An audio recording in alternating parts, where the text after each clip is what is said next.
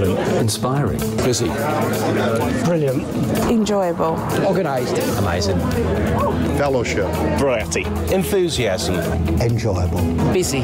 Very professional. Fantastic. All encompassing. Excellent. Enjoyable. Yeah, development. That's it. Pilgrimage. Inspiring. Wonderful.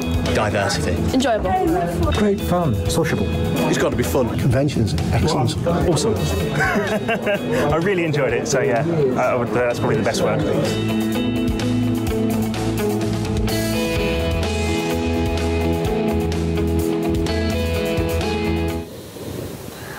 Good morning and welcome to this, the Society's first online convention.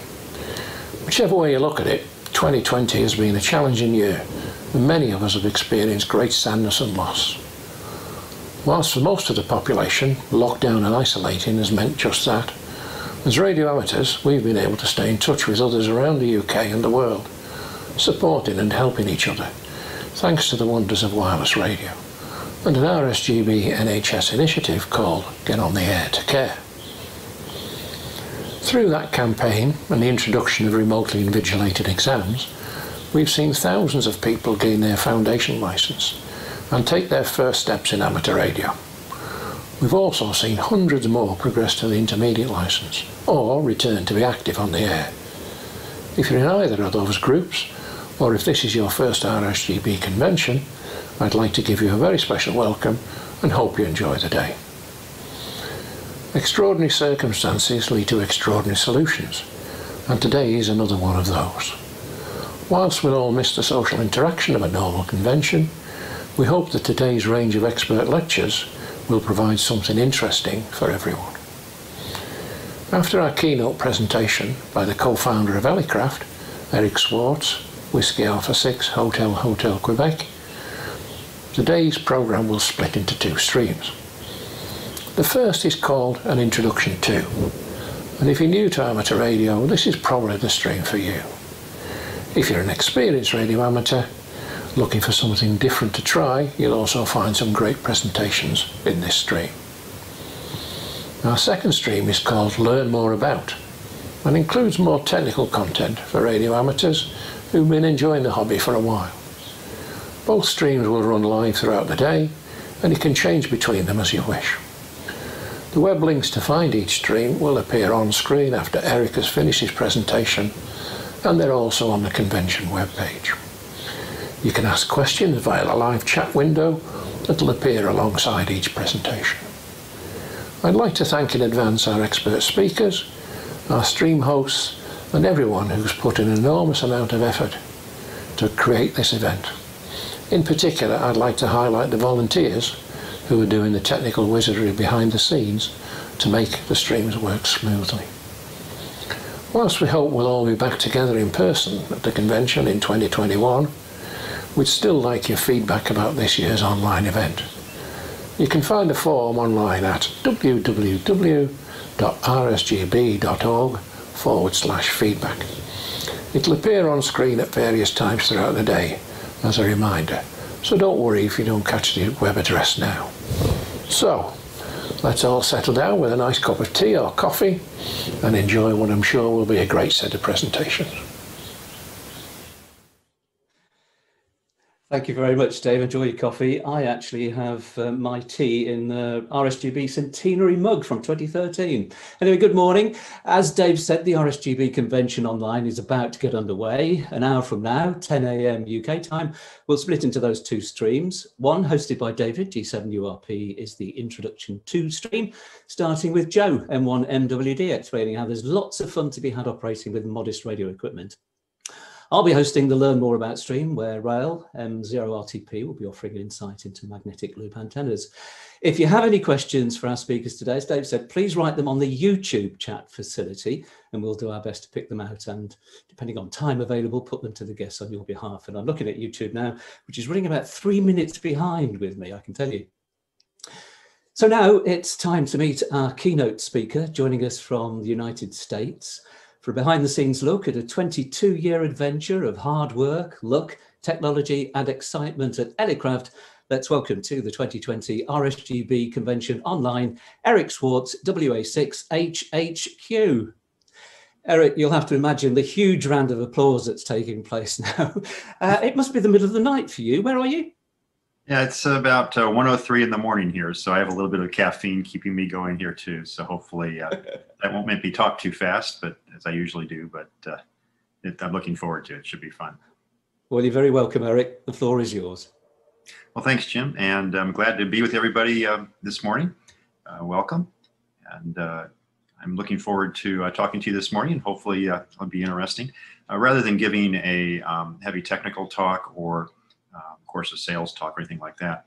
I'm um, going to give you a little bit of a background in Elecraft since we've actually been around, uh, as the title you can see up, up on the screen there, uh, 22 years now. It's a little scary that uh, we've made it this far, uh, but it's, uh, it's been quite a, uh, journey and, and, a fun ride. So I wanted to give you a little history, walk you through from Wayne and I when we started the company, and you know, sort of some pictures of products and, and other things along the way. And of course, we'll talk about the K4 a little bit at the end, of course, because that's uh, certainly been at the top of a lot of questions we've been getting lately. So uh, thanks very much for coming. And I wish I was there in person. I uh, was out last year at the, uh, the National Ham Fest and enjoyed myself uh, quite a bit meeting people and talking to everybody. And uh, certainly we'll be trying to get back out to, to one of the shows as soon as we can when they start letting us do that again. Uh, things out here in California have uh, calmed down a bit. It's been a bit smoky, as you probably heard in uh, California from some of the fires. Fortunately, uh, nothing impacted us directly at the uh, factory. We were far enough from them, but we did have some employees and other folks affected, and that certainly disrupted things for a while. But we're back to normal now, which is great, and and running full speed. So, I'd like to talk about 22 years of Elecraft and have some fun along the way here, giving you a feel for how we started the company uh, some of our philosophy and how we actually uh, run the business, um, and uh, and let you see, uh, give you a little peek at what's coming up here with the K4 course at the end. Um, get set up here. So first of all, who are we? I think uh, many folks may be familiar with Wayne and myself, but just a little bit of background. Um, both of us actually got our ham radio license in California. we didn't know each other back in 1971 when we were both 14 years old. Uh, Wayne's original call was WN6HQH. Interesting enough, mine was the novice version of my current call, WN6HHQ. Um, I used to joke with people it was California karma that we would eventually bump into each other and start a company. Of course, uh, Wayne changed his call to something uh, much shorter, N6KR. And I used to joke with him because he's a, mostly a QRP guy, though he does get on at 100 watts too. Uh, so we use when you operated field day, I would use the Phonetics N6 kilowatt radio, which would uh, drive him crazy, but it worked great for uh, for the contests. Uh, Wayne's a very good uh, uh, hardware and firmware designer. worked in Silicon Valley in a number of places prior to us meeting. Um, his degree actually is in cognitive science um, and also has some computer science as part of that too. an excellent designer, been designing radios actually since really when he first got his ham radio license. So he's got uh, just incredible skills at uh, and creative this in terms of radio design. Um, myself, um, I'm from the Bay Area, San Francisco Bay Area originally, so which is very close to where we're located, which is just outside of Silicon Valley on the uh, coastal uh, area, Monterey Bay for uh, Elecraft. Um, I grew up in the Bay Area, went back east to school on the East Coast, and then uh, came back out as an engineer and uh, worked my way up through uh, engineering design and management and startups and all the usual Silicon Valley story. Uh, and uh, started another company prior to uh, Elecraft and then uh, went crazy back when I got together with Wayne and, and started this company. So I've been having a lot of fun in, in, that, in that area in that time. my background, I would say, is design engineering and business management. Wayne and I, of course, designed the K2 together. Um, and also I helped him on some of his original QRP rigs for the NorCal QRP Club. I'll show you in a second and uh, really uh, our philosophies of design and also uh, starting a business meshed quite well. So it was one of those things we, we figured out pretty quickly that uh, we worked well together and uh, we've been enjoying uh, working together now for 22 years and, and certainly growing the company as we did that. Um, it all started around this little radio. some of you folks may have this. This is a NorCal 40 which uh, Wayne designed actually uh, for the NorCal QRP Club back in the mid 90s, I think. Um, and this is a single board design with no uh, interconnect cables or anything. Uh, clean mechanical design, uh, simple front panel, back panel, and U-shaped top and bottom covers with, uh, of course, all through-hole design. But a pretty good performance uh, 4 watt uh, QRP radio on 40 meters. Um, I happened to uh, pick it up at a ham fest, which and I had not met Wayne at that time or even heard of him uh, on a lark uh, because I've been chasing DX with much bigger radios, and a friend and I thought this would be fun to do something on QRP, so we went uh, went that route. But uh, we uh, were both down. Friend, my friend uh, Stan uh, N6LU at the time, and myself were down in Monterey, California, down near Carmel, just in the southern part of Monterey Bay, 30 minutes from here, back in 1994 and we both picked up a couple of these kits. Um, actually, ordered them from the uh, club stand there at the uh, Hamfest, and uh, built them. And actually, we're chasing each other, trying to work countries the next year. And uh, both of us uh, actually got over 100 countries uh, at four watts. And unfortunately, Stan had the bigger antenna, and he worked 120. I helped put that antenna up, so that's my fault. Um, but in 1994, um, around that time, I started uh, just for fun um, on every first Saturday, I think it was, uh, of each month. The NorCal QRP Club met out uh, after uh, a, a, local ham radio flea market out in Livermore on the eastern side of Silicon Valley. And uh, ended up bumping into Wayne there at the club meetings, uh, which were held at a place called the California Burger, restaurant, fast food restaurant, hamburger place that the club would take over in the mornings and they uh, we get breakfast there and have people bring their projects and things. It was mostly a builders club and operating, but uh, we meet people there and uh, have, you know big social event too. So we uh, met there and through the next couple of years operated field day together. We'd brainstorm uh, middle of the night uh, radio ideas for the ultimate field day radio. And actually that's how the design for the K2 came about is we wanted low current drain, reasonably, actually very good performance because you have more than one transmitter usually nearby. And one thing led to another, and uh, we convinced ourselves we actually could uh, sell a product around this. So we uh, first uh, sort of floated it before we actually started the company in 1997 at the um, West Coast ARRL uh, Ham Fest uh, called Pacificon outside of Silicon Valley, and managed to have a got a good crowd. We had about 50 or 70 people in the room. we had a little projector showing the slides of this proposed radio we hadn't built yet and uh, people thought we were crazy, but we uh, we gave them a feel for where we were going and uh, showed them how the radio was put together, including internal pictures like this. Though we did not put the uh, 12 volt internal battery at that mounting, uh, we discovered that if you drop the radio, a, uh, a, a sealed lead acid battery can do a lot of damage inside a radio. So we ended up with, for the people who bought internal batteries on the K2, mounting it to the top cover, which worked out fine.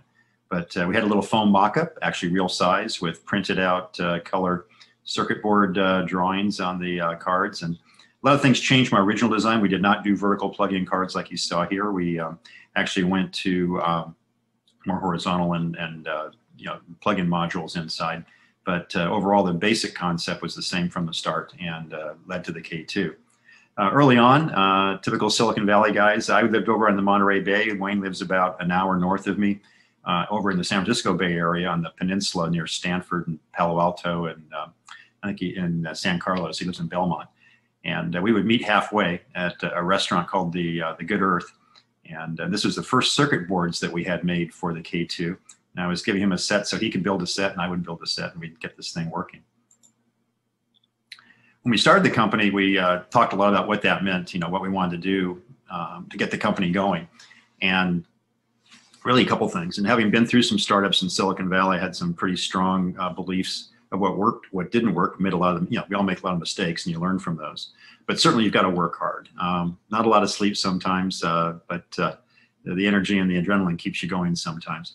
One really important thing is uh, whenever you start a business and something that's been your hobby, you've got to realize it's not a hobby anymore for you. I mean, you have, certainly have the hobby aspect when you're you're doing off on your own playing with it, but inside the business, uh, you've got to think of it as a business, um, and that's a different mindset. Uh, you still have fun with it, you still enjoy it, but uh, you've got to pay attention to the uh, cash flow, um, you know, getting good people on board, uh, really looking at what your costs are and bringing a product to market and pricing it accordingly, or you won't survive once you try to grow. And you start bringing overhead for people to build it for you and manage accounting and and uh, keep track of purchasing and you name it. And that adds a lot more than when you're in a basement just buying it by yourself. So uh, you have to design the profitability in from the start. And We did that. Uh, cash flow, you always, you know, you can go bankrupt and uh, you know, show a profit, but not have the cash flow to support the business. We uh, managed to support the company uh, pretty much with internal financing from day one. We haven't had to go outside for bank, bank financing or, or venture capital. So it, uh, it's been a nice steady growth for us. And actually, you can go through the ups and downs of the economy when that happens. If you've got your own uh, company cash balance that you saved up over the years, which we have. And that, that's helped a lot. Obviously, good employees. Um, we also hire them outside. Uh, with the internet, we can have people virtual. And we did this even starting back in, in 2000. Our first uh, customer support engineer was in Arizona, Gary Surrency, um, who was actually helping out customers on our email discussion list. And we needed somebody when it was too much work for myself to uh, keep doing customer support and grow the business. I was the first customer support guy, I guess. And uh, Gary came on board and operated from down there for, gosh, about 18 years for us before he retired.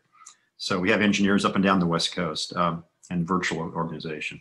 And lastly, we took our customers and uh, the first 100 customers that were uh, willing to buy K2's uh, sight unseen as we designed them uh, became evangelists for the product. Uh, and that really, just from a marketing standpoint, was wonderful because obviously uh, word of mouth is important for ham radio.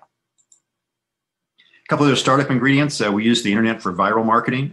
we didn't even have any print ads for the first year, just a web page and also the discussion groups. we did tech support, advertising, everything that way and it uh, helped us get out and uh, get bootstrapped off the ground quickly. Obviously, stay focused. Uh, methodically built our product line, you know, one add-on module at a time. We had fun. You have to keep doing that, or it wouldn't be worthwhile doing either.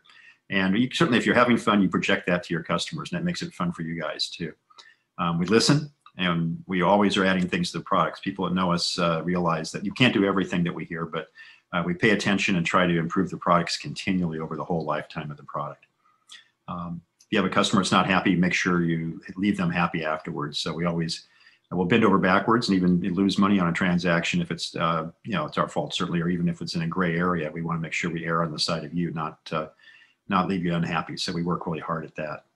Also, got to move fast. You design stuff, uh, we build it, we break it in testing, and get it out there um, to market as fast as we can. So uh, you cycle it as much as you can early on. Don't be try to make it perfect uh, the first day, you get it going, test it, and have some field testers find the problems, get those fixed, cycle it, get it out. Obviously, try to design great products, and that's if you enjoy it, and we have a lot of fun, and I'll hopefully have some good designs out there, and it's worked out well for us. Uh, you get some successful products, and of course, you got to work even harder uh, after you get those first products out, and you have to outdo it for the next one. Here's the K2 prototype from 1998. Um, this uh, was the first version of it. Again, the philosophy here was try to eliminate uh, cable harnesses like the old Heathkits used to have. So you didn't have to do a lot of wire soldering. All the boards plugged into each other. That's the front panel with the push buttons mounted on it, liquid crystal display. Also, another board behind it had the microprocessor and audio control logic on it. We ended up actually expanding that board to the full width of the radio as we added features uh, as we finished up the design. But the basic concept uh, was pretty much what you see here. And we brought this to a NorCal QRP meeting to show it off, along with a couple of working prototypes as we got them going and here's the first ones. Wayne, when uh, back when we had more hair, um, was showing off um, the first unpainted K2. This is back in 1998 um, in April. So before uh, I think I think we took these to Dayton that year, actually, if I remember correctly. Um, either 98, yeah, 98. Um, and we uh, showed them some people there too. But uh, the uh, unpainted versions we had there, these are operating, and we actually were working stations on the hood of my uh, little SUV there, and and it was quite interesting. This is at the California Burger. You can see it in the background on the picture there. Um, for those of you that know some of the local QRP crowd, those guys, um, Dave Fifield over on the uh, right side, actually uh, with the glasses for, from the UK. Uh, Chuck Adams in, that uh, over in the red uh, uh, sweatshirt over in the far distance there, very fast CW operator. sharp guy, actually a rocket scientist, and K7QO, I think is his current call. Uh, Vern Adams of Super Antennas is sort of in the middle with uh, suspenders over his yellow T-shirt. Um, so there are interesting folks there in those days, but uh, had a good crowd and we were showing off our toys and uh, we uh, got a lot of new uh, new customers when we did that from the crowd. We also operated field day together that year. I had two K2s, and actually, this is a picture from another group that was next to us operating about a mile away. And they couldn't figure out how, uh, with our radios, we were able to operate uh, a few kilohertz away from them on CW and not get wiped out by their big 100 watt or even 500 watt signal. Um, the K2s had a pretty good rejection of adjacent signals, and they came by and check us out, and we were showing off the insides when they took this picture of us. So that uh, memorialized uh, some dual K2 operation for field day with us. And so in 1998 uh, is when we uh, first uh, finished designing the K2, and we shipped our first K2s in January, I think the 22nd of 99. And I had gone full time, I think, in July of 98. and Wayne went full time right as we started shipping uh, full time. We actually got in the cover of Japanese CQ magazine, so we sort of uh, reversed uh, the radio invasion back that direction. That's showing some of Wayne's earlier QRP designs and the K2 there that we did together on the cover of theirs in, in September of '98. This actually is Wayne and I were designed uh, designed the radio to be shipped in UPS, um, USPS, excuse me, uh, priority mailboxes, the standard. Uh, they're free, which is important to us back then, and we uh, we basically uh, packaged up the first 100 and shuttled them down to the local post office in several trips. And they got used to us after that. First, they wanted to know what all these boxes were for, and we said, "Oh, we're starting a company," and they sort of smiled. And we came back with another load and another load and another load, and, and they got the idea that we actually were doing something serious, and they they got eventually ended up picking them up from us, but uh, it was fun to watch that grow. This uh, after we moved out of my basement where we built those first 100 K2s um, in uh, 1999. This is our first office, not uh, very auspicious, but in Aptos, my town where I live, about uh, eight miles north of where the factory currently is uh, in Watsonville, just south of us. Um, and we had two small suites, my palatial office here. You can see my office there, the U-shaped folding tables put together with a computer on it, our conference table, another table across uh, for our uh, office manager and, salesperson. We also had another room that was our manufacturing room where we kitted up the K2s. And we had a little, uh, basically a large closet for the inventory at the time. At that time, we kept a lot of the parts inventory in little parts drawers versus uh, the way we do it now with uh, large uh, inventory area with you know parts bins and everything else. But uh, we packed and shipped and did everything from this room for a number of years on all of the K2 and uh, K1 and further products out there. That was in 2000. Also in 2000, and we started going to some ham fests um, outside of uh, the local ones. Um, and uh, this is at Fort Tuthill, Arizona. Again, a QRP crowd, though a number of them were buying the 100 watt version ultimately from us too of the K2. And these guys surprised us. They didn't tell us they were all bringing their built up K2s that they built and they uh, lined them all up and got us in a group picture for that. So we have fun with these things too. But uh, it was nice to see the enthusiasm of the customers. We were starting to realize we actually had something that, that was it was starting to take off a little bit. We also had some crazy customers. Um, this is the first K2 in Antarctica, Antarctica excuse me. Um, this uh, person uh, called us up uh, and said he wanted to buy a K2. And we said, no problem, we can get it out to you. We have some in stock. He says, Yeah, I need to get it quickly because I'm leaving for a week in Antarctica. I'm going to build it and take it with me. I said, Are you sure you want to do that? Uh, you got to make sure you get everything together quickly and get it working. But he did and took it down with him and worked a lot of stations. And he sent us this QSL card uh, from down there. So he uh, was certainly our, our first, I guess, unofficial DXpedition uh, with any of our radios back then. And uh, then a lower corner is a little thing that says Elecraft Kool Aid drinker, official Kool Aid drinker using that uh, trademark Kool-Aid uh, picture of the little guy of, of the, of the uh, drink on top of the radio. One of our customers put together. Uh, we never made an official one out because we didn't want to violate the trademark, but uh, uh, people uh, were proud of that. We saw those show up on some T-shirts at Dayton one year, which was sort of fun. This is another group of crazy customers, actually over in Europe. Um, they you can't really tell from this picture probably um, over YouTube, but the um, each of the frequency displays, the last four digits they dialed up as the serial number of their K2s that they built, or the KX1 on the right side and the K1 on the left side there. Um, and they actually um, had brought these and sent the picture to us so we could uh, see that they had them all together and, and, got them going. Interesting thing, we didn't obscure our serial numbering uh, scheme so you could see where you were in the sequence. And people were very proud of that they walk up, introduce myself. Hi, I'm W6XYZ, uh, K2 serial number uh, 2321 or something like that. And they would do that and have them on their t-shirts and everything. So we've maintained that uh, same um, pattern for all of our radios, and it uh, of neat. People can sort of track where they are. So in 2000, we did the 100 watt version of the K2. We weren't just a QRP company. That was just how to get started and, and go after a, a, target audience that we knew was looking for some new products initially.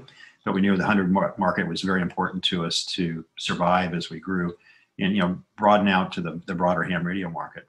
What we didn't realize is that would kick the K2 into um, the DXpedition world much more heavily. And uh, because of its receive performance, um, ARRL had given it a very high rating.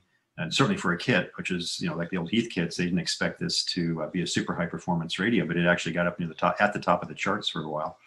And for a number of years was the radio of choice for a lot of people. And uh, even had people building them for other people who couldn't build a radio just so they could get the radio, which was sort of neat. So this shows the 100 watt cover on top of a K2. You could upgrade over time with the radio, which a lot of our people did. Here's the K1 we came out with after that. And I'm going to speed up a little bit so we can get to the Q&A session afterwards. Here, I'll walk through these real quick. This was a four-band QRP only radio. You could actually receive off a 9-volt battery for a while, but not transmit. But it did have an internal AA battery or external. Still quite popular. We don't make it anymore, but it had a really nice, uh, smooth-sounding receiver. So that was nice portable radio. This was one of our first, uh, our second Dayton, I think. Uh, that's Wayne on the left, myself, and my wife Lerma, KD6ANH. She's a retired semiconductor engineer, and that is Gary Surrency, the first uh, support engineer we had uh, with us at the show. So that was our total crew uh, at the show. I think we left two people back at the factory while we were there. So we weren't super large, but it was a very successful show in our single booth Dayton booth there. As we grew, though, in 2002, we moved out of that into uh, initially one suite, and then two, then three, then four, then five in a complex that was actually above a grocery shopping store area down below. But this was an outdoor sort of office complex, and uh, we were rolling carts back and forth as we assembled things, and had engineering in one one suite, and, and uh, sales and marketing, and admin in another one, and production test and inventory in another one. It was uh, it was quite an interesting operation. We were there uh, for quite a while, at least up until I think uh, 2008 or nine, that time frame But we introduced the K, K3 in this complex. Our next radio, though, was the KX1, which is our first trail-friendly radio with the controls on top. Uh, still uh, very sought after, and uh, it's been superseded by the KX2 now, which is similar design, but with all modes sideband. This was CW only, though it could receive sideband, and that was in 2004. So we're starting to broaden our line out at that point. But then we came out with the, 2000, the uh, K3 in 2007, and we had to outdo the K2, and uh, surprisingly, we, we did, and it, it was extremely successful. We made this one both factory assembled and kit, and that really exploded for us, the size of the company and our success. And of course, uh, it's become a standard for DXpeditions and contesting, and, um, and it's sort of set our reputation over the years. And so each time we do a new radio, of course, we have to do a little better, but this, uh, this one has uh, been very popular over the years. I'm sure a lot of you have these too here's our first test production area. So um, Renee on the left, who's still with us, uh, Dale, who's uh, passed away now, unfortunately, in the middle, and uh, Vic were the first three senior techs that we had that uh, basically brought up every single radio we shipped for quite a while. And we added a few extra guys to help them in terms of the final test. But uh, you can see their test stations there with SIGGENs, scopes, and, and computers. We actually eventually uh, computer controlled most of the test stuff with these guys supervising it to speed up the testing. And uh, it's come quite a way since these early days, but that's what it looked like. Followed that with the KPA 500, uh, 500 watt solid state amp. Still to this day, it's a great successful product for us, and it just as a brick. It just keeps running. It has linear supply for simplicity, and the same size as the K3. And that was the K. We call it the K line, uh, with echoes back to the old Collins S line, and that's the P3 pan adapter in the middle. That's a FFT DSP based pan adapter, uh, very high performance for the K3. And works with other radios too. It'll work with a lot of different IF frequencies. At the K3 kicked us in the larger quarters. This is where we are now, down in Watsonville. We moved in in 2012, actually. And uh, we've taken over more and more of this building. I think we're about half of it now um, for our engineering, production, test, marketing, uh, warehouse uh, facilities. Engineers are still spread both there and up and down the West Coast. So we've got uh, quite a crew uh, spread outside the factory too. Next, the KX3 in 2011-12. This is a really big first SOTA successful radio for us. So the KX1 was doing it too. But this was all mode up through six meters, 160 through six. Still sell them. Um, it runs data modes, CW, sideband, built-in paddle if you want, or mic. Uh, plug into it. And uh, of course, we added things like a little pan adapter to it, the PX3, 100 watt amp. So people can use these for home stations. Getting a little more sophisticated as we did this stuff over time. Remote controlling the K3, we did a remote control panel called the K3/0. It's become a standard for a lot of remote stations. Uh, the remotehamradio.com guys used them, and uh, remote hams uh, from Brandon KG6YPI also has these uh, tied into K3s on his free network that people use. And a lot of folks have their home stations controlled with these still to this day. Then we did the K3S. Next thing, we had to get even a little more performance out of the K3, which we did, and pumped the phase noise down even further and got more performance close in. And and uh, gave some more uh, more life to the radio. Uh, matter of fact, we kept selling the K3S all the way up until this last year, um, just before actually in 2019. Was it 19? Thinking back now, I think it was yeah 2019, um, just before Dayton, we um, we discontinued it and uh, introduced the K4. That shows the pan adapter on the right there in operation. nicely. Got a great review from QST, so we've worked really hard to do that, and of course also from the RSGB from you guys. So it uh, we keep trying to uh, push these little higher performance each time. It's always a challenge to do that, but it's getting up there now where it's uh, you're you're hitting some ceilings, but uh, the performance set is really important to us. So we shrunk the KX3. The KX2 is really sort of the standard for SOTA stuff now. Now here we squeezed down to the same size as a KX1. I don't know if I have a picture of them together, but uh, they're almost exactly the same case size, but this one has a full um, SDR-based receiver like the, the KX, uh, K3 has in the K3S. This one was direct IQ conversion to baseband and, and directly into DSP. And we sell a ton of these, and they're by far they were the first radio to get uh, quickly to 5,000 radios, much quicker than anything else we had in our past radios. And we, I don't, I've lost track of how many of these we sold over the years. And of course, you see the SOTA guys uh, on them quite a bit uh, operating. Um, this is the day we introduced it at, uh, we literally introduced it at Dayton in 2016 and we were mobbed. And we have a 40 foot long booth and we could barely move the whole time there. Uh, you see Lisa, who was our head of uh, sales and inside admin there with her hands up over the air. I think her computer had just crashed and uh, she was bringing it back up. And of course, everybody wanted to keep ordering. The lines kept getting longer. This actually was a calm period where you could actually see the table. They, people were standing up and surrounding it for the first three or four hours we were there. We even had some guys uh, put a walkie-talkie antenna on it, and there's a built-in microphone in the KX2. And this fellow's put this picture on Twitter, and we saw this uh, on, on there, and finally found out who it was, and he gave us permission to post it. But uh, he was walking around talking to people, I think, on 20 meters inside the uh, Dayton Hamvention with it. I also operate mobile with a KX2. You can see that above the uh, Kenwood Tribander there. 100 watt uh, amplifier, KXP 100 my amplifier, and uh, little RAV4 that I drive around.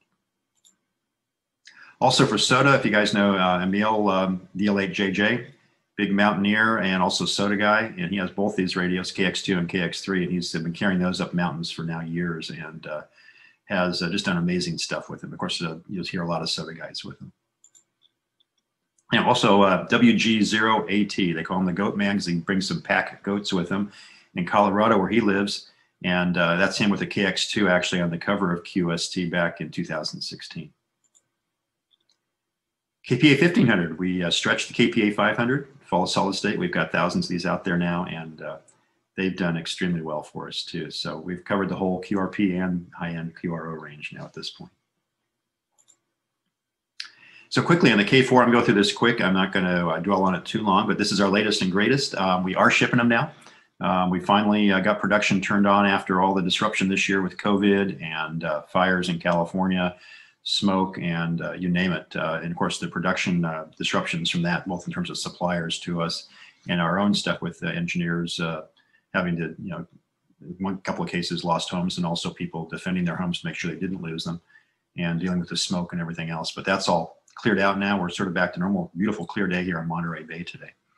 Um, so this is the K4. Uh, I'm going to jump through this really quick so I don't take too long, but uh, it's on our webpage also, so we can talk about it there. Basically, it's a high performance 160 through 6 meter radio. We have also room for an internal VHF UHF module, so you'll see that coming out. Um, dual receive in all of our versions, uh, dual pan adapters if you want, or single pan adapter. You can switch it back and forth. Uh, you don't need crystal filters in the K4 and the K4D. It's all high performance uh, DSP filtering, direct sampling, and uh, user adjustable transmit receive equalizers. Of course, a high res color touchscreen, though you don't have to use it for everything. Um, you've got good physical buttons also. I like that on a radio. We actually improved them over the K3S and K3. You have physical buttons behind them that click and harder rubber uh, buttons on there that are very rugged, don't wear out, and give you a nice tactile feedback too, which I like.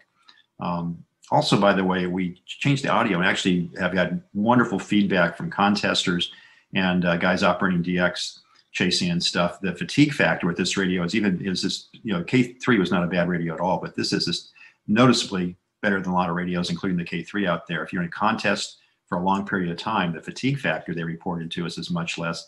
And uh, for instance, in cases we at the other end of a pileup, we had the California QSO party this last weekend, for instance, and a number of people in our field test group had their friends that had not used the K4 operating it. And their first comment was unprompted after a number of hours operation is, hey, I can pull more people out of the pileups calling them since they were the W6 calls in the, uh, in the uh, QSO party um, than they've been able to do with other radios or even the K3. So that was, that was an incredible uh, piece of feedback. So that worked out well for us. We we're glad to see that work well too. Here's an actual picture of the K4 close up. And you can see it in dual pan adapter mode here. Um, on two bands, at the K4D, you can add a second A to D converter, which gives you optimal two band reception off two different antennas, or diversity reception if you want to. And or you can just uh, specialize have one full pan adapter here. We also drive external HDMI monitor, so it uh, it lets you uh, have a copy of this screen or just the pan adapter, so it can be a specialized pan adapter screen. And we'll have other apps for it uh, externally too. Here's a close-up of the screen. We do have some touchscreen stuff for adjustment. You can actually hit the band button and bring up band stacking register buttons. And uh, but for the most part, everything's at the top level, and uh, menus are mostly for setup of the radio, not for everyday operating. So it, it's pretty quick for setting things up to where you like it, and then you can just operate like you would with a K3 or any other radio. Last of the feature list, and then I'll get on to some other fun stuff here. But uh, low signal delay processing with a very fast DSP processor, full speed uh, QSK break-in CW, and of course, data modes and sideband are, are seamless. Uh, diode switch like our radios for all our other radios for TR, so it uh, is very quiet. And uh, also, we've got some new uh, special noise reduction we're bringing out for it, and uh, of course, external 10 megahertz reference if you want to lock it to an external GPS reference standard in the radio too. I won't go through every connector on the back, but they're all back there. You've got multiple antenna inputs. If you've got uh, the antenna tuner and the radio, you have five separate antenna sources. You can switch to each of the two receivers independently, which is nice. And also we have Ethernet, USB, um, of course, the legacy uh, I.O. from the K3S also. And even RS-232, they can all be operated. For instance, you can have RS-232 commands coming into the radio. Um, you can be talking to it over a computer, over USB-B, um, or even doing stuff over the uh, USB-A connectors and they all can take, you know, the Ethernet, they all can take commands simultaneously and be talking to different programs and stuff. So pretty powerful. And of course, remote control over the Ethernet too, um, over USB also uh, can be done. I'm going to jump over this just because we're running out of time. Um, I want to get the questions, but uh, there's the uh, KPA 1500 next to the K4. You've got uh, basically exactly the same size. When we came out with the KPA 1500, we had not announced the K4. People wanted to know why we picked that size for the RF deck on the 1500, and now you know wanted to make sure they matched, so we had a new K line uh, with these two radios. And the radio is upgradable. I won't go through all the details here, but basically you can buy a basic K4 and then add the additional A to D converters in the K4D or go for a little more blocking dynamic range with the K4 HD, which is an additional superhet front end for it. One last thing here on the K4. Um, this was right before Dayton, before we announced the radio. Was sort of a teaser shot we put on Twitter. And this was me sitting with the K4 uh, up in the corner. We didn't say it was there, but there it was. And just said, Eric, looking at the new products we're bringing at Dayton. And I had a tablet with me showing remote control using the same UI from the K4. It's not a full-fledged remote control app. We took that same screen you see on the K4 and compiled it on a Windows Surface tablet. And I was able to touch and control the screen. It was real time. And actually, we could take another K4 and we had that and this tablet controlling the, the radio at the uh, show. And we've shown that number of times to people. And as we uh, develop that, we'll eventually have a K4/0, if you want to call it that, uh, remote panel for the K4 to look and operate just like the radio with pan adapter and everything coming over Ethernet. So a couple of fun things here, um, and we'll wrap into questions. Um, lots of the DXpedition people. The lower right-hand corner actually was the first one, VP6DX, that took our first K3s out when we were still in that over the grocery store set of suites. And uh, we are a little scared, but they uh, worked a new record number of contacts with those and set the, the uh, you know, the popularity of the radio for all the other DXpeditioners, which you'll see here. Certainly things like this is the Heard Island DXpedition back in uh, 2016. Um, this is the uh, South Sandwich Islands, South Georgia Islands. Those are those orange tents that almost got blown off, off the islands uh, near the end. We almost lost all the radios, but they set some new records and uh, were very successful. Uh, also the South Orkney Islands twice and a whole bunch of other DXpeditions, of course. So you'll see K3s and our other radios out there. I like a little simpler DXpeditions. This is uh, one of my operating positions on a uh, trip out in the middle of the South Pacific. And so uh, for me, it's usually a KX3 or KX2 with uh, simple antennas over the water and uh, still working a lot of stations, which is great. A little more relaxing too. You can sit outside if you want and have something cool to drink. This is the same location. I think this was north of Tahiti uh, back a number of years ago. And we have a little fun too once in a while also, which is great. So open it up for questions. Um, anything people want to ask, uh, I guess uh, one of the moderators here is going to pull them off of uh, YouTube or whatever you guys have. But uh, I'll uh, put some more time in here, at least until we uh, run out of time and they kick me off. We probably got about 10, 15 minutes, and I'd be glad to answer questions for you on anything. And I'll put some links up here too in terms of ways to contact us via, of course, the web, email, Twitter, RSGB, of course, uh, for your RSGB information too. Thanks a lot, and let's go with some questions. Uh, thank you very much, uh, Eric. K4 looks gorgeous, I have to say. Um, lots of questions coming in, actually. Uh, Richard uh, G4 HGI wants to know your secret for being so chipper at this time of the morning, or the time of the morning it is with you. What about one o'clock? Yeah, it's about, uh, gosh, what is it now? It's 1.38 in the morning a.m. In, in, California. So yeah, we uh, also uh, we also have Bob WO6W in California watching uh, this morning as well. Wow. right, questions. Gregory M0ODZ, thanks you for being the keynote uh, speaker. And um, he wants to know uh, uh, how much do you have to keep an eye on? Uh, oh no, that's not that's not his question. That's another that's another question. Uh, I'll come back to Gregory's question in in a moment. But um, you were saying that uh, you do listen to customers and they give you feedback and then and then you act on it. Uh, and I was going to ask you how much, uh, what sort of things you've you've changed uh, because of because of that. But uh. Robert Walker, Robert Walker has uh, a message to say the new Russian 599 TX500 is a challenger to the KX2, as it's claimed to be more rugged and environmentally and environmental and environment proof. How will you respond to that product in your own offering? Any thoughts on okay. that? That's a good question. Um, it's uh, I've looked at that radio though I haven't actually uh, used it myself. And uh, is that the one that's actually hogged out? Has the case hogged out of a piece of aluminum? I forget which one it is. Um, but uh, I think that from a performance standpoint, we still outperform it in terms of receiver performance on the KX2. Um, generally, also, um, you know, one of our probably strengths here. You mentioned that we listen to the customers. Well, we're continually adding features to the radio based on feedback from the customers. Um, We've added different filtering capabilities, for instance, data modes, things like that over the years. Um, and basically, uh, you know, lots of things to make it easier to use, certainly from a SOTA standpoint.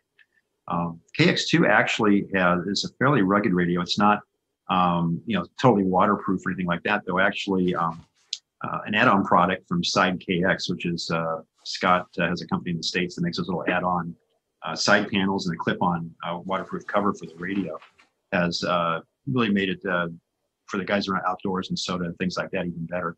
And so, from a ruggedness standpoint, we do very well. Though we've actually even had uh, the special forces like the Green Berets and people like that uh, in the states uh, independently. They buy them as off the shelf. It's not a government contract, but they'll buy five or ten at a time for their uh, their battalion groups and stuff, and they um, they're using them in, in some pretty nasty areas. Uh, they hook up their encrypted stuff to it and do what they're going to um, I'm not too worried from a ruggedness standpoint. Obviously, power drain, um, the ability to, um, you know, a small radio that's reliable uh, with internal lithium batteries like we do, but also um, have reasonably good receiver performance. And the KX2 absolutely does.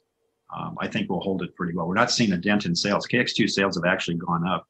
Um, and actually, KX3, the same thing. And over, actually, we had strong sales throughout the COVID uh, crisis here, even when we were shut down for a number of weeks uh, in California uh, back during the uh, the spring here. Um, we actually KX2 and KX3 sales kept coming in, and um, we came back and there we had a big backlog. We still do actually. We had even stronger orders. So at this point, I don't think it's a big problem. Uh, we certainly will watch that, see if there's something they're doing we, we have to react to. But I haven't seen anything we have to do really heavily yet at this okay. point. Dave, GM0HVS, wants to know if there's any possibility of a replacement for the K2 uh, that can be built rather than assembled. He says, I like my KX3, but I love my K2. Well, the K2 we're still selling. Uh, I think it will be as soon as I can keep getting parts for it. It's a through hole, you know, 160 through a 10 meter uh, sideband CW transceiver. Um, we're not re-engineering that right now. It may happen someday, uh, especially if we run out of parts uh, that, that, are through hole for it that we can get. Uh, problem is that if we go surface mount, uh, it's really not practical to make a surface mount kit at that scale for that complex radio. Uh, the economics work out, it's almost more expensive to make that than assemble it. Um, because the parts are so small, we have to individually bag and handle them. A lot of them aren't even marked because they're mainly made for a computer, you know, for mechanical uh, or robotic assembly. So we, um, and we would have to actually do something like we do with the K4 or the K3 and K4, where the boards are pre-assembled and tested. It's more of an assembly operation. But in light of that, we're going to try, the through hole parts are still available for a lot of these things. We may have some small boards that have a microprocessor and other things that are surface mount only pre-mounted. um, in the future. That's one thing we've talked about. And then you get to do all the rest of the soldering and bring up the radio. So, but the K2, you still have that experience, and we still have people buying them, and you know, get every option possible for it to uh, have that building experience. And we're going to try to keep doing that. It's amazing. We've had that radio going for over 20 years now. But um, I'm not announcing anything new. We're not going to replace it short term. Uh, obviously, we've got our hands full just getting the K4 ramped up now. It's going to be dominating us for the next uh, six to 12 months. So you're not going to see a, a KX4 or, or a KX2 on steroids at this point. You'll see software changes and, and enhancements on those, but uh, uh, you never know in the future. We'll see. You've just answered Gregory Fenton's uh, question. Uh, he said, "What's next for Elecraft uh, apart from some well-deserved sleep? Is there a watch this space moment coming up?" So, no, I guess is the uh, is the answer never, there. We, might, we, we never tell you until we get there. We might surprise you, but uh, at this point, I'd say really realistically, right now, um, you're going to see K4, K4 enhancements, add-ons, uh, remote control panels, those types of things over the next year. Um, and I think we'll have our hands full, to be honest. That's a, you know, we've got a huge backlog on that, and uh, we want to obviously keep that satisfied first. And we're not seeing a problem with the KX2s and KX3s. Now, that said, um, every time a new radio gets announced, you always see an impact for a month or two where people sort of pause and say, what's this other radio about? And then uh, what's interesting is then the sales come right back to where they were, or even better sometimes. So uh, those radios have had a lot of staying power, and we tend to keep our radios going for a long time because they're designed using some pretty good technology. But uh, that said, if there's an opportunity to do something cool, we'll we'll do it. But I can't say when. Okay, um, nice to see call signs, by the way, on your questions, if you possibly can. Uh, one from, it just says Tristan's Workbench. Uh, why was the first Elecraft radio called a K2 rather than a K1? Were Ah, there okay. plans for a K1 at the time? Oh, sorry, it's uh, G0KAY. Okay, uh, that, thank you. It's a that's a story I've told a few times. I'll be real quick. But when we first announced it at that uh, Pacificon uh, meeting back in 1997, we were all talking about what's going to happen in, in the year 2000 with uh, you know uh, computer clocks rolling over and not having enough bits uh, or you know bytes to properly do that, and thinking programs are going to crash and we are going to have some kind of disaster. And um, but also we were thinking about mountaintops and like K2 and um, um, are we going to and so we or 2k either way. But uh, we probably st- we stayed away from uh, 2k because that sounded too much like the 2000 deal. We were thinking mostly mountaintops so um, we uh, we called it the k2 and uh, and went with that. We I just, it was just really wasn't thinking of sequence at that time. But of course uh, we had the k1 come out afterwards which was smaller scale so it was a smaller number going down. And then we had um, of course, the KX line of products, the KX1, KX3, and then KX2. Um, KX2 being a smaller version of the KX3, so you can sort of see the numbers going that way. So that's sort of how our numbering scheme worked on those. And then, of course, the K, uh, but the KX meant X for extreme. Um, so for the uh, portable radios and then the SOTA type radios, that's how those came about. So that's how the K2 came. It was uh, it was not uh, thought of the sequence at the time. Okay, questions coming thick and fast now, so we'll have to uh, belt through these. Um, Mike, G4, G4 CDF says, do you have any plans for a VHF, UHF rig similar to the IC 9700? Not in the short term. Um, the market's been pretty well served, obviously, by, by ICOM and some of the other guys in that area. But uh, like I said, you'll see the K4 with a pretty good performance uh, VHF, UHF module, and we can build it different ways. It could be uh, 70, uh, you know, 70 megahertz, four meters and two meters, or it might be two meters in UHF. Uh, we've got the capability of doing uh, a number of things with that module. So uh, you'll probably see that first from us in terms of VHF, UHF work.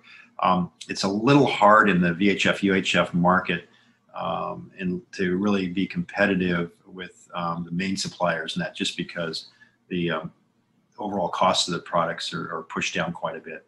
Um, and it's uh, it's a lot harder unless you can really carve out a performance niche that people are willing to pay for there. And it's it's our observation is is it's not going to be super easy if we were doing it as a standalone radio versus part of a radio like the K4. All these questions, but uh, John Earnshaw, M0JFE, says, uh, as now we're seeing SDR radio equipment becoming accessible to more people with a smaller budget, what do you see as being the next step for radio after SDR? Boy, um, I think you'll see the SDR part staying around for quite a while. You'll see the performance go up um, as analog to digital converters get better, uh, logic gets faster. Uh, we can do some more creative things with it uh, and get more performance out of it in terms of even more dynamic range and do some other things with it in terms of wider bandwidth modes. Um, so you'll see that. One of the things we designed in the K4, so it's uh, not going to be obsoleted quickly if new parts do come out, is the what we call digital down converters, which are where we literally digitally sample at RF at the operating frequency, say 14 megahertz if you're on 20 meters or 28 megahertz uh, if you're on uh, on 10 meters or so on. Uh, and we directly sample that at 122 megahertz right now with a, a uh, very high speed analog to digital converter and then digitally down converted on that single little card. Um, but say a whole whiz bang new uh, set of parts come out uh, four years, five years from now, we can keep the radio and upgrade it like we did uh, with things on the K4, K3 to a K3S. We could have a K4S, for instance, and also you know, sell upgrades to people that have the K4s, which makes you know our radios attractive to people because they can get a lot of lifetime out of it. So I think you'll see that. I don't think the DSP part's going to go away. We've been using DSP for a lot of things, demodulation, ever, ever since uh, the K3 days and uh, certainly inside the KX2s and um, and KX3 we use them also. So I don't think the DSP is going to go away. I think you'll see faster and more creative uh, software implementations in terms of features we add to it, and of course you know, newer parts. We've got uh, a talk on DSP coming up later on the more about learn more about uh, uh, Stream from uh, William Eustace. Um, but we're reaching the end of our time now, uh, Eric. Um, just before you did say uh, in, in your talk that this is a business for you, not not a hobby. But do oh, you actually get do you actually get time to play? Yeah, I've got a whole Radio Shack down uh, here in the, in the, bottom floor of the house. I'm on the side of a hill here, about a mile from the ocean, and the uh, basement I, I built out um, on that. It's like half the width of the house down there because we're on sort of at, at edge of a pretty good sized slope hill and uh, put a good sized ham shack in there years ago. And uh, that's my lab and ham shack, and occasionally my office. Uh, hide down there, but I um, I get on and operate. I've been operating actually uh, just this afternoon. I was on a little bit too. Um, I uh, you know do everything from just making sure I'm using our radios, and so I can see what works and what doesn't work to my satisfaction.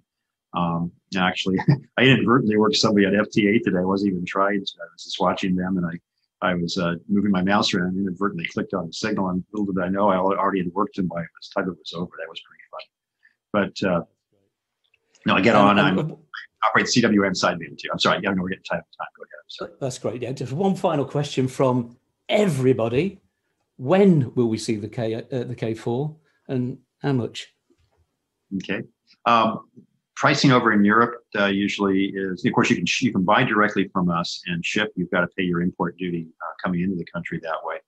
Um, but uh, the CE testing that we do, we've actually done the preliminary testing already. We usually have to wait until the final production units are rolling off the line and make sure we go through a full test on that. It's not something you submit to a government agency, which is nice. There's not that bureaucratic delay. So um, we basically go through the test lab and just catch any uh, minor things that are specific to CE that maybe we have to tweak um, on the radio just to make sure they're happy with that. Um, obviously, we, we design the radios to be clean in terms of emissions and stuff. And that's the key thing with CE. Uh, because there's not 110 volt supply in it, we don't have to go through the whole high voltage part of it that you do for like the linear amplifiers that we sell. But uh, it uh, it should go pretty quickly. I'd say we'll probably have that complete over the next uh, 60 to 90 days, and you'll probably see them starting to pop up in Europe in that time frame, maybe even faster. I'm trying to push it as fast as we can, but we've got our hands full with the uh, current backlog, which is primarily uh, uh not in Europe based, unless they were you know buying them in the states and carrying them over. Um, but um, the uh, I'd say in that time frame over the next next 90 days, you'll see them probably start um, some popping up over in Europe. Uh, people may be placed to sort of a uh, put me in line, but not in official order. Um, and uh, and then uh, they'll come back and take it as soon as we start shipping. That's great. That's uh, I'm sure everybody be really interested to see those arrive here. Well, Eric, thank you very much for taking the time to talk to us in the middle of your night. Uh, and giving us a fascinating insight into the all the goings on at uh, Elecraft.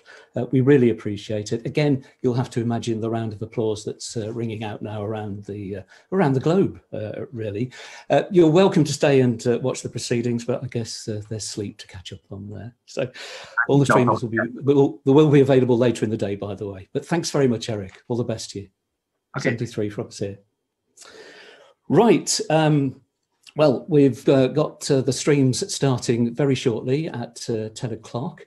Um, while Rob and Dom from CamHams are setting those uh, links up, uh, let's pay another visit to the national. Let's pay a visit to the uh, National Radio Centre at Bletchley Live. By the way, if you're watching on the introduction to stream, by the way, Joe M1WD MWD will shortly have advice on getting fun from operation, operating a, a, small modest station. On the learn more about stream, M0 RTP Rael would be extolling the virtues of QRO magnetic loop antennas. And there are links to each stream on the RSGB website, and the web addresses should appear on the screen anytime now. Okay, so uh, let's go to. Um, uh, let's go to Bletchley Good morning. see what's uh, Welcome happening to the there. RSGB's National Radio on the Centre, air. We'll try and find out a, a- a frequency Park. for you.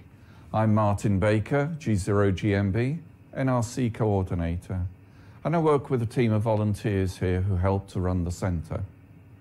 During the day today, we'll be running some QSOs, live QSOs from our GB3RS station, and it'll be really great to have you call in to make QSOs and uh, have a contact with us. We're going to be operating on a number of different frequencies 80 meters, 40 meters, 20 meters, uh, 2 meters, and uh, we hope to be also on our Oscar 100 station as well. To help you find us during the day, uh, we'll be sharing our operating frequencies with you on social media and on the DX cluster. For those of you who haven't been to the NRC before, I'm going to give you an overview of our radio setup, our station here. However, before we do that, just to remind everybody that due to the uh, virus situation, the NRC is temporarily closed to visitors. Although Bletchley Park has reopened, the NRC is still closed. And today, um, the video streaming is being done uh, in accordance with COVID precautions, and uh, we'll be wearing face masks whilst we're operating and maintaining social distancing. Now, in terms of the actual radio setup that we've got here, we have a number of radios. On the HF bands, we have a Flex 6500. Uh, it will run anything between 40 meters up to 6 meters with the aerial that we have connected to it. And we have a Maestro screen uh, for uh, making easy operation. The Flex itself, we keep the power output from the Flex quite low. That drives into a Gemini HF linear amplifier, and that will produce 400 watts for us, uh, which feeds up to the SteppIR three element beam, which is located on the uh, roof of B block on a small tower at about 50 feet. In conjunction with the Flex radio, we run Logger 32 software, and that 32 software has a DX cluster built into it, so we can immediately spot incoming stations and click on that will automatically align the radio to the correct frequency and we'll tune the flex, sorry, the SteppIR to be resonant on that frequency too. Moving on to the uh, LF bands, we have two radios that we can use.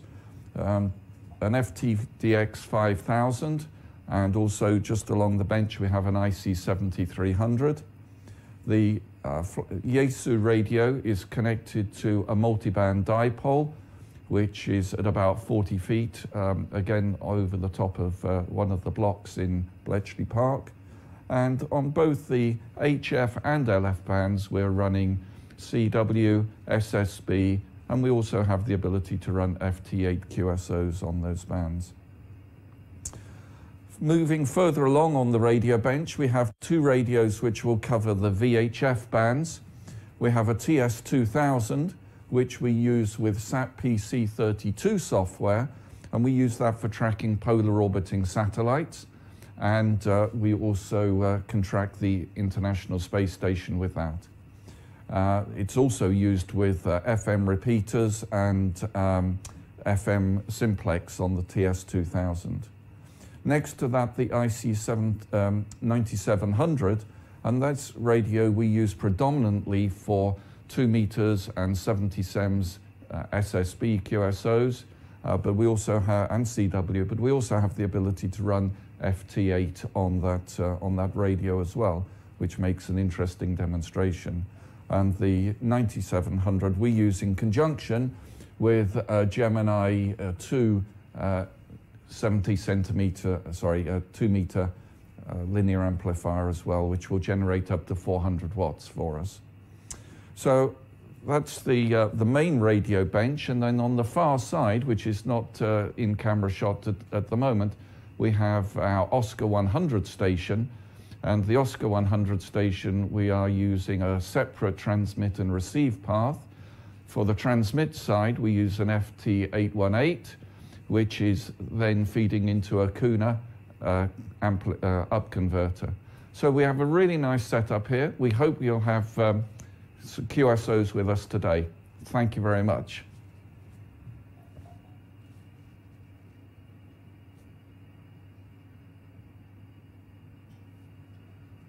as to what uh, what frequency they're on, uh, or frequencies, in fact, uh, that they're that they're on, and uh, we'll let you know. My uh, my rig's gone to sleep at the minute, so I, I, I, can't check.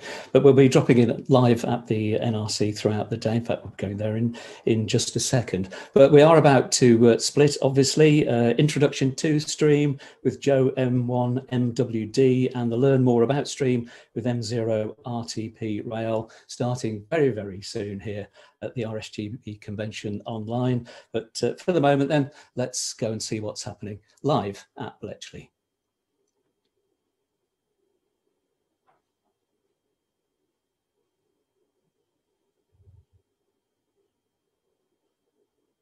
Thank you.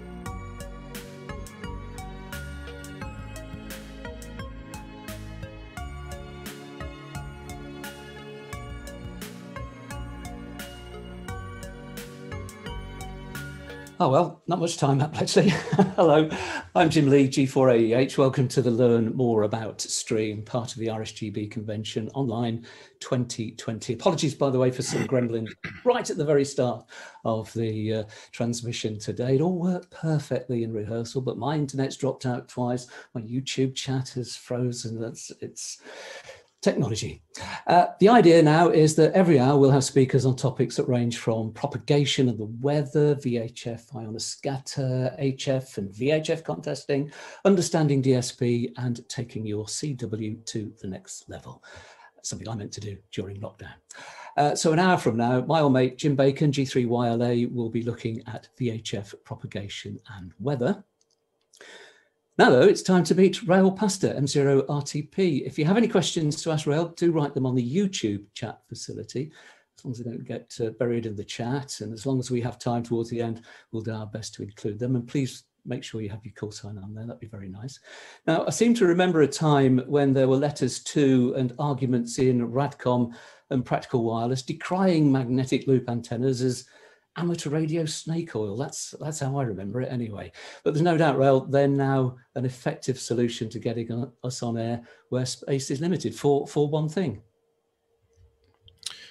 So there's one thing radio amateurs can agree upon is if you can't hear a remote station, you can't work the remote station. So, you know, to quote Scott Adams, engineers like to solve problems, and if there are no problems handily available, they will create their own problems to solve.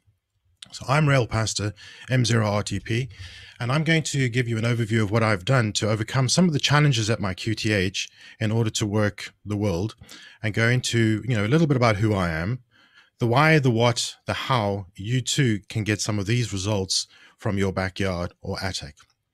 So this presentation will be available to you to download. So if I'm going to be moving through the slides at some pace and I'm using them just really as an aid to what I'm presenting. So by all means, also reach out to me after the event to find out anything more about loops and how you can get on the air with them. So without much further ado, I've been in amateur radio for probably close, fast approaching 40 years. Um, I'm not an expert. I'm an ex, I'm a tinker try experimenter, and uh, I have my share of RF burns to prove it. Don't recommend them. I'm a member of RADOC. I have interests in Arduino, ESP32, home automation, amateur radio, of course, building antenna systems, building linear amplifiers. I built a number of station controllers using microcontrollers, etc., and uh, small computing devices. I work in the IT industry. So, what is the talk going to cover? The talk's going to cover some of the controversy, the snake oil that has been mentioned, and I'm actually going to include some thermal imaging scans that I've done of magnetic loops just to demonstrate that they aren't glorified garden warmers. I will also share my experiences of the the how, the what you need to do in order to get an efficiently designed loop. I won't go unnecessarily into the theory. Uh, you know, if you want the theory, there I can point you at plenty of sites towards the end of the presentation where you can get into the theory. There are some additional considerations, especially if you're building QRO loops and some operating practices you need to have in mind. I will cover the performance of the loops using WSPR and FT8 in particular, and demonstrating some proof through the QSLs that I've had. I will also cover what I've done to achieve 10 through 160 meter coverage uh, through a station controller controlling three loops. Automagically having a broadband antenna system, if you will, using magnetic loops that are renowned for being high Q. I do want to add one disclaimer, and that is any commercial products are a subset available on the market. They do not carry any endorsement from myself, and I don't get any commercial gain, and your mileage will certainly vary. One last point if I have got any references missing from source material on here, please let me know. I can hardly claim an original thought for very much of this. So, why loops? Well, when I moved to the UK, I had a new QTH. I ideally wanted to operate on all HF bands. I had insufficient space, as many of you do, and insufficient height to build an antenna system that would support an 80 and 160 meter uncompromised antenna system. Below 10 megahertz, RF hostile environment. My next door neighbors had inverters, solar panels, plasma TVs, power line devices. Within within the near field of one wavelength, I had countless ADSL devices and wall warts and you name it. S9 plus 20 at times. Loops tend to be less sensitive to electrical noise in the, in the near field. They have very sharp nulls, which allows you to turn and counteract the most offensive sources. And they're small enough to rotate with a TV rotator.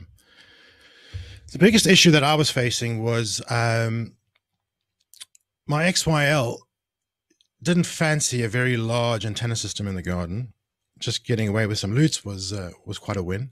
And my next door neighbors and the neighborhood attention, after having had some wire antennas up, did draw the attention of uh, the local council. So I did need something that was inconspicuous and would draw less neighborhood attention. I also was looking for something that could be close to the ground without having to go into planning permissions and having to speak to the bank manager. The other thing I was looking to do is operate in a multi-TX environment and having high Q would be good. So the million dollar question is, and the snake oil element that was alluded to is, are they garden warmers? Well, the first image that you see up here, excuse the spurs, those are actually cable ties, is a magnetic loop that's been operating for several hours,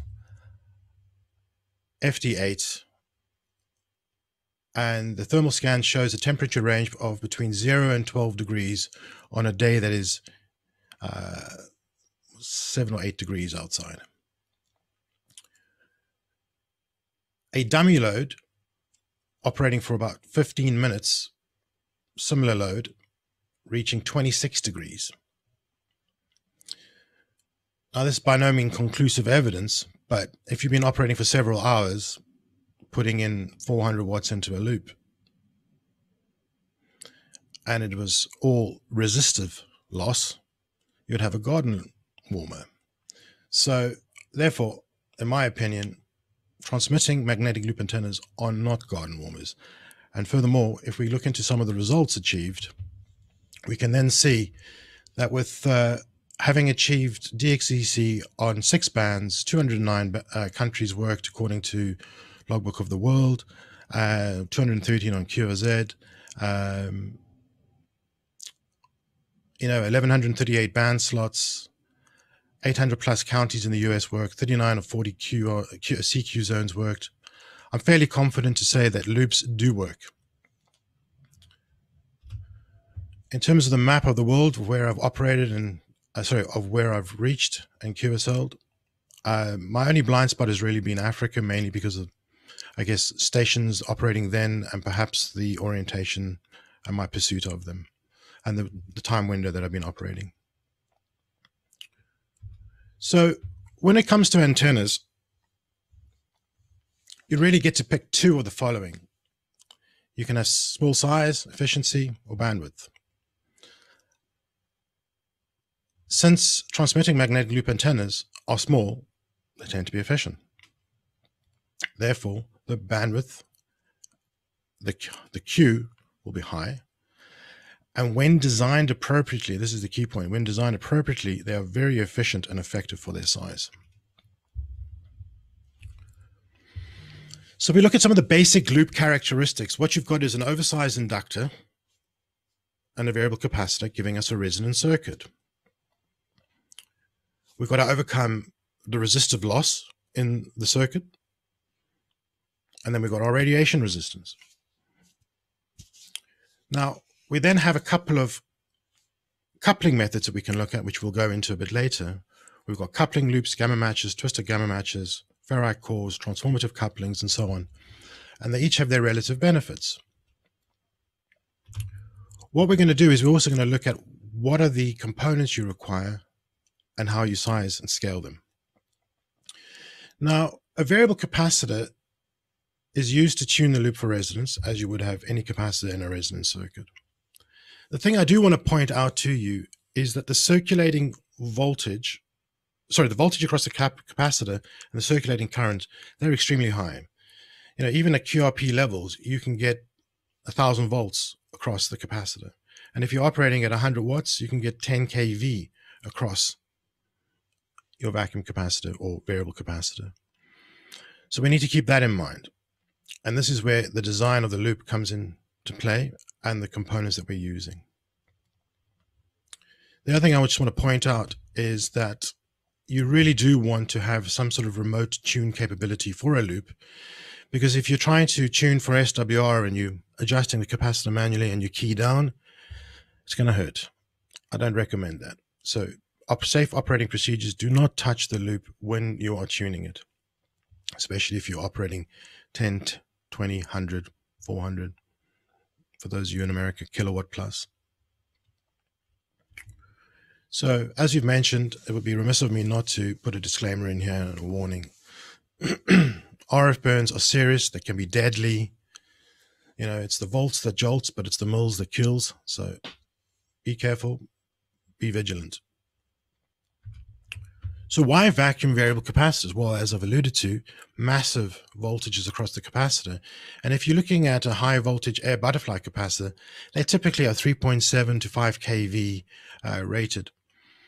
If you look at the Jennings vacuum variable capacitors, the ones that I've been working with are typically max 15 kV, where the Soviet era new old stock vacuum variable capacitors, such as the KP14,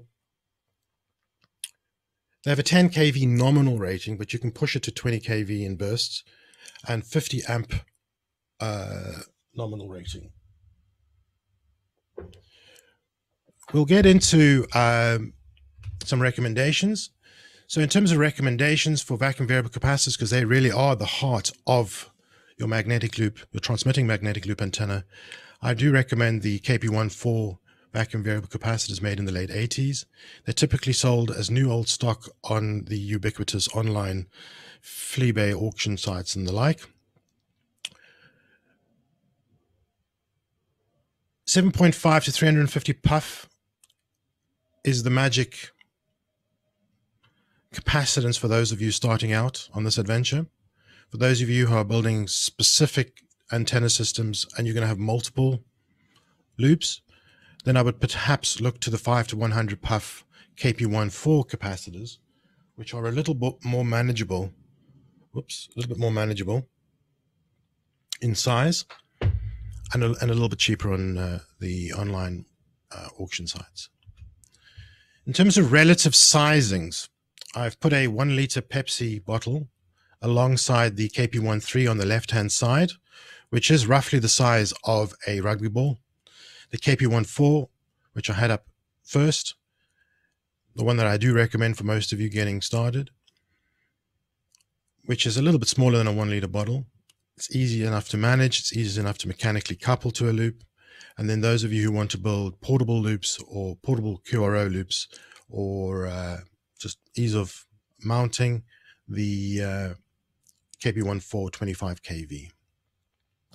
So, moving on to sizing a loop, I'm going to get into some of the formulas and construction later. My recommendations broadly as a sort of a rule of thumb, ideally size between one eighth and one quarter of a wavelength. Bearing in mind, the closer you get to a quarter of a wavelength, you're going to start exhibiting electrical properties in the loop of an electrical antenna. Now, for optimal bandwidth, this is this is the magic band. A lot of people operate or build loops around a tenth of the size of a wavelength. The problem we'll see a little bit later is the voltages and the currents will be quite high when operating QRO. So the magic numbers are a quarter to a, an eighth of a wavelength. This is, allows you to have a lower capacitance required for the variable capacitor and a lower operating current. The other important considerations, and this is really important, is how are you going to have structural integrity for the loop given weather if it's sitting outside and is it going to be self-supporting and so on. So I found 28 millimeter copper to be pretty robust, self-supporting. It's of the appropriate size and dimension to give us the performance that you've seen before. The, and the other factor is you want a price performance ratio that you want to balance.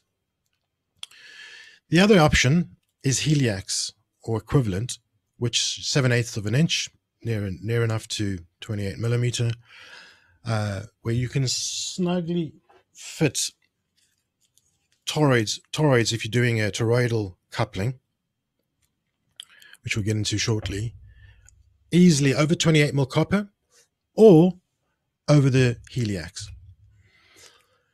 And the reason I will recommend shortly the toroidal couplings is that if you're experimenting, changing the number of windings that you have on your coupling is much easier than having to cut, solder when you're doing a uh, a coupling loop.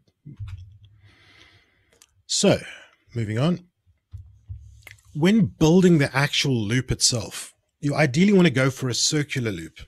If you can't get a circular loop, if you're using uh, copper piping and you don't have access to a ring roller, I would then suggest making an octagonal loop or a square loop. They will work just as well.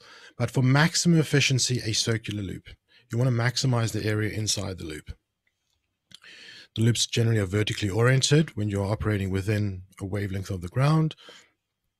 If you're going to be operating above a wavelength of the ground, then you can have them horizontally uh, oriented. But all the loops for the consideration today will be vertically or with vertically mounted in mind. The most important thing that I can absolutely recommend is you need to solder, braze, weld your joints. Mechanically connected joints, you know, they are going to introduce resistive losses.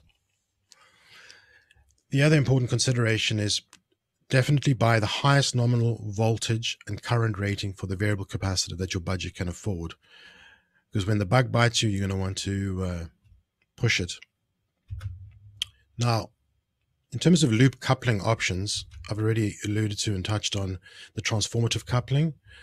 This is extremely effective.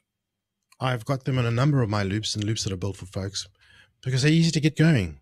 They're easy to just match and if you're thinking of starting on this journey, definitely start here. The next option is a coupling loop. Sizing the coupling loop is a consideration, and the distance of the coupling loop from the main loop is the next consideration. And we'll get into some of those considerations in a later slide. The other two uh, coupling methods that are quite popular are the asymmetric gamma match and the twisted gamma match. These are very effective as well a little bit more fiddly for those of you who are getting started. So I would definitely start my way on the left-hand side and move all the way to the right. Now, in terms of the uh, toroids, the FT240 is easily available. Um, highly recommended. The Type 43 mix is very good for 163, 160 meters through 20 meters. And for those of you operating on 30 through 10 meters or a loop for 30 through 10, use Type 61 mixes. The difference being here is the number of windings you're going to require on that transformative coupling. In terms of a coupling loop, there's two. There is a little bit of uh, debate, if you will, on how the size you should use on the internet, as well as amongst amateurs. From my personal operating experiences and building experiences, when building a loop for 12 through 20 meters, I typically use one fifth of the main loop circumference as the size of the coupling loop. When operating 30 40 meters, it's a quarter. On 60 80, a third of the main loop circumference. Now, there are a number of factors that come into play. Are you doing a multi turn loop? Or is it a single turn loop? But broadly speaking, um, when starting out here, this is a good starting point. Always size your coupling loop a little bit larger and cut it back. The next thing in terms of uh, matching the coupling loop to the main loop is you vary the distance of the coupling loop from the main loop by up to about 10 centimeters. Let's call it four inches. Please do make sure your coupling loop is insulated from the main loop.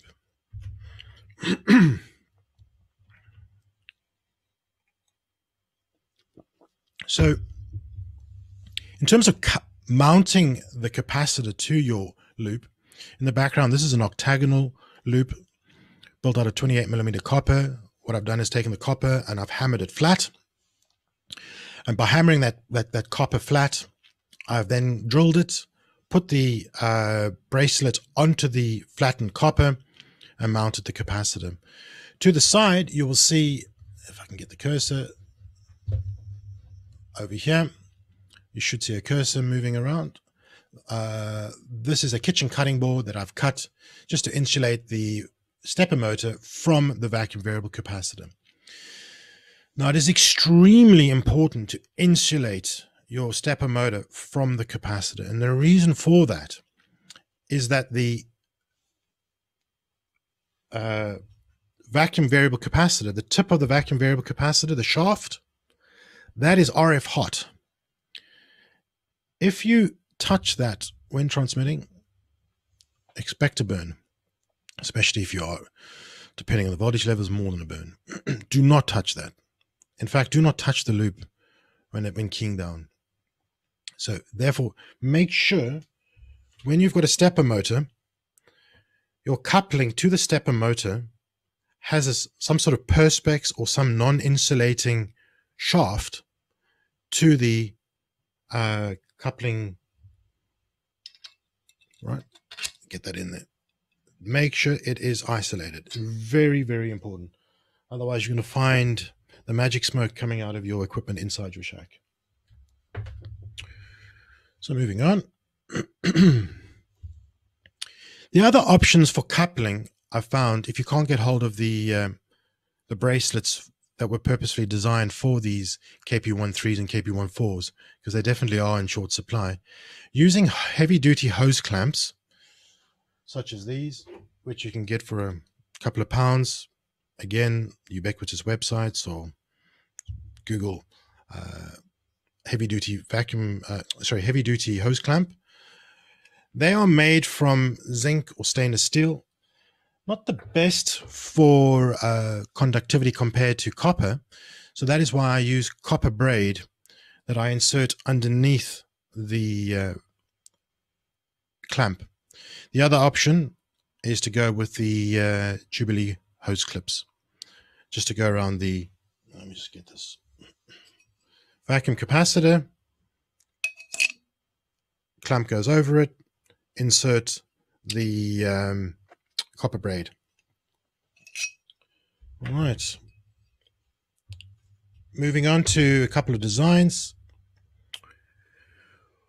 What I've done here is taken a loop, 160 meter loop uh, for the 160 meter band, 20 meters of heliax, around a effectively it's a 2.12 meter former made out of 50 millimeter uh, PVC plumbing pipe.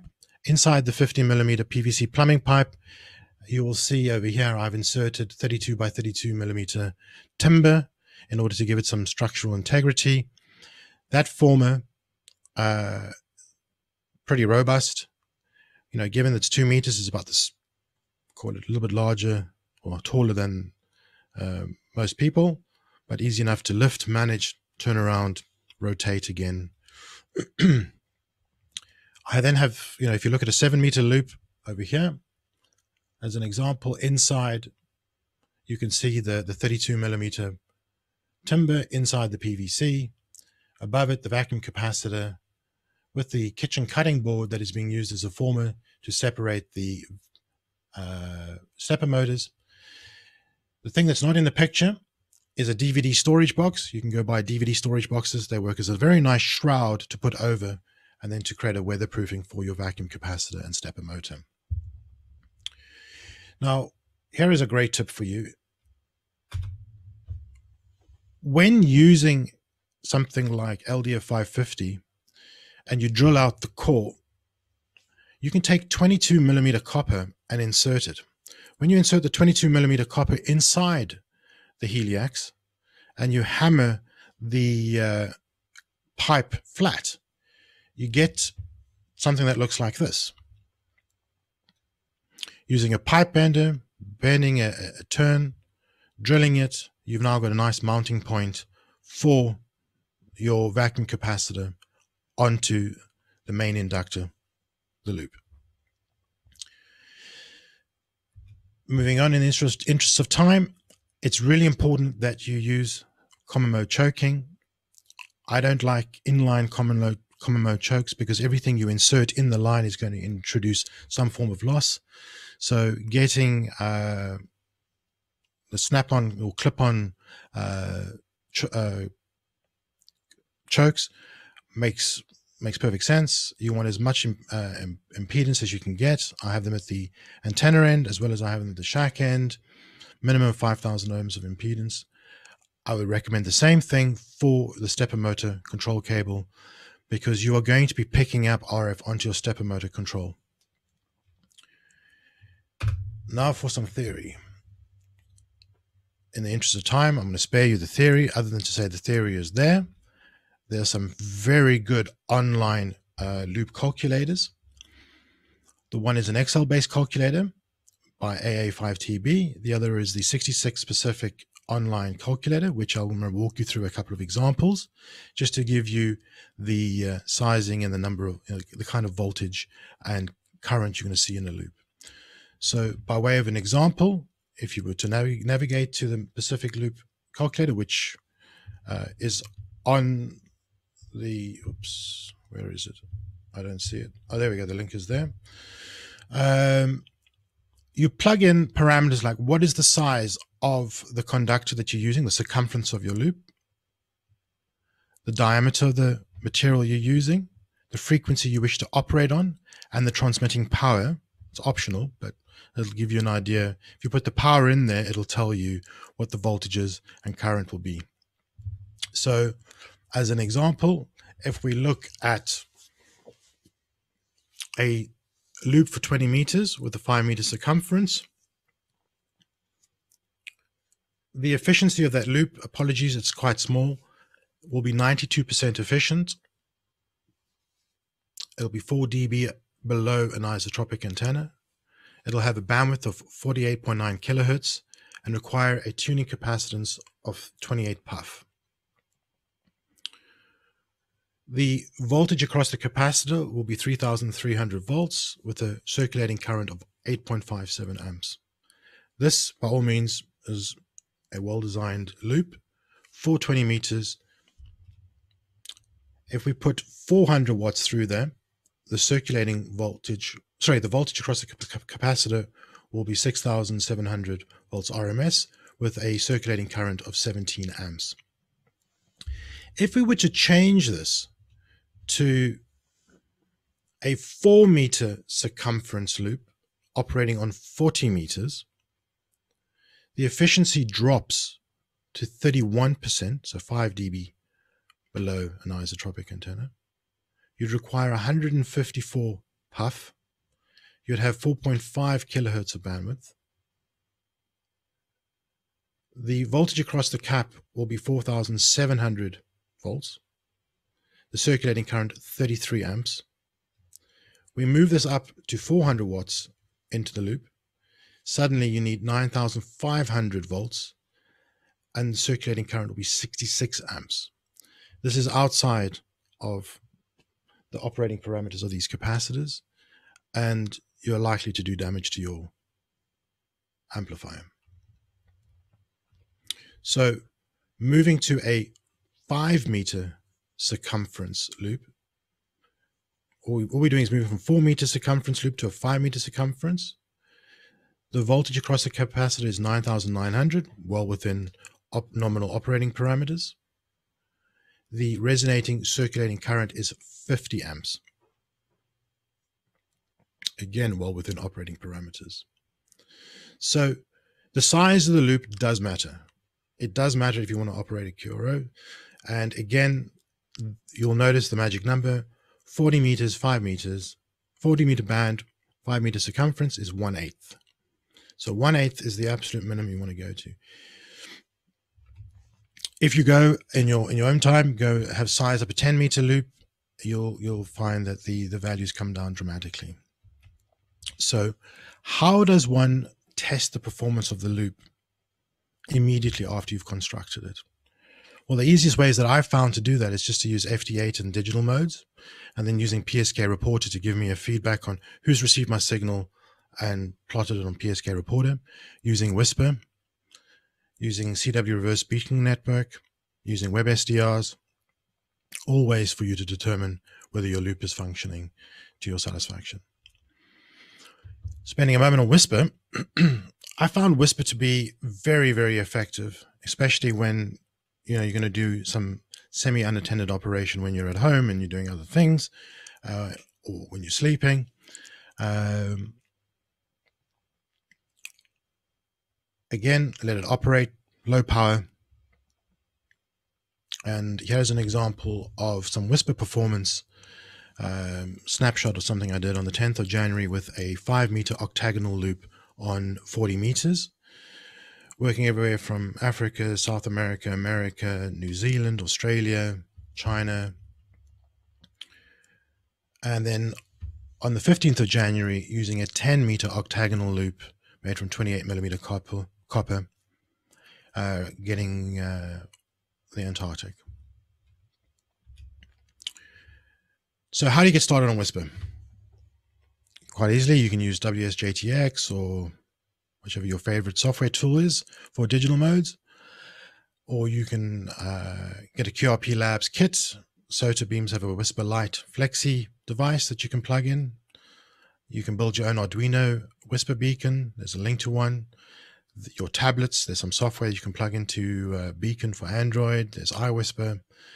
There's a number of different options. Uh, relatively easy. If you if you Google YouTube, you know, you'll get onto WSPR quite easily. Highly recommended for testing. This is obviously one way. This is you sending out a signal, your location, your power level, and getting a report back for what was the strength of your signal received.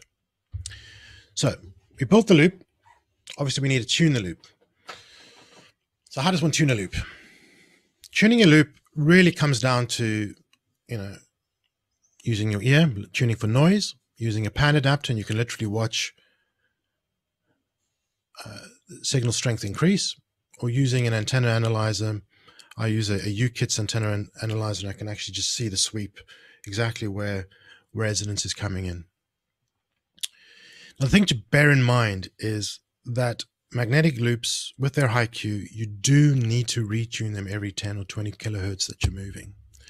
So it's really not user friendly in winter or if it's sitting in the attic. So you do want to remotely tune it. One, for safe operating. Two, for convenience. And three, um, to have some sort of auto magic antenna system.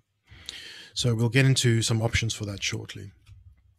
Now, in order to control the loop, I strongly recommend the uh, the NEMA 17 uh, stepper motors. The one on the left hand side You know, it's relatively small, 65 Newton, uh, 0.65 Newton meters of holding torque. Very, very, very effective at turning the most stubborn of uh, vacuum variable capacitors.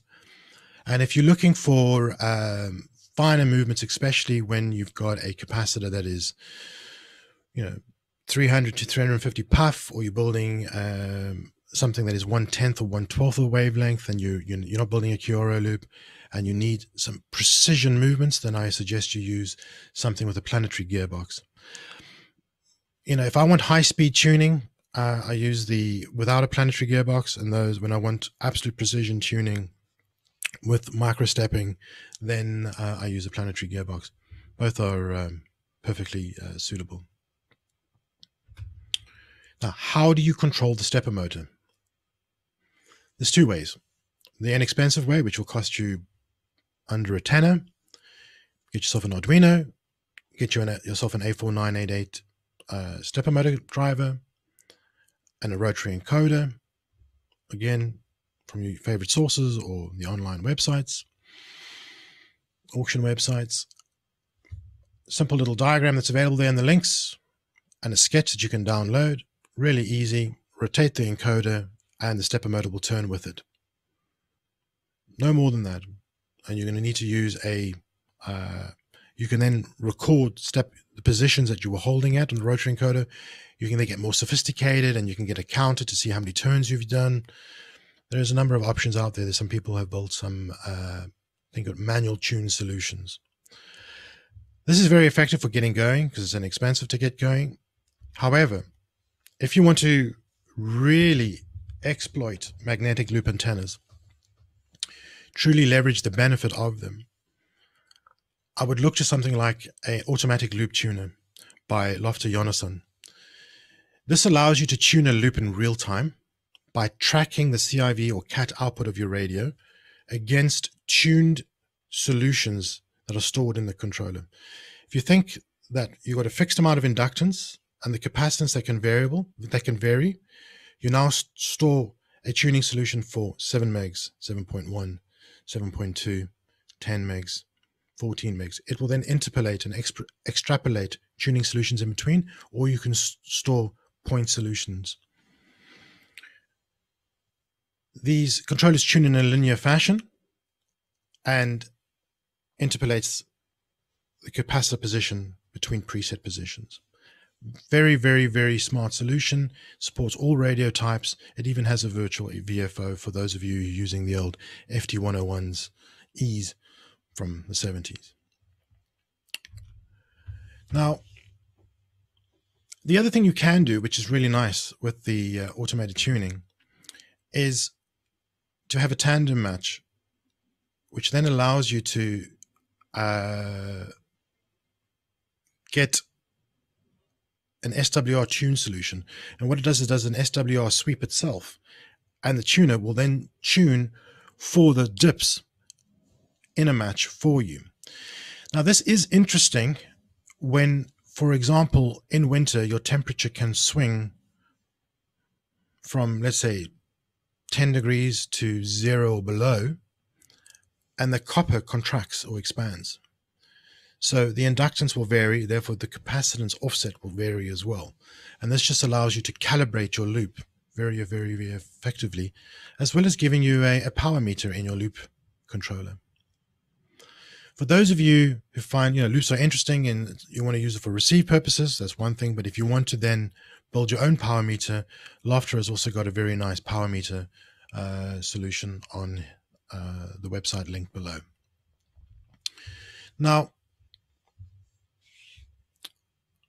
as I mentioned to you, I have a, a tuning solution for 10 through 160 meters. I have three loops in the garden which allows me to use the loop controller to switch between the three loops depending on the band that I'm on. The software in the loop tuner, knowing which frequency I'm on, will know which band I'm on and about which band I'm on, which loop is assigned to that band. So the loop controller has two modes of operating. It has three discrete ranges or two discrete ranges or one discrete range, depending on how many loops you've configured it for. or an overlapping range option. So if you've got two loops and one is for 10 through 30 and the other one's for 20 through 40, you can use the overlapping option range and you just flip a switch and it just knows which loop you're using. I tend to prefer the, the non-overlapping uh, discrete ranges because that then allows me to get coverage from 10 through 160.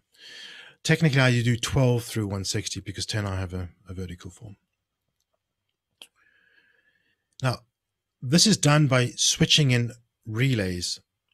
And if I move to the next slide, forgive the metalwork because this started off as an, an, old project that was then repurposed and then repurposed and then repurposed. This is the back end of my loop controller. You know, a normal loop controller looks something like that. Let me see if I can get that up there. And then the back of the loop controller. Nothing, uh, not quite as busy as the uh, the loop controller that's on the, the PowerPoint, but the the the loop controller that's on the PowerPoint, what it does is I have four stations connect, four radios, four transceivers connected to the loop controller. Two that use CIV, two that use um, CAT. Because this goes into a expert linear, which has two separate inputs, I designate one for CAT, one for CIV. I want to make sure that I'm intercepting the linear keying so that if I'm key down and I don't have a good match, the linear is not initialized, activated. So hence you'll see one, two, three, four up here. These are the linear key intercepts. I then use eight pin DIN connectors for um, where you see one, two, three over here. That is to control the stepper motors for three different loops. And then an eight pin DIN for controlling relays for uh, band switching between the, the different loops. All right. The other thing I just want to touch on, see how we do for time. In order to eliminate noise, because as I mentioned to you before, if you can't hear the remote station, you can't work the remote station.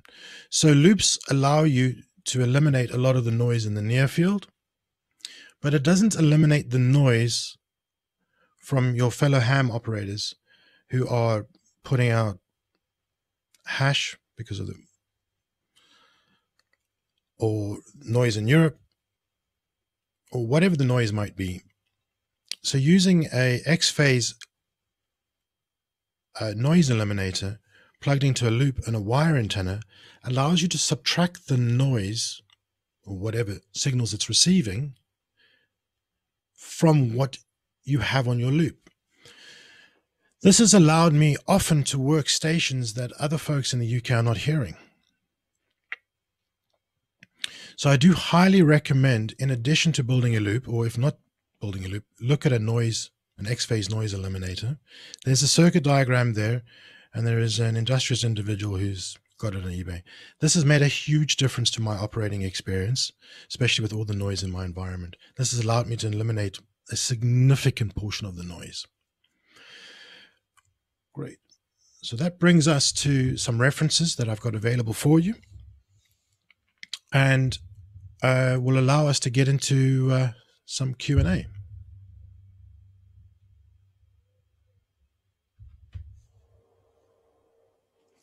Well, thank you very much. And we do have uh, several questions uh, for you, actually. Uh, John, MI0WGX. Oh, yeah, had to be this one.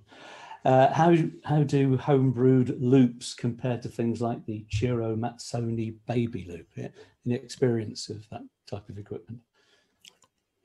How do they compare? Look, it's that's a magnificently engineered piece of equipment. I'd say the first thing that how it compares, it compares favorably in terms of your pocket and your budget any loop that you're going to buy is um, it's going to be more expensive than going off to your local hardware store and buying pipe and uh, putting it together. In terms of performance, no performance difference. You said I heard you say that you'd built a few loops for uh, for people. Uh, have you any thoughts of going commercial? you know, I believe in open source thinking. Um, you know, if anybody, you know, would like me to make a loop for them, I'll gladly do it. You know, I'm not, it's just down to the amount of time. I think the problem is when you ask someone who's doing it as, as a favor, then the timeline is going to be potentially protracted. But commercially, um, I'm really impressed. You know, if, the, the Mazzoni loops are literally the Ferrari of loops. Uh, they, they are extremely well engineered. Um, maybe, maybe we'll, we'll, we'll we'll think about it. We'll think about it. If anybody's got the manufacturing facilities, happy to have a chat. Yeah, keep watching this uh, space. Uh, M1DDD, I think that's Nick, asks for comments from re Magloop safety, and this is vis-a-vis Ofcom's intention to add new license conditions requiring compliance with this, what is it, ICNIRP general public limits on exposure to RF. So, well, I can tell you one thing. When I key down on my loops, I don't see the birds change direction when they're flying. So, um, I need more, I need to do some more research into this.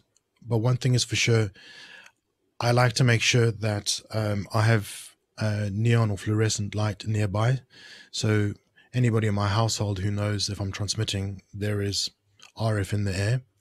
I also make sure that uh, whatever the um, the guidelines are from the FCC and Ofcom and the European regulators, I increase the limits. I think I think we don't know enough about the effects of uh, electromagnetic radiation on the human body. Um, I think that um, don't underestimate it. Um, I think stay tuned. My, one of my next talks will certainly be on that. Okay, and I think from what you were saying, you probably um, well the, the main risk at the moment is the smell of roast pork if you if you touch the thing while it's uh, yeah. So just just on that, that's actually a very good point. If you've got a pacemaker or some sort of medical implant and touching the loop, you're gonna get a you're gonna get a jolt. You know, I I have I've had a whoopsie or two with my antenna analyzer, thinking ah, it's a you know, a couple of couple of milliwatts going in there and you touch it and then you don't actually feel anything but you know the next day you're feeling you know something is not quite right in my arm so uh, that could just be the arthritis i don't know but definitely you you you, you feel something so do not touch a loop that's when you're keying down it's it's not help it's not good for you um yeah. the other thing just just really you do want to make sure you're choking anything going back into your your shack because you will be injecting in the near field because it's so close to the loop current into those control cables. Uh, I have had RF bites from insufficient choking on the control lines, especially when they aren't running at 90 degrees from the, the loops. Yeah, I can remember that smell quite well from years and years ago. Uh, Brian at G1FNS says if mounted horizontally more than a quarter wave above ground, is the angle of transmission broadly the same if it's vertical? Vertically orientated has an extremely low takeoff angle when it's circular. Uh, you do get changes in its takeoff angle depending on the shape. Horizontally, um, I've not operated horizontally in any um, what's the word to any great degree. I would imagine you will have similar properties, uh, but I can't speak authoritatively to that. Okay. Mike G4CDF says, uh, any suggestions for building a receive loop only to see if a full transmitting loop is, is worth the effort? I mean, you touched on noise, and he's thinking obviously of the receive noise environment, which is a big issue for, for many of us. So, by all means, I think what you do, go off, go get a variable capacitor. Doesn't matter what its voltage current rating is. Um, I can afterwards send a link to some receive loop designs, but you may want to look to an active receive loop. Um, the if you want to test it out, get a piece of coax, just a regular piece of RG213. Uh, it's an any about any butterfly capacitor. Try it with five watts. you know you, you'll be you'll be well impressed with what you you'll be lighting up Europe quite easily. But as for a receiver, oh sorry, guess go. On. No. No, you're going to you were moving on to say about receiving antennas because he was asking about receiving. Ah, uh, about receiving antennas uh, again. Uh, you know, you the beauty of ant- of these receiving antennas is because of the sharp nulls. Anything that's particularly noisy in your near field, you can tune out by just twisting it. So again, get a you know a inexpensive vacuum, uh, inexpensive variable capacitor. Get some wire, multi-turn. There's some very good links I can share on that. Um, there's no specific recommendations that I can make other than it's a tuned circuit. Okay, okay. And um, still more questions coming in, actually. Uh, Gareth, G4XAT, any thoughts on figure of eight loops or multi-turn loops? So I definitely prefer a single turn loop over multi-turn loops, and without question. Obviously, space prohibits that on some occasions. As you see, now I've got a three-turn loop for 160 meters. I do not recommend anything above four turns. After two is about the maximum you want to go to, three is a push, four limit. The figure of eight, if you can do a figure of eight, you've got the height. So why not just make a regular loop? There's no additional benefit to a figure of eight over a regular circular loop from my operating experiences. I've I've done some A/B comparisons, and I've not. Again, it's down to my QTH. Uh, I need to do a few more locations, but uh, I've not seen any benefits over a single turn loop. Over a over a two turn loop, a figure of eight is better than a two turn loop. Okay, I've got to stop watching you on YouTube because you're still running on YouTube. Um, another question, probably the last one uh, for today, is uh, basically John Snag, G4HUN, indoors or outdoors? If you're operating QRO outdoors, without question. Otherwise, you're going to be injecting RF into your household wiring and various other things and messing with your signal. That's the first thing. Second thing is, um, you know, you can operate uh, QRP indoors. You know, I've when I've traveled, stayed in hotels and the likes, I've done that without issue. I just actually I put it by the window. Um, but if you're going to op- operate at any kind of power levels, no, Okay, I think we've got the message there, Al. Thank you very much. Uh, thank you for enlightening us on uh, on mag loops. Hopefully, uh, some of us watching today will have been inspired to uh, to give them a go. Thank you very much for your time and your expertise. And uh, you said um, there's a contact um, that people can get you at if they want more information. Yes, so if, if, anybody is interested, uh, do not hesitate to reach out to me, m0rtp at pasta.com. Have a look at my QRZ page. Uh, reach out to me on LinkedIn. I'm very happy to share, help, advise. You know, regularly speaking at clubs, regularly speaking one on one to folks. You know, I'm, I'm extremely passionate and enthusiastic on this topic. You know, magnetic loop antennas are not garden warmers. With 209 odd countries worked uh, in less than a year, uh, 800 plus counties in the US, I can assure you, extremely effective. I'm going to leave you the following thought. If you can't hear him, you can't work him. A loop is not as nearly as efficient as a, uh, a beam antenna, but you don't need the space or the height for a beam. And what you can do with a loop is you can just add more power. Hence the QRO loop. QRO loop. If they can't hear you, dial it up. Can't hear you, dial it up. But don't start with your dials at 11. All right. Thank you very much. You're dialing it up high outside. Thanks, Rael. All the best. And Cheers. that's uh, very much the uh, the ham spirit there. Very helpful. Uh, lot of advice from uh, Rael. Now, just before we have a look at what's happening at the NRC at Bletchley, while we're setting up Jim Bacon to give us an insight into VHF propagation and the weather. We'd like to know what you think about the idea of online events like this. I know what I think. With uh, I've had three internet breakdowns during this already. Uh, while we're hoping that we will be back to normal uh, in normal convention mode for 2021, the RSGB would like your feedback on the whole idea of online events. There may be more. Uh, and of course, we already have the Tonight at 8 events. And I know it's early in the proceedings, but how do you feel about the level of content that's coming on today's streams? Well, your comments will be very welcome at www.rsgb.org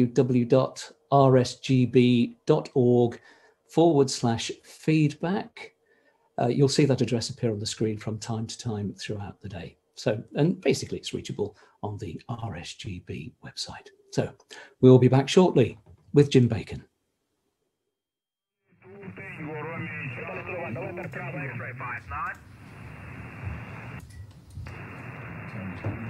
Oscar Hotel 5 Zulu. Arrange Charlie 2 Tango, Romeo Charlie 2. Okay. Zero, Papa Uniform Tango 5 9. Thanks, Oscar Hotel 5 Zulu. GB3 RS. Radio Mike. Foxtrot Hotel Radio Mike 5 9. Thanks, Oscar Hotel 5 Zulu. Uh, Golf Bravo 3 Romeo Sierra. User Italy 4 Italy 5 9. QCell 5 9 plus, thank you. Thanks, Oscar Hotel 5 Zulu. India Sugar Italy Sierra.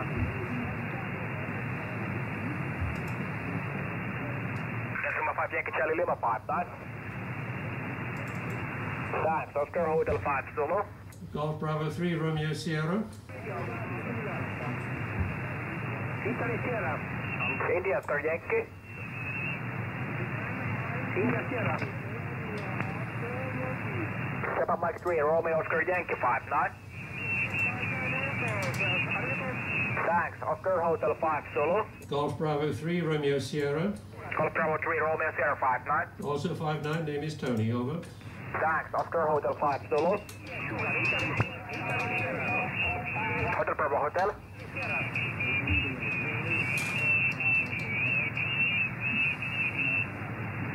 Mexico India Victor Bravo Hotel, also 5 9. Thank you.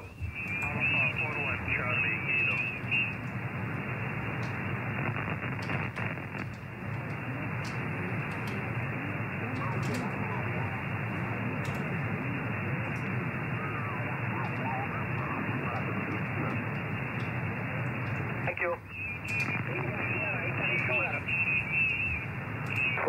Flash Mobile, go ahead.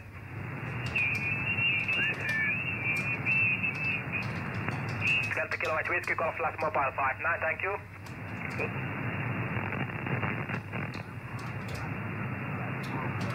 Eco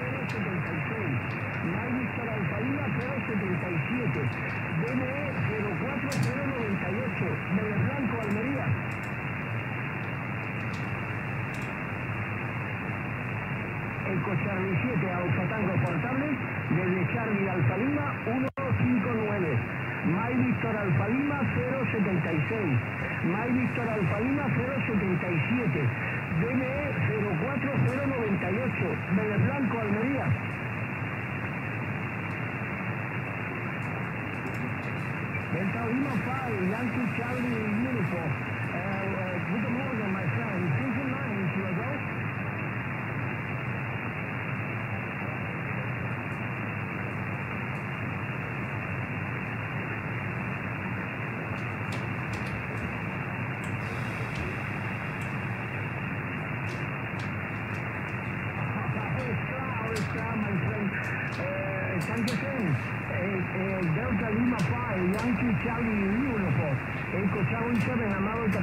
Portugal from Alvaria, Spain. Thank you, good luck with the contact. Uh, trying to take. Escuted. Echo Charlie 7, Alfa Tango, portable. Uh, Golf Bravo 3 Romeo Sierra. Golf Bravo 3, Romeo Sierra 59. Yes, also 5 and 9. Name is Tony, over. Okay, 59, thank you, good luck. Okay, 10 3. Echo Charlie 7, Amado Catango, stop Portugal. Echo Charlie 7, Amado Catango, stop Portugal. Echo Charlie 7,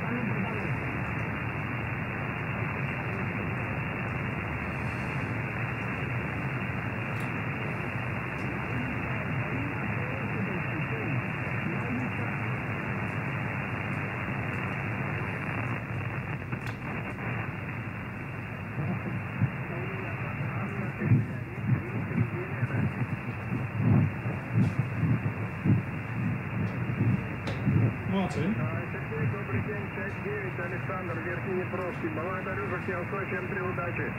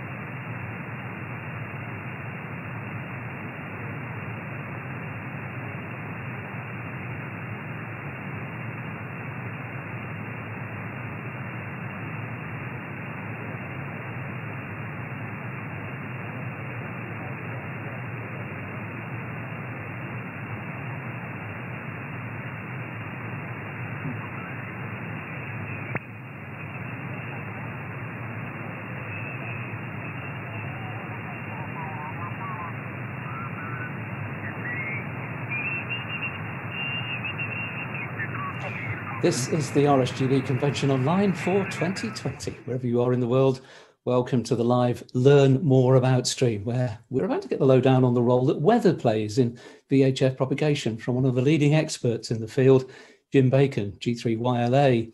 Now, you can post questions to all the speakers using the YouTube chat facility. We'll do our best to fit them in, and don't forget to include your name and call sign. And do keep your feedback coming in. Comments very welcome at rsgb.org forward slash feedback. So next, learn more about VHF propagation and the weather. Those of us of a certain age will remember Jim Bacon, G3YLA, as a BBC weather forecaster, often to be seen on television wielding his magnetic cloud and raindrop symbols. And some of them even used to stay in place, didn't they, Jim? Anyway, technology has moved on. So without a magnet in sight, it's over to you, Jim. Thank you very much, Jim. Well, it's really nice to be here, and um, I have to say, some fantastic presentations so far this morning, and really enjoyed both of them. The only thing I'm missing so far is the breakfast from the convention, but I'm sure we can fix that at some stage. Right. Well, um, this is going to be originally a talk about the preparation of the uh, GB2RS uh, propagation uh, section in the news that comes out every week.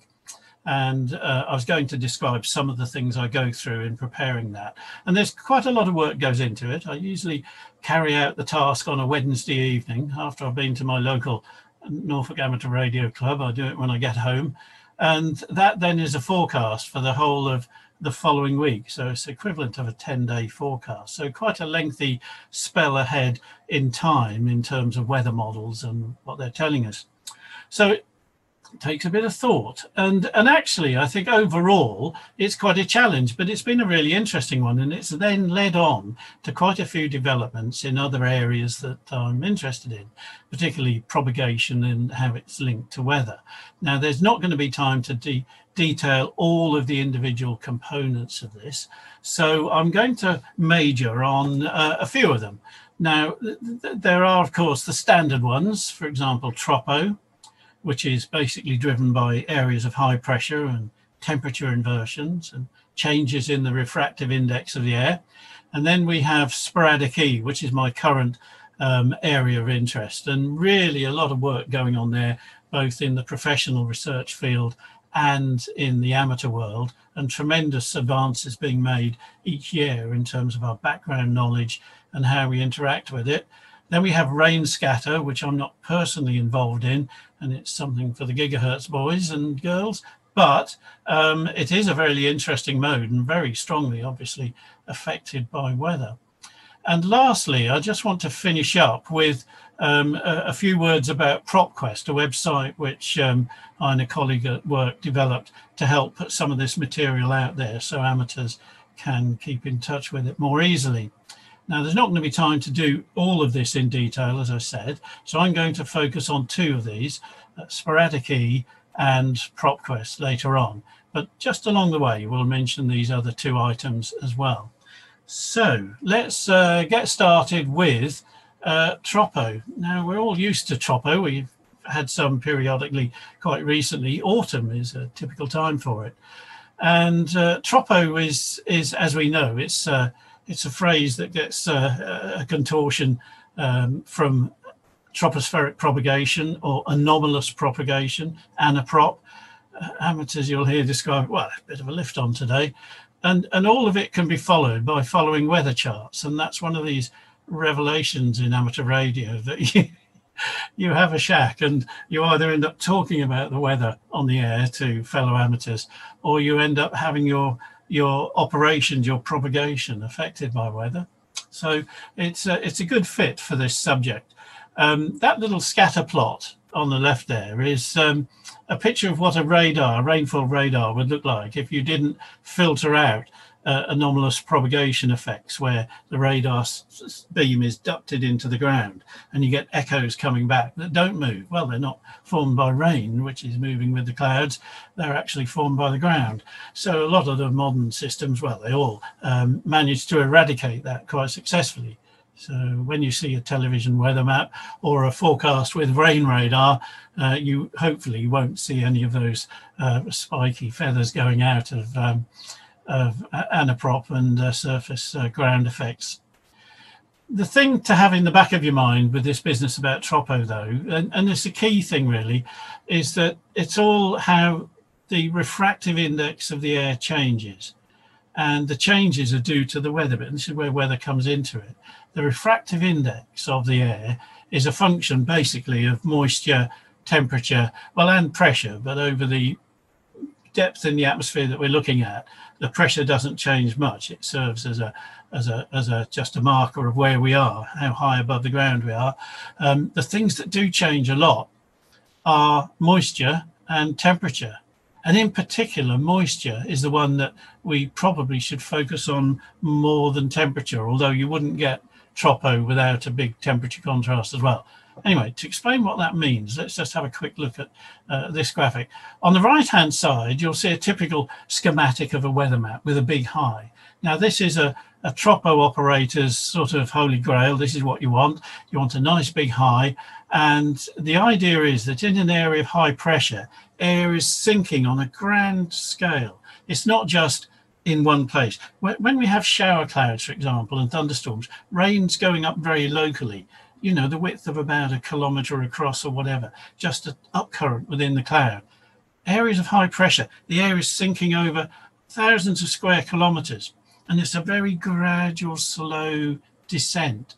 And that slow descent causes a temperature inversion to form. And on the left-hand image, you can see probably if I can move the, uh, here we go, I can move your uh, the cursor here. You can see instead of the temperature decreasing as you go upwards.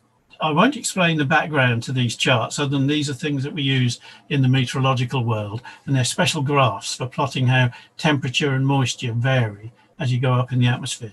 Just take it from me that the normal procedure for dry air is for the temperature to fall at this sort of rate. And if it starts to level off or even increase, then that's what we call a temperature inversion. You've inverted the fall of temperature into either a steadying off or an increase. And this top one here can be caused by this subsiding air in the middle of a high pressure system. Uh, weather fronts will do it as well, actually. Uh, so that's worth bearing in mind if you want that extra point during VHF NFD. Um, the other mm, common way of finding a temperature inversion is to wait till you have a clear night, like we did over here in Norfolk and Eastern England last night. Uh, clear skies, all the heat radiates away into space from the ground. And the temperature trace at the bottom of this map, uh, the temperature falls at the surface, but it doesn't fall quite so much just above the ground because as you know air is a good insulator you have air gaps in brick walls and you have you have um, um, um, you know boundaries where heat doesn't transmit very very effectively through it by conduction by touching it so so air is a relatively speaking a good insulator and what that means is the temperature at the surface here can drop to a lower much much reduced from the air temperature just a little bit above the ground so instead of starting at the surface and having the temperature decreasing as you go up, you find it increases. So it moves to the right on the graph. And that's a temperature inversion at the surface. And it's caused entirely by the cooling of the ground overnight. And in fact, what it kind of implies, doesn't it, that as the nighttime finishes and the day comes along and the sun comes up and warms the ground again, then this blue line here at the end will gradually edge across to the right and uh, the temperature inversion will be dropped. So if that surface inversion is causing you some tropo and giving you some enhanced um, points in a VHF NFD, then don't expect it to last uh, uh, after you've had your breakfast. Work the tropo until it fades, and then and then get the frying pan on. I don't know why I'm fixating about breakfast at the moment, but anyway, there we go. Um, so this is kind of a visualization of it, isn't it? This picture on the left, fantastic picture from uh, a GW friend, Ian Collins, who who um, took this many years ago from a hillside in, in Wales. And you can see how the mist and low cloud and fog in the valley uh, has got a very uh, solid sort of looking top to it. And uh, that's uh, a classic signature of an inversion. And the schematic on the right shows how as air near the ground, even on the top of a hill, cools, uh, cooler air is more dense and it flows down the side of the mountain and you get this puddling in the bottom of a valley where also because of moisture down there cooler air you'll find you tend to get fog forming and so on but above that you could also find there's a subsidence inversion caused by an area of high pressure we might get a hint of that here in the cloud in the distance on the left hand picture um, so so you can get multiple inversions in fact there are huge number of inversions, almost unlimited number on some days. When you look at the clouds and you see multiple layers of clouds, that means there are lots of inversions. The idea is that you want to trap your signal underneath an inversion to get the maximum distance. The only problem is, of course, you find a hill there and you're not going to go through that hill. But nonetheless, um, that's the that's the aim. So the normal VHF rules is go to the top of a high hill and work your DX from up here uh, actually, uh, when there's a surface cooling inversion in the valley and your tropo's down here, there's no point getting out of your shack and clambering to the top of the mountain, at least not to begin with. Okay, this is a wonderful graphic which I, I, I use periodically from Marcus Walden, G0IJZ, who looked at a, an elevated duct from which was due to a subsidence inversion because of high pressure from a GM station to an F station on the uh, northern uh, slopes of the Pyrenees. And uh, the red area on the left is where the signal is strongest. And then it gets trapped underneath this inversion. And you can see the line of the inversion. And although there are losses as you move away from the signal source, it manages to survive very well going across Wales, uh, going across the hills and moors of southwest England, the high ground in Brittany, and all the way down across western France till it meets the uh, foothills of the Pyrenees. So, so inversions and the ducts that they form really, really important parts of working VHF DX, and they're all produced by high pressure. Now, computer models are very good at forecasting these. Um, there are two good sources available on the uh, on the web. Um, F5LEN Pascal uh, produces a very good site, as does William Hepburn. And these were two graphics I took um, back in the spring of the same time, same date. So, so just to think about this for a moment is to say, well, they've got strong similarities. You've got areas of strong ducting in the Eastern Mediterranean in both versions. You've got some patchy ducting down the East Coast, in some cases, slightly more than in others. Um, and therefore um, you have you have differences uh, between the models, and and you've got one striking difference here over the uh, Baltic in this model that isn't picked up in this one. Now, to, to see which is right and wrong, you need to be there on the day looking at what happened, and I can't honestly remember. But the point I want to make here with this is that these forecasts are produced from the results of the mathematical weather forecast models, which represent the atmosphere. And in three dimensions, you can have a look at how the temperature and the moisture varies. And you can do these calculations for the refractive index. And if you do those, you can see if it becomes strong enough to produce a, a, a duct to start refracting your signals and uh, cause uh, and cause a, a tropo lift to take place. Now, because they're not the same models, they will not produce quite the same results. So Pascal uses the Arpège model, which is a Météo France model, and uh, William uses the CMC GDPS model, all, all, all words, but uh, mumbo jumbo. But to, to, a meteorologist, these models are both extremely good models, but they have slight differences in their uh, resolution in how they're formulated in terms of dealing with moisture in the atmosphere, the spacing of the model calculation grid points and things like that. And all of this stuff means that you shouldn't expect these models to be the same answer. Uh, they're going to be similar, but the point to take from this, going back to our slide a moment ago, is that they're giving a heads up position of where things are. It is only a forecast. So when the day unfolds, you'll see that this will be slightly different on the day, but still useful as a guide. So stations in East Anglia here, near where I am in Norwich, you could work up the east coast to Aberdeen maybe on both these models. On here, you'd expect to, to have a look across the North Sea and the Channel, and it gives you an idea as to where to focus your attention. So, so treat those as really useful guides, and it's a bit like uh, knowing knowing where to go fishing in a river. Loads of rivers, loads of places where you could go fishing, but using this to choose where you actually cast in is going to give you a really good heads up. So just to end on our tropo part for the moment, um, th this is kind of a, a, distillation of everything that comes out of looking at this over a lot of years. And and the one thing is, uh, on a typical schematic of a of a, of a weather chart, high pressure is the thing to look for initially. So find your high pressure and you've got a reasonable chance of tropo. But very near the center of the high, be aware that, that paths that cross that center, the inversion, as I said, when the high develops, the inversion gradually sinks lower and lower and lower. Eventually, it may either reach a hill or the ground on a flat area, and your signal, instead of being ducted for long distances, will get to the center of the high and then it will uh, run out of uh, traction there. So, so the best the best way to drill deal with a high pressure produced lift is to go around the edge of it. So to follow the isobars just on the edge of it, as close to the high as you can, but just on the edge of it without going across. Now, um, the fact that this high has been around for some time is quite a useful thing because usually that means the inversion is fairly strong.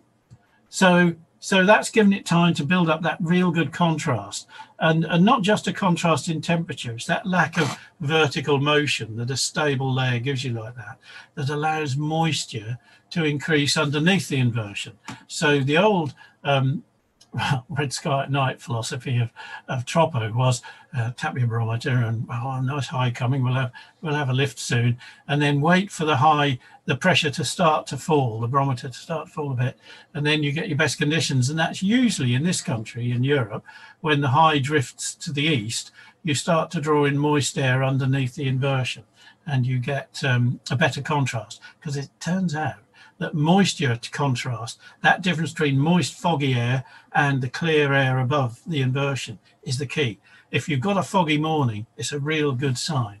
So what else can we say about um, uh, where to be or not to be? Well, actually, to be close to the low is a good not to be situation because the isobars here suggest strong winds. So that, that would break up the turbulence, would break up any inversion. And air in the region of high pressure and fronts is generally rising, not falling.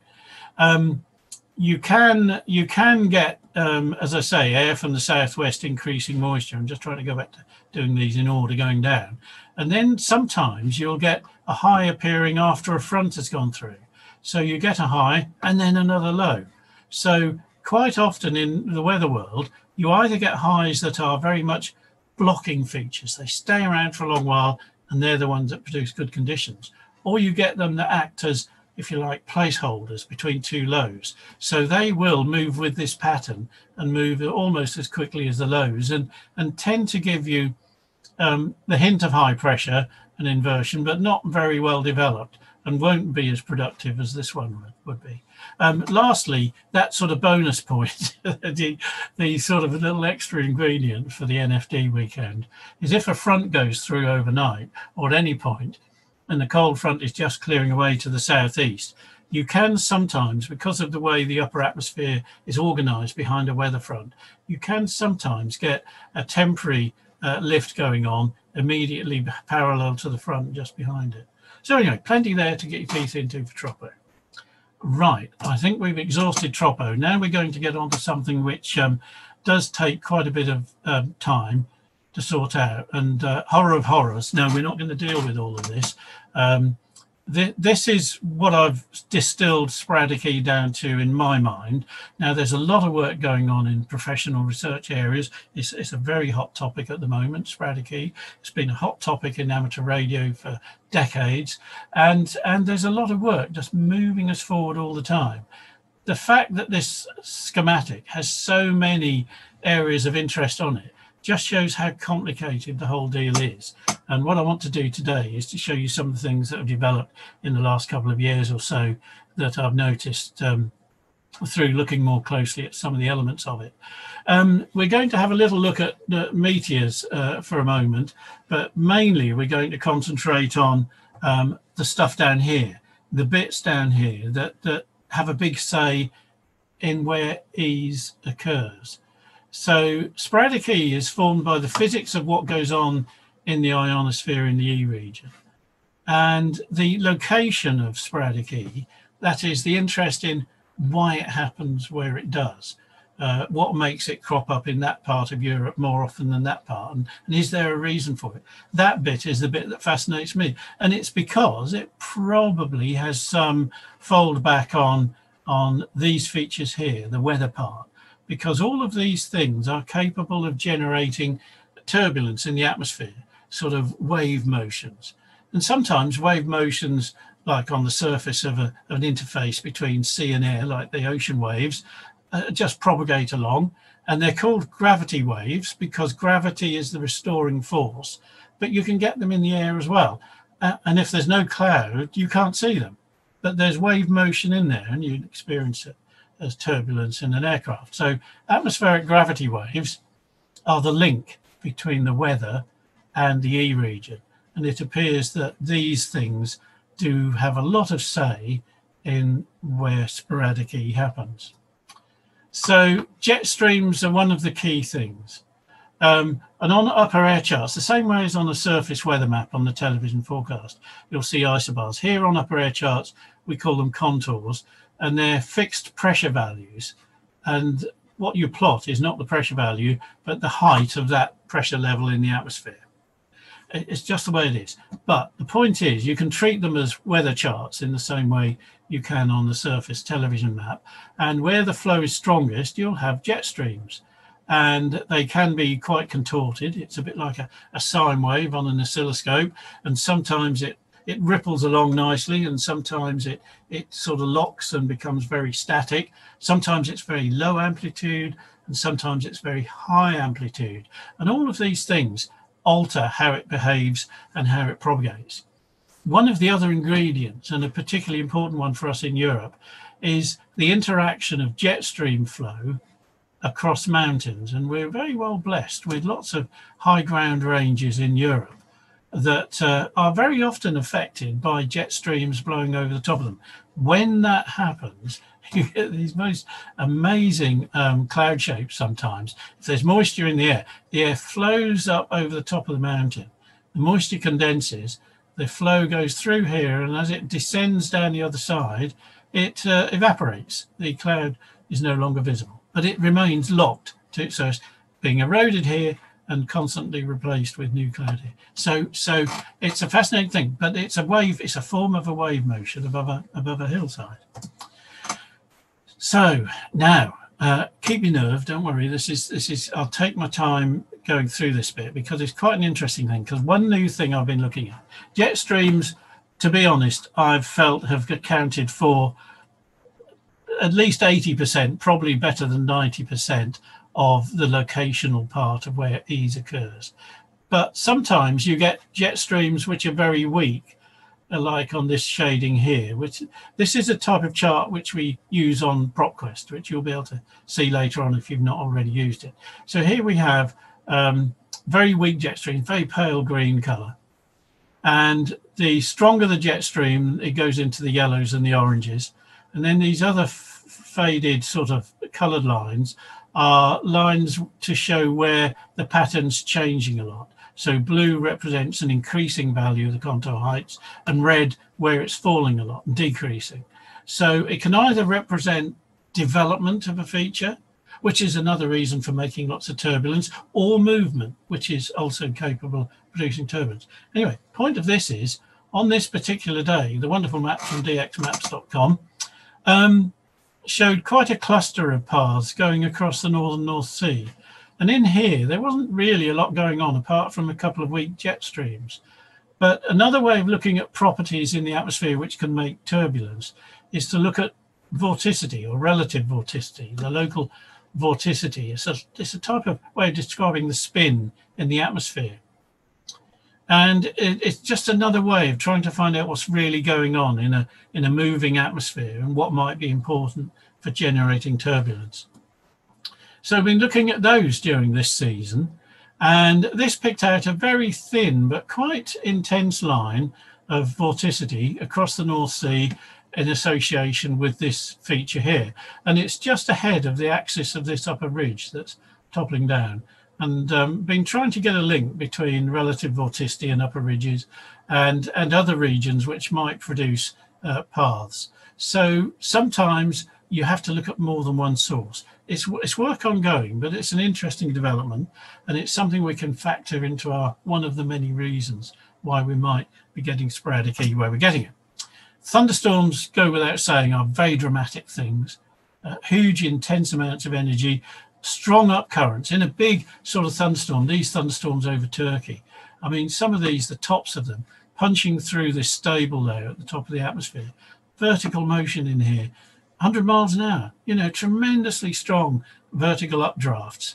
And that's going to cause a lot of turbulence where it interacts with the stable air. And you often see evidence of ripples radiating out where it hits the tropopause.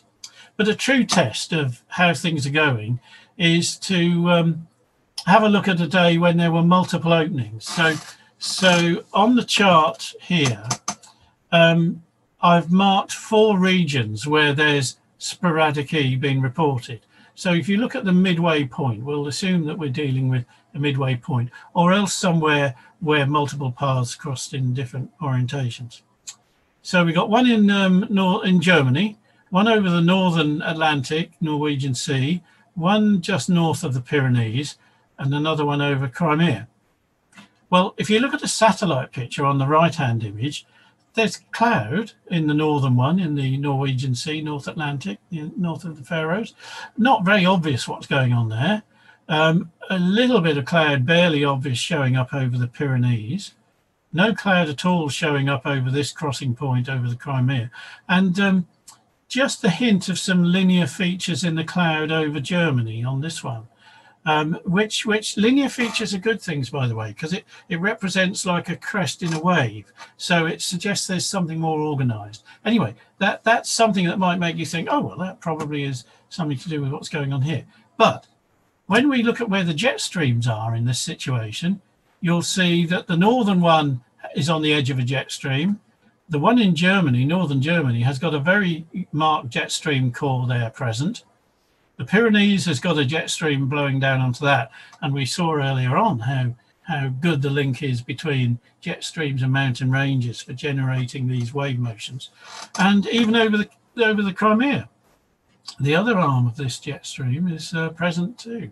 So it's a fantastic correlation. And, and in fact, jet streams do account for the largest number of events when you're looking for sporadic E. So if you were to go for anything that's currently available in the public domain to try and predict where you think sporadic E might happen, um, this isn't about whether it's going to happen or not. It's about where it happens if it happens. Then looking at upper air jet stream maps is as good as you can do, pretty much.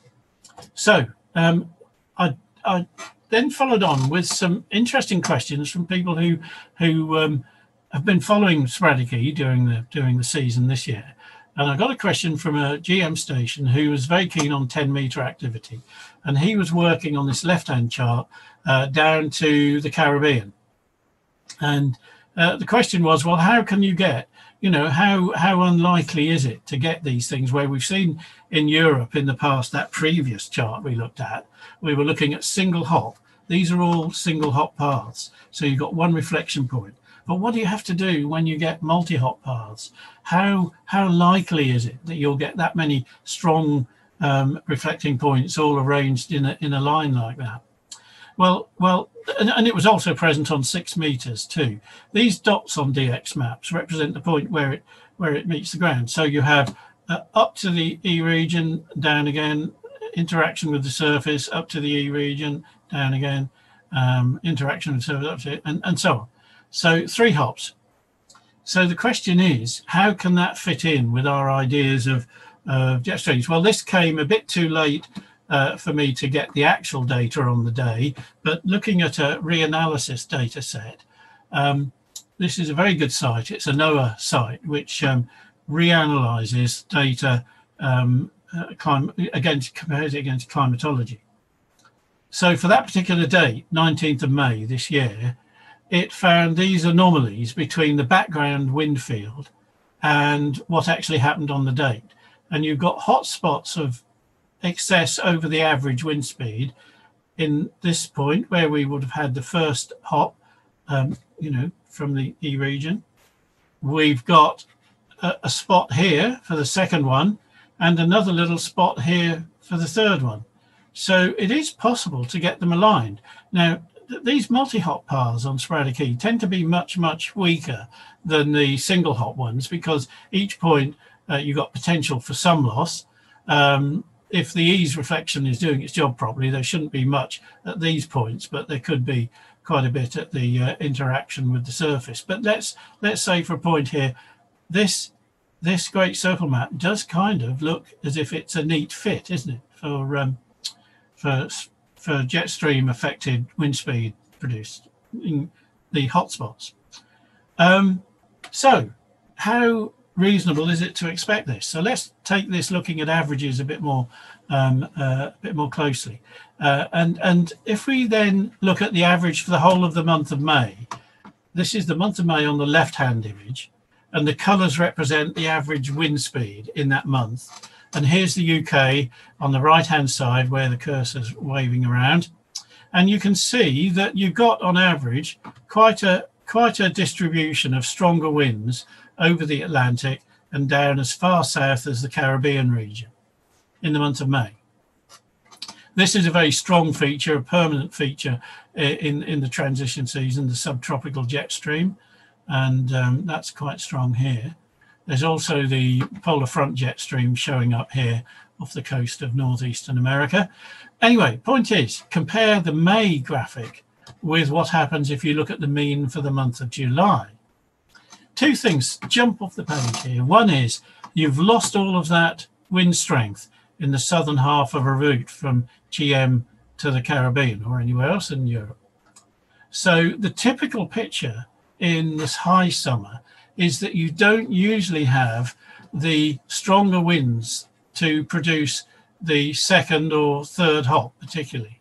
You do still have a strong jet stream, if anything, slightly stronger. The focus of attention on the northern polar front jet off the coast of the States is now much greater. So, so you would on the face of it. Now, now I've, I've not looked into the logs for this, but some of you out there who do this regularly would doubtless be able to do this and think, ah, now I'll, I'll do a check on this because my my assessment from this would be paths to the Caribbean on sporadic E would tend to favour the early season and would be much less common in the high summer second half of the season, just because of the changes in the mean upper air wind pattern that happens during uh, this time of the year.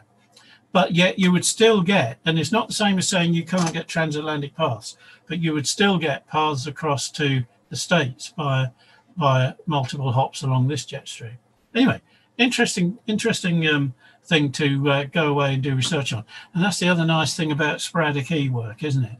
That, that you have the ability to do your own research. This is this ongoing improving the knowledge thing. And amateurs can play a big role in doing this. So for all of you who submit your logs to the various clusters, there are so many good clusters out there. There's no any one that's that's different or better than the other to the point where you'd say you only go to this one. They're all good. They all add to the knowledge base but but it's how we can look at these things and see how realistic this becomes um, as an operating guide. Anyway, so um, remember this: we looked at uh, all these complications and had a little little diversion into the bits at the bottom here about the weather.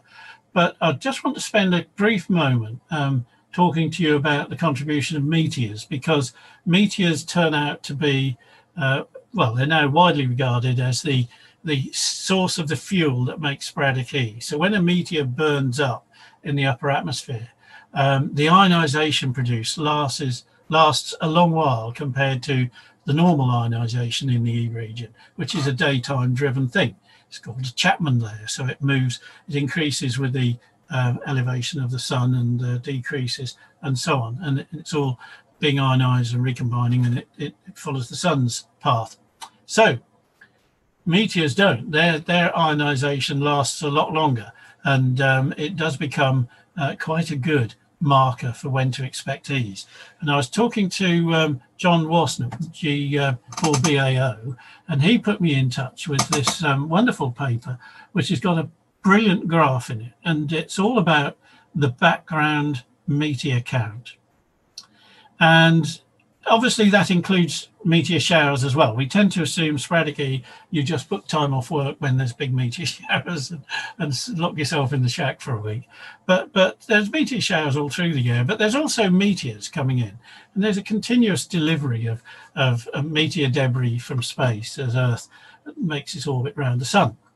Now, this is this is okay before you all jump up and down and say, look, this is ridiculous, there's only two years here, 2011 and 2012. Well, that's what was in the graph and the paper.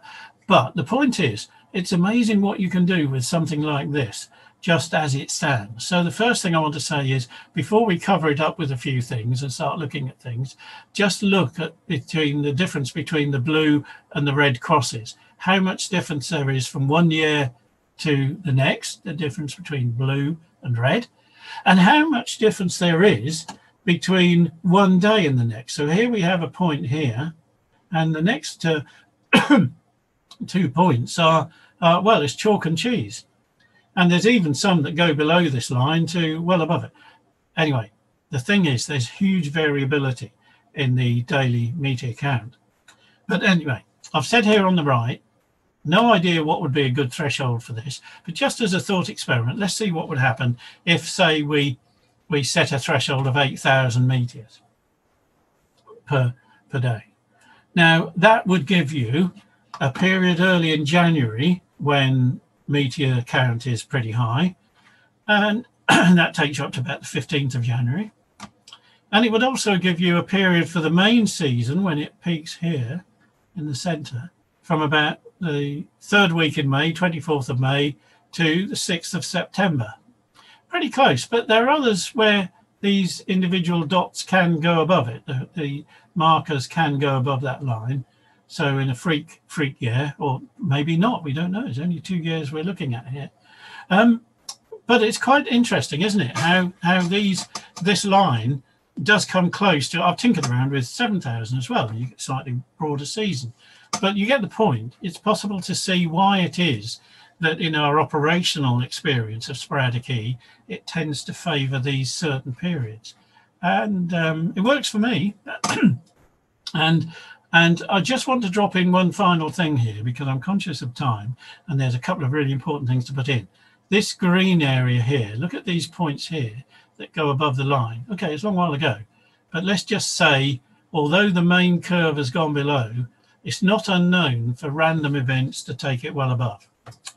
Right, so the next challenge is to combine all of these different things from that big schematic, loads of ellipses, into one factor. And my colleague um, Dan Holly and I have done have done this now in map form, and we plot it on a map. And um, these radial ring lines, 700 and 1200 kilometers, show roughly a typical distance for the middle hop reflection point. So we're looking for intensity of color here. So good, good intensity there. So you think beaming, well, there's nobody in the mid-Atlantic, but beaming east, there's a bit more color there. So that's what we've been developing on. And this ease probability index, it's trying to help us gauge some probability of location. So the weather factors come into, uh, come out as a number between one and 100, say, and then we adjust it up or down according to what these other factors might look like. Remember all those ellipses up at the top, what the meteor background level is, what the KP index is, things like that, which can all affect uh, the uh, likelihood of ease. But, but this is all about the whereabouts is ease that I'm looking at here. And I've also added in um, the vorticity parameter into this multi-factored EPI. There's a lot of work still to be done, but this is just a way of bringing you up to date to show you where we've got to. So the developments over this coming winter will be to be able to plot your your location with a call sign and plot a distance station that you've just worked with a call sign and locator, plot the Great Circle path and show radial rings for the half distance, plus or minus say 50 kilometers and um, see what it looks like. So that's all coming up. Um, the other thing that I was asked about a few times were the paths across the uh, polar regions to JA, and those were happening earlier on in the peak of the season. And um, you can see on the Great Circle maps, you can see the paths. And it struck me that these actually, in the summer, in the high summer, a lot of these paths will um, will in fact go through areas where in the summer season lows and their fronts and their jet stream meanderings will go across that part of northern Russia. So it's quite feasible to think maybe this is just a normal form of sporadic E. And uh, let's let's see how this one works when you look at the different hot points. And, and this is what we'll be programming up hopefully over the winter to be able to do this click of a button. And you can see they can locate with increases in the value of this propagation index. So it's not beyond the bounds of possibility that these paths can't be put together as a traditional multi-hop ease path. So so it's it's an area of of, of, of activity from the G3YLA shack at the moment, trying to get some way of visualizing this uh, smoothly and quickly on the day. Um, so here's an example of, of a testing. You won't be able to see this on your version of this site, but here's an example of putting in two, um, two um, locator squares, plotting the path and seeing what it looks like in the midpoint. And there you can see a very nice signal on the midpoint there for that one. This was an FT8 QSO. So another thing that we've got to do is to try and imagine what sort of value of threshold we need when we've settled on a value that we think works in general what value correlates with um, FT8 and what value you need to be enough to do CW or SSB. Maybe they're similar, maybe they're not. And uh, here's, here's, here's another one, um, goes across a zone, but it's a broad zone. And one of the interesting things is when you get large jet stream areas, what it is that makes one more one part of the jet stream more effective at ease than another. So that's something else that'll come up during the development work. And then you have a bust. It's like all these things. Once you think you're getting somewhere, you're going well, and then then a bust. And this one produced um, two paths, well, multiple paths. I've just highlighted these two to make the graphic. One going this way, it goes in a null. And, and this one going east-west goes through a null. So, so this is a bit of a blow. But when it turns out, you look at things, these are all based on forecast charts. So this probability index, by the way, is all based on a model's forecast of where the fronts and the troughs and the jet stream areas are going to be. And over a period of time, there'll be small errors creep in. So it may not be exactly right. And sporadic E is quite a finite, sort of precise locational thing. So it's maybe not too surprising if it perhaps hasn't got this bit of the jet stream far enough north and these rapidly falling contour heights. Patchy, misty, low cloud, no sign of thunderstorms, or at least nothing that, that sort of waves flags there. But on the vorticity, there's a very strong maximum in this region, and it's probably that which is causing the path.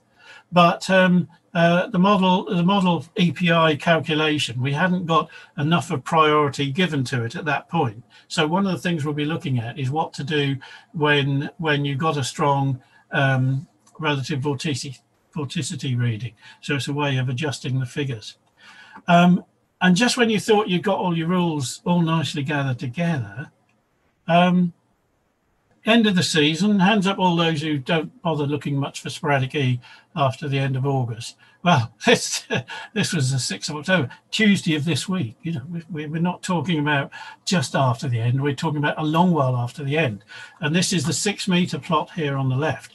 Paths all over the place and, and even managed to produce paths on CW. So I ended up working down into Sardinia and into uh, Naples very strong jet stream. You can see these um, orangey colors in the jet stream strength. So that alone would be would be a good sign. And particularly at this exit region where it intersects with the Alps, very, very good sign.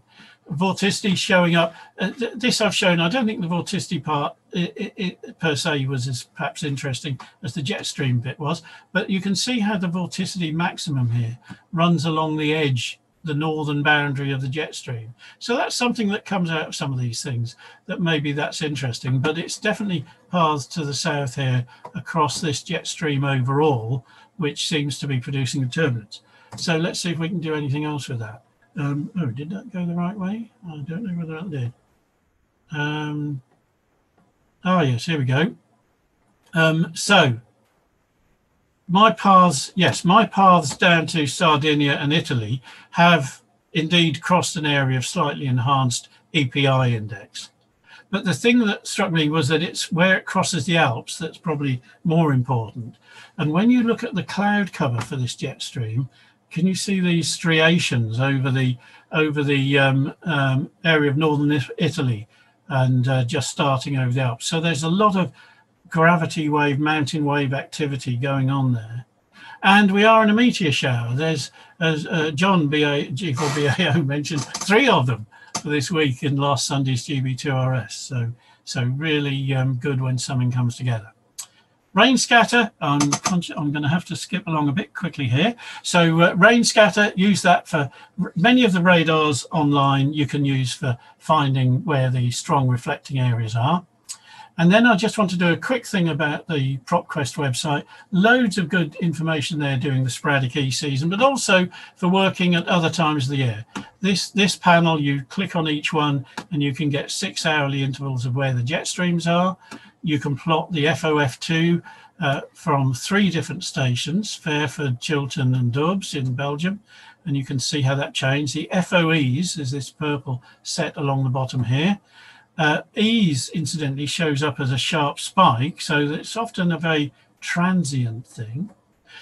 And recently, we've just added the NVIS plot of the more significant um, elements for local nets within a, a, HF scenario or LF bands on 80 meters, where you want skywave NVIS communication. So FOEs, um, FOF2 and the FXL uh, all of these, if any of them are above the band you're on, say 80 meters, then the chances are you'll have reasonable chance of getting an NVIS net.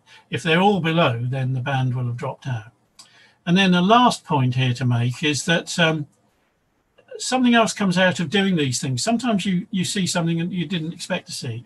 And one is that if you look at the averaging, you can work out averages for months going back. And at the beginning and the end of the season, there tends to be well, what I can describe as a more uniform peak around midday for the maximum value of FOEs in the month. Compare that to the high season, June, when you have a peak in the mid morning and then another one late afternoon and early evening. So that's the traditional view we have of sporadic E. And uh, it's, it's, it's different from the start of the season to the end. So just want to say a big thank you to Dan. Uh, it's always difficult grabbing a screen grab, but Dan is the programmer who put a lot of work into doing this website for us. It's it's a great resource for amateur radio. He's not an amateur. I'm trying to convert him, but um, he's done a huge amount of work for us. So thank you, Dan, for that. And also thank you to Weatherquest for letting us put the site on your server and providing us with the weather data that we use to plot the charts. So then I go off and do the propagation report for the bulletin, and there it is, and it goes off to the RSGB, and you hear all about it on the Sunday. And that, I think, is plenty enough um, for this morning. Thank you. Absolutely brilliant, Jim. You, I don't know if you've been reading the chat. You probably never had the time. Some amazing reaction on the uh, uh, YouTube chat. Many comments. Uh, one or two questions. I'll, I'll get to those in a in, in a second. Uh, but a lot of people saying Thanks for not tidying up in the background, Jim. it's a proper shack. These things here are hiding a multitude of sins, I can tell you. Absolutely, absolutely brilliant. Well, look, um, Tim uh, Kirby, GW4VXC from Practical Wireless and Radio User, says very interested in the transient openings that seem to happen along, and he puts a question mark after along, weather fronts and squall lines. Any comments on that?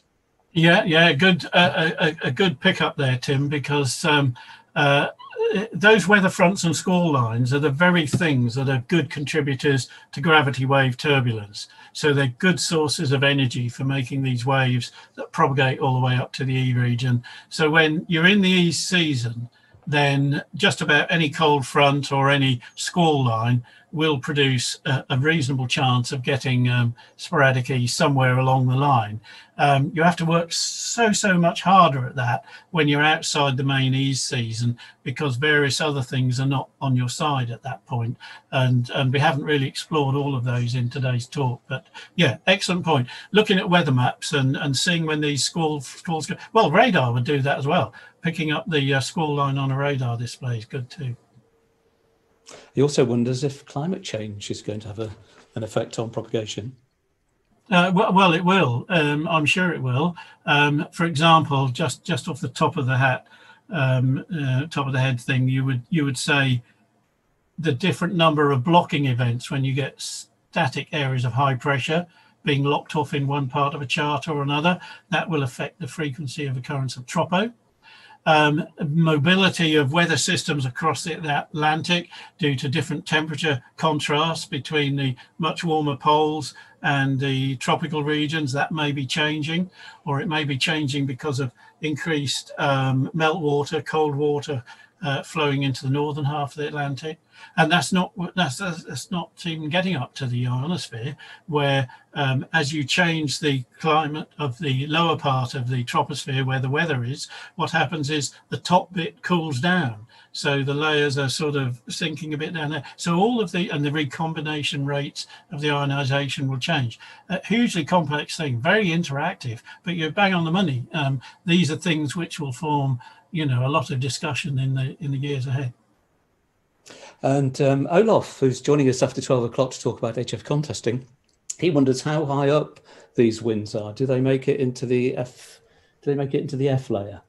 Um, well, there is evidence of gravity waves extending up into the uh, F region, as far as I understand it. I've tended to have a sort of a glass ceiling at the E region, and certainly there's, there's measurements there. There's there's been some very good um, uh, images of, of launches of rockets that have gone up through a clear sky and you can see them and and see the trail.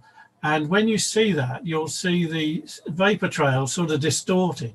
And it's a remarkable insight as to how much wind shear there is up there. So so there's a lot of work being done on identifying um, the propagation of these gravity waves going upwards, but also there are gravity waves that propagate um, from other areas of interest, and the ionosphere would would need a different set of experts to play with. I can launch them from the weather bit, but but but you're right, Olaf. There there are there, there, there are lots of similar things that that get up as far as the um, as far as the F region. Okay, um, we've got to move on very quickly now. Uh, I, I, I, suggest that you do look at the um, web chat, Jim, when you when you finish, because some glowing reports for you on there, glowing comments. It's been brilliant. Um, Ian GM4VXM says uh, he's going he's going to have to run this talk through several times to take it all in, as I think are a few of us. And I know you've um, you've written for Radcom before now, but he wonders, have you thought of writing a book? Simon Keeble says more or less the same. Um, yeah, well, this this business about retiring and finding you way busier than you ever thought you had time to go to work in. I, I just I have got a book on the stocks and the RSGB. will be very pleased to hear that I did actually start writing oh, out uh... chapter headings and a few bits and pieces. So it's Plan A is to do the book. I've done a few little sketches of what's going to be in the different bits, so it will happen. And and sympathies with you who who feel that this is a lot to take in. I mean, there's far more been left out than has been put into this, and over a long period of years, from back in the late 80s when I started tinkering with sporadic E, it's amazing how much things have evolved in that time. And it does need some way of writing it down or going back and looking at videos again to just pause and take a bit in at a time. Uh, it's it's very complex which is why i've had to produce the Es probability index because it just blows blows my head off to uh, try and get my head around it all at once it's it's a very complex thing but so satisfying if you can if you can look at something like that say on propquest and say I know why the band sounds like this at the moment, whether it's the FOF2 trace changing or whether it's a sporadic E coming up in that particular place. You can say, yeah, that's why I decided to go fishing there. Excellent, uh, Jim. I've, I've seen so many of your presentations um, and it still hasn't gone in here. The only thing I can remember about the weather is what my uh, friends at the BBC Weather Centre often tell me is that if we say it's going to rain and it doesn't rain, it doesn't mean it didn't rain, it just never made it to the ground. That's uh, that's uh, all I, I know. Works for me every time. Yeah. all right, Jim. Thank you very much. Thanks for sharing and passing on your expertise in this fascinating subject. And hope to see you again at uh, one of the rallies or uh, yeah, Newark or uh, the convention next year. Keep our fingers really? crossed. Yeah, really looking Thanks forward. Yeah. At least this time there's no danger of confusing Jim with his uh, twin brother, which I've done before now. So uh, this is not the last. Oh, Jim, if you're still there, it's not the last we see of you today because unfortunately Peter 2M0SQL is unable to do his talk on getting started on low orbit satellites on the Introduction 2 stream. Get well soon, Pete, if you're if you're watching.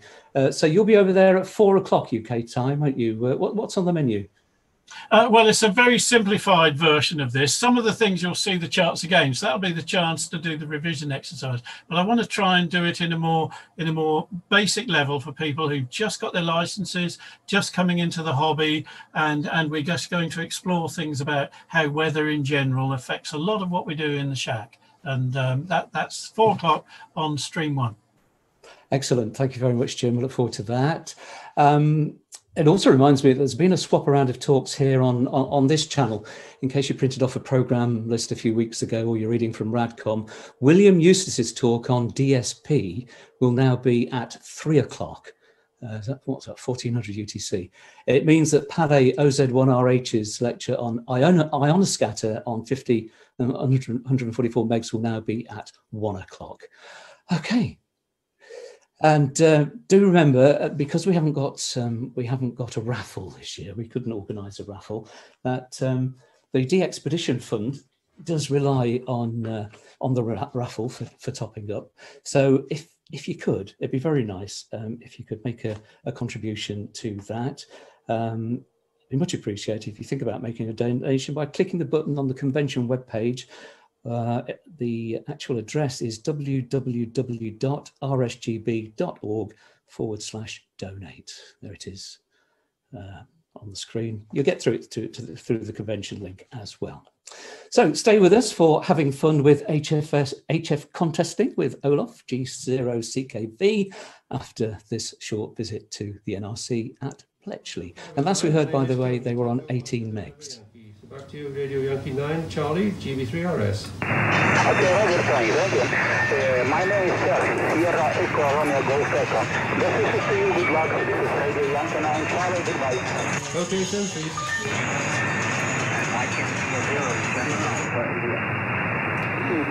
Okay, all the best to you, uh, Robert.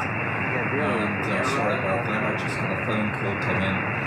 So uh, I thought the phone was Uh, on two silent. stations calling here. Would you go ahead, please? Go A bit embarrassing.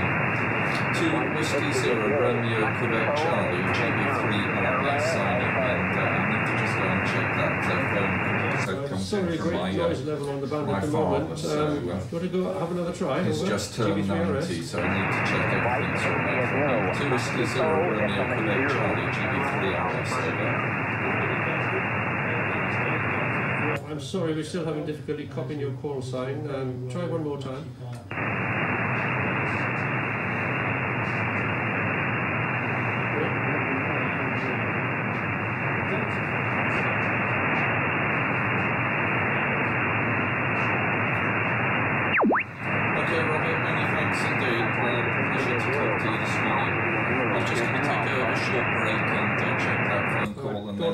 GB3RS is going uh, temporarily QRT, but back again uh, in a few minutes. Papa. Okay, we've got one, I've got one of the letters Papa. Go ahead again. Papa. Oscar Hotel 5, something Papa. Go ahead. Yeah. Very good afternoon to you uh, over there in the UK. You are 5 and 7, 5 and 7, 5 and 7 into uh, southern Finland. The handle is Raino, Radio Alpha Italy Nancy Oscar. Radio Alpha Italy Nancy Oscar. Uh, you are 5 and 7, very good. Yes, uh, also 5 and 7 from this direction, but I, I still haven't got your full call sign. If you'd uh, say, uh, say it again slowly, please. Oscar Hotel 5, go ahead. Oscar Hotel 5, Romeo Papa, Radio Papa. Ah, that's a lot better. You're coming up out of the noise now. That's, that's very good. Oscar Hotel 5, Radio Papa. Thank you very much for persevering there. We've uh, got you now in the, in the log. So thank you very much for the contact and I wish you best 73 is Over. Yeah, 73 to you also, and thank you very much for the QSO. And, uh, have a nice weekend over there in the UK. Thank you. Okay, many, many thanks for calling us. We are the uh, Radio Society of Great Britain's main radio station uh, based at Bletchley Park, the home of the Code Breakers. Over. Yeah, QSL, QSL. So 73 and thank you. 73s.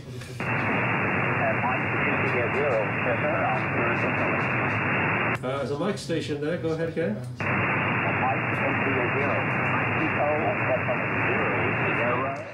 It's midday here in the UK. If you've recently joined us, welcome wherever you are in the world to the Learn More About Stream, courtesy of the RSGB Convention Online. Hello, I'm Jim Lee, G4AEH, live from my shack in Nuneaton in central England, where it's raining at the moment. On the way next, having fun with HF contesting with Olaf Lundberg, G0CKV. And as I was saying a little earlier on, one thing we can't replicate online is the traditional convention raffle, which every year raises funds for the RSGB HF DXpedition Fund. That obviously is not going to happen this year, but there is still a way to help, a very worthwhile cause. It would be very much appreciated if you would think about making a donation by clicking the button on the convention webpage. It's www.rsgb.org forward slash donate. Perhaps a small proportion of what you may have paid for the normal convention. If you can help, thank you very much. Now, an opportunity to add some competitive adrenaline to your radio activity and learn some new operating skills courtesy of Olaf Lundberg, G0CKV. And don't forget to post your questions for Olaf on the YouTube chat. We'll try to get to them if there's time at the end. And don't forget your call sign. So, Olaf, hello and over to you. Yes, and you should have my recorded video there somewhere. CQ contest. Hello out there in cyberspace. There are so many ways to enjoy our ham radio hobby. Just look at the various uh, presentations during this year's virtual RSGB conference. Now, I'm going to talk about HF contesting, which is my favorite flavor if I have to choose just one. I uh, will talk about preparations before the contest, uh, about the contest in full swing, and what we should do after the contest. And I will also talk about how I got interested in contesting. And with all that, we also have propagation, antennas, and a little bit of a little bit about equipment and uh, odds and ends to talk about. However, before we get carried away, remember that your best antenna, your best rig, your best location is what you have right there and now. So when this convention is over in the afternoon, why not switch on your rig, jump straight in, and hand out some points in the uh, Scandinavian SSB activity contest, which should be in full swing, provided, of course, you watch this in real time. Also, a quick administrative note I may go fast now and then, but don't worry, there will be links. There will be a link to links. So, links are coming. I have so many times been asked by friends about this radio contesting thing I'm doing, and I have not found it easy to explain. We uh, certainly don't do it for money, do we? To impress our girlfriends and spouses? Well, I suspect that they are generally probably not all that impressed. Is it a spectator sport? No, not really. Do we get any headlines in Financial Times? Well, I haven't seen any, so I had to make up a fake one myself. Not even in Daily Fail, as far as I'm concerned. Radio conditions forecasted in BBC? Ah, not normally. Any knighthood for contesters? Not that I'm aware of it, at least. Uh, so, why do we do it? It must be something deeper, probably personal, different for each one of us. For me, the kick you get out of the competitive adrenaline is one factor, and the aggregation of skills you need to do well the operating speed, accuracy, technology, propagation, the self improvement, the learning, the doing better every time thing. Maybe it is the opportunity to test your perseverance. Experiencing cool, surprising band openings, busting pile ups, running pile ups at a high rate, perhaps. Well, let me tell you how I got hooked. Or my journey, as they say nowadays. I grew up in Gothenburg on the Swedish west coast. It was a very lively port, and the port was a prime area for play and adventure for schoolboys. Two steamships, uh, Suecia and Britannia, sailed between Gothenburg and Tilbury in London. They loaded cars differently in those days. This naive attempt to do art in school features a ship with several prominent antennas. A dark, stormy Sunday evening in November 1954, I listened to the distress traffic on 2182 kHz as a local fishing vessel, Golf Golf 184 Exide, went under. I still remember the drama as if it was yesterday. On that Monday after school, I went to the local library and borrowed books about ships and radio, and I read about Titanic. Communications failure in many dimensions. I tried to build radios on my kitchen table. If it's true that you learn by mistake, I learned a lot. My wife thought it was hilarious when she found a French school book that I had enhanced with hypothetical radio designs. I couldn't afford to buy an R1155, so I bought an R208 for the money I had earned during my first summer job. That was fortuitous because while the R1155 could only listen up to 18 megahertz, the R208 could tune 10 to 60 megahertz. Then in early October 1957, the first Sputnik was launched. With my R208, I could listen to Sputnik on 20 and 40 megahertz. That was as exciting as it comes. As boys, we then started to build rockets. One of my mates blew off his thumb, so we quickly learned that it was safe to listen to satellites rather than to try to launch them. Around 1958, Solar Cycle 19 had its peak, and what a peak that was, maybe the best ever recorded. 20 meter was open 24 hours. You could hear and work the world easily on 15 and 10 with uh, simple gear. I listened to the guys at the club station at the local technology university running stations worldwide at a quick pace in some contest. Wow, that sounded like fun. I was hooked. I wanted to do that. And a few years later, I was the chairman of the club, and uh, we did contests whenever studies permitted, and um, to be honest, also when studies did not permit. Then, with a growing family, work, and travel, amateur radio was put on the back burner for many, many years. So let's talk about fairness in HF contesting. WRTC, the World Radio Team Championship, that's as fair as they come. There are some 60 stations that are more or less in the same location, same power, same antenna, and overlooked in the tent by a referee.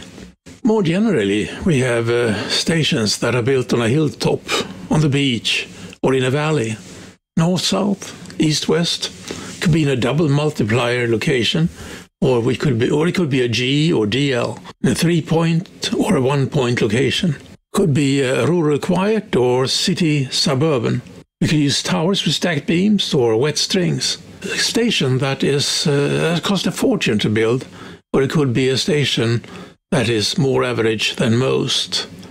So we can't really say that contesting is fair in the Formula One sense. But so what? The main thing is that it's fun when we do it. The uh, most annoying unfairness of all, as far as I'm concerned, is that some of those guys out there, they work harder at it than I do. They build better stations than I do. And on top of that, they are also better operator than I am. Not fair. Let's uh, talk about different contesting styles. You have the superstations, high power, big antennas. You have the DX locations.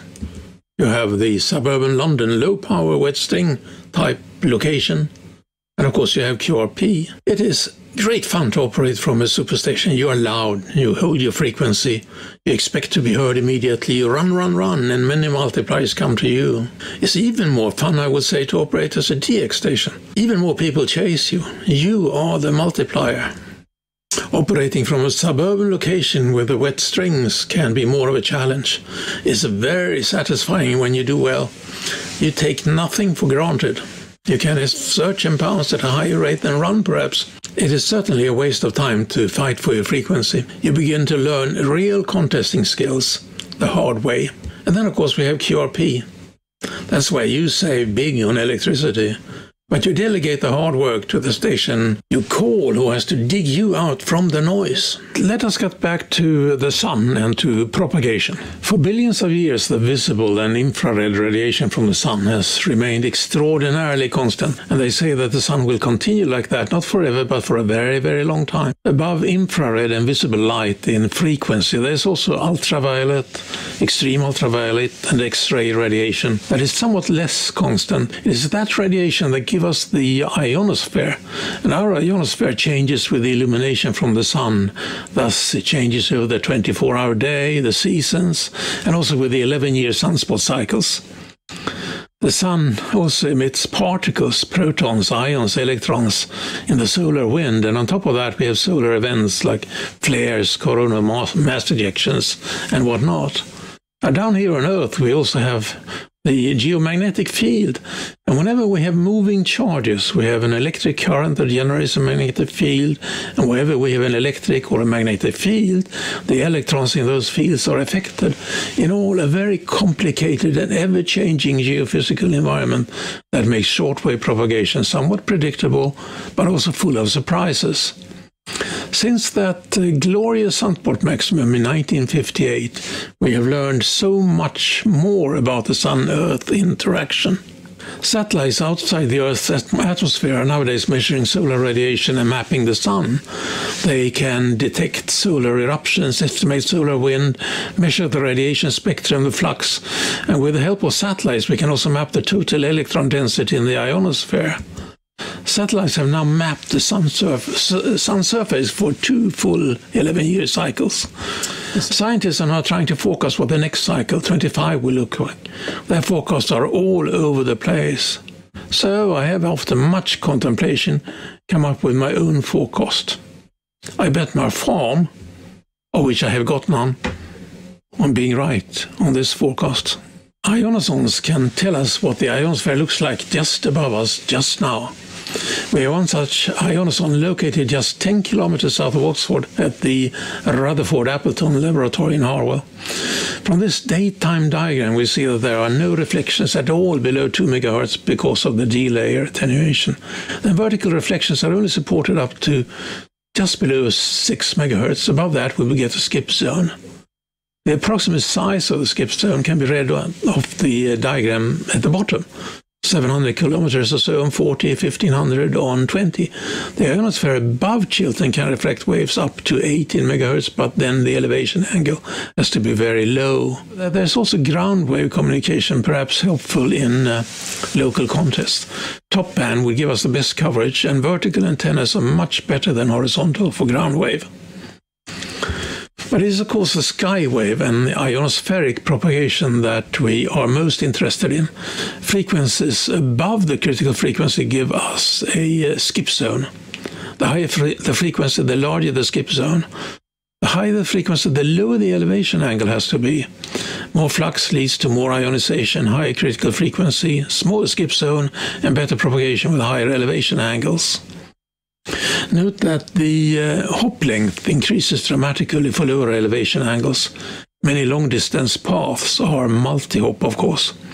When ionization is low, such as during sunspot minimum, and on the HF bands, bands may only be open for low elevation rays. And always when bands are open and close, it is those with good low elevation antenna patterns that can make the first contacts. Let's uh, look at European distances from the UK. Here's an example for UK and Scandinavia. For intra-UK contests, we need antennas with good high-angle radiation pattern. To the points furthest away, we may need to get down to 10 to 20 degrees for a single hop connection.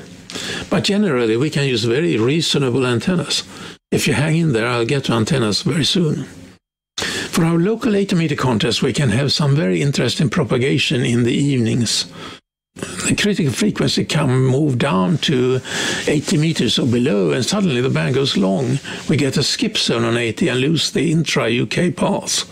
You would have situations where some on some UK paths you can see you can use perhaps frequencies down around 3.6 megahertz, while 3.8 is dead.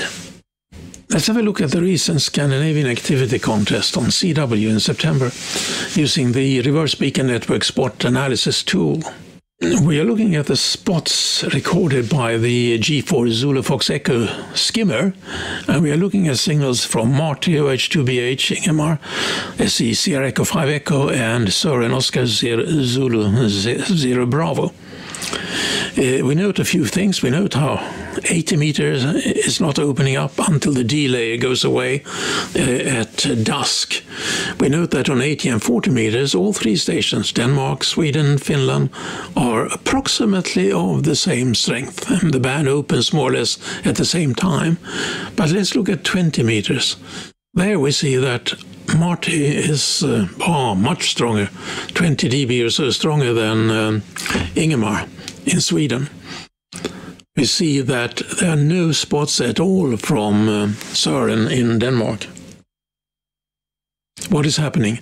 Well, the skip zone is somewhere there, around 1,000 miles perhaps.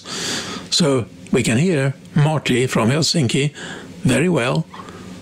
We can hear Ingemar from the Stockholm area, sort of, but the Dane is much too close. He is in skip. There are many tools available for propagation forecasting. My, fa my favorite tool is VOACAP Online. VOACAP Online is a very rich tool. There are many ways to use it. And here we are looking at a forecast for the path between UK and 3B8, 3B9 for um, November month of November. Each of these two clock charts show link reliability per band and hour. See, the circle is a 24 hour clock, and the concentric circles are uh, the different bands from 80 up to or down to 10. We can associate a uh, one of these VOACAP forecasts with uh, different types of antennas, different antenna patterns. Here on the left, we are assuming a horizontal dipole at only 10 meters height. And on the right, we're assuming a quarter wave vertical on uh, average ground. Note how the horizontal dipole, even at that low height, is better than uh, the vertical on the HF bands. But note also that on the LF bands on 40 and 80, the vertical is better than the low dipole. And this would be even more true, of course, on 160. Here's another type of VOACAP uh, online diagram.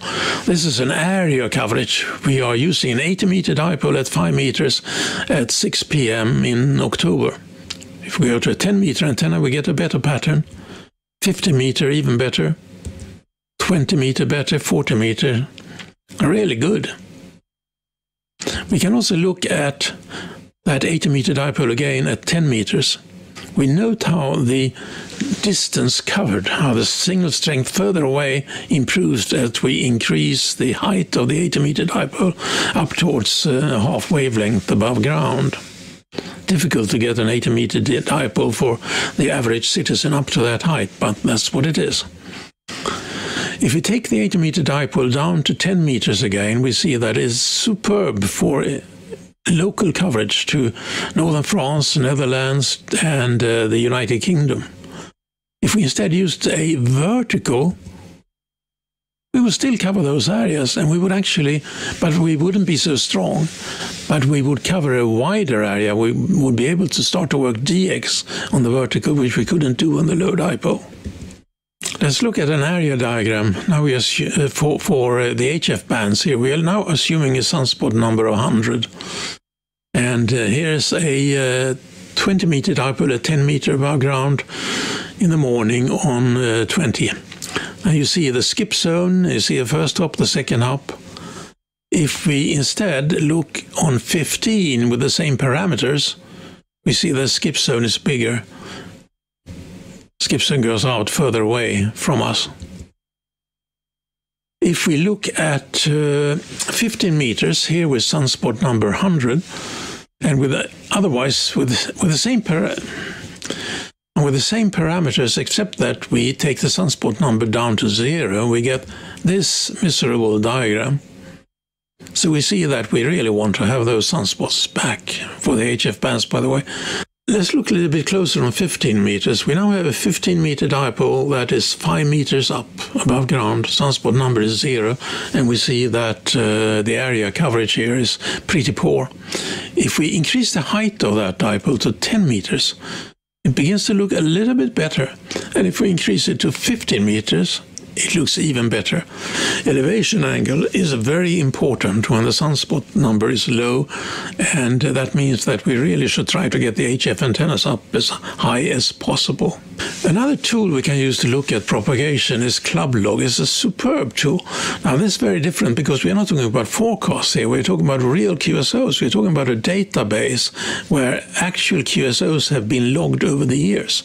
So, on the path between 3B8 and 3B9 to uh, zone 14, for instance, we can see here that the best time seems to be the two hours before midnight on both 80 and 160. During sunset and sunrise, propagation changes on the ionosphere is in a state of change. It's important to follow the grey line. Your best chance to work stations to the far east might be at their sunrise.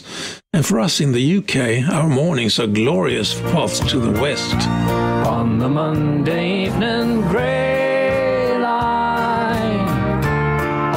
the signals five and nine. But I don't. Okay, so let's now spend a few minutes on antennas. Any antenna is better than no antenna, and more antennas are always better than few antennas. Buy a hilltop property with gentle slopes down to the ocean all around. Then get a few towers and begin to stop stack antennas. You will also need some acreage that can support receive eight circle antennas for the low bands, and buy some extra land to keep your neighbors away well, while you're at it. Well, I'll focus not on a dream station, but on simple fundamentals and the practical reality of the suburban real garden. Let's begin by talking about the value of a dB. When signals are S9+++, even a QRP signal with moderate antenna would be strong.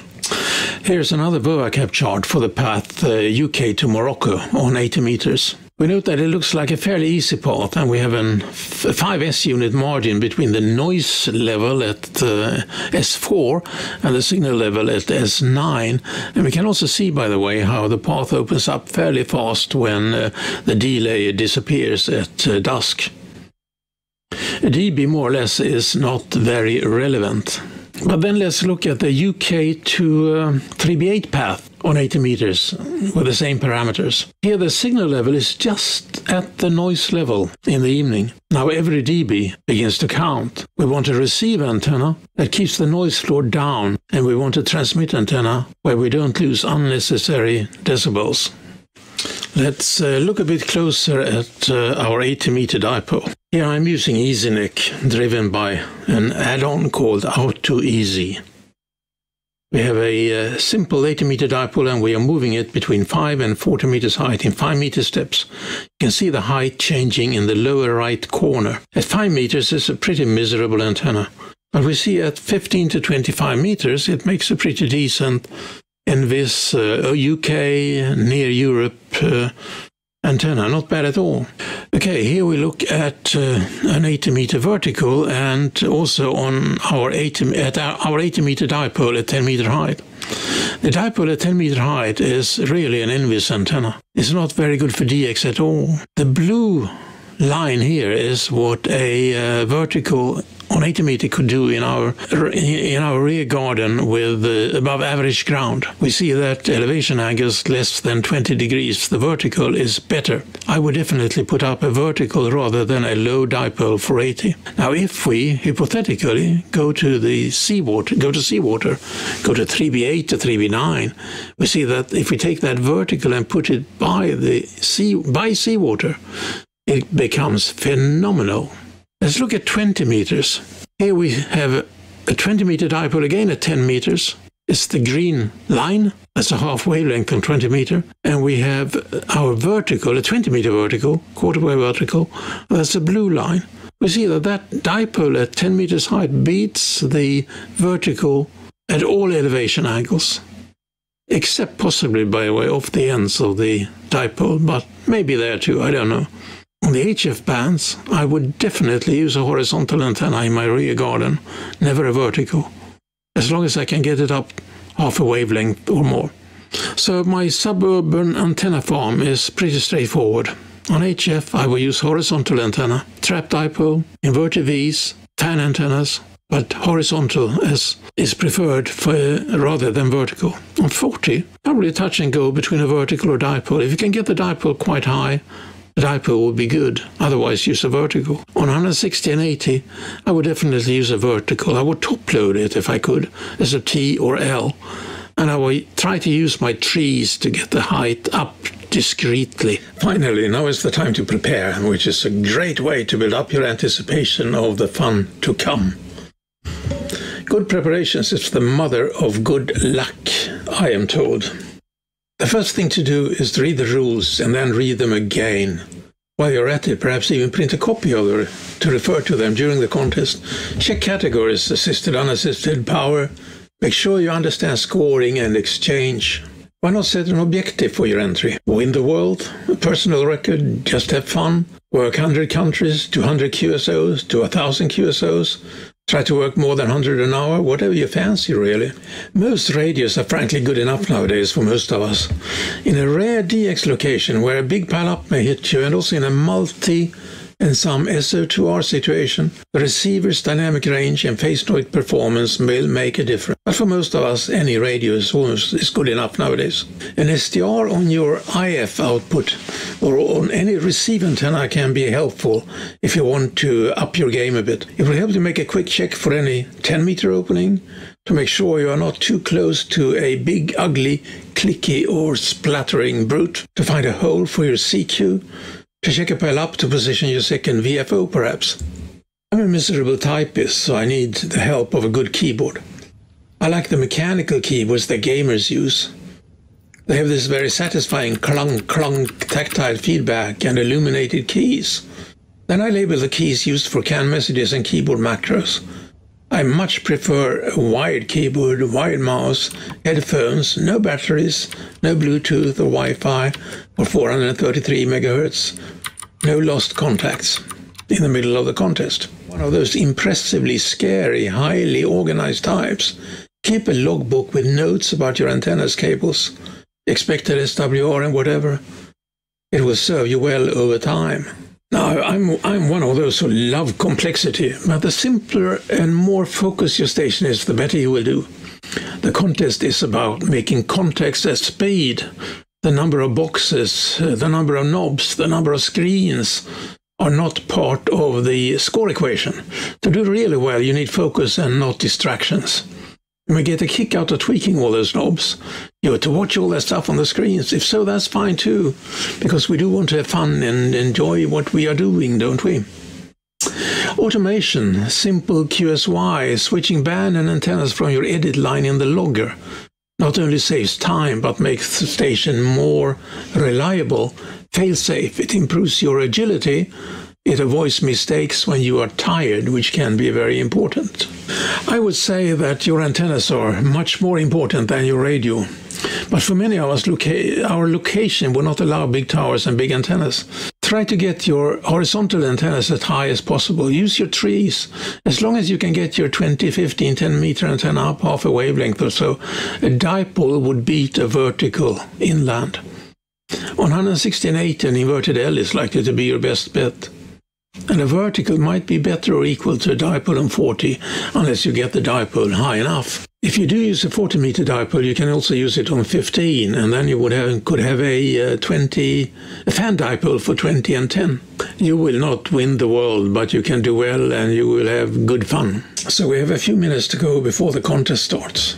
Everything works, everything is well prepared, we are relaxed, like Mark, M0DXR, and me before the WRTC in Boston a few years back. Your stock of healthy food within reach, your spare valves if you do QRO. Alexa, please wind up my towers.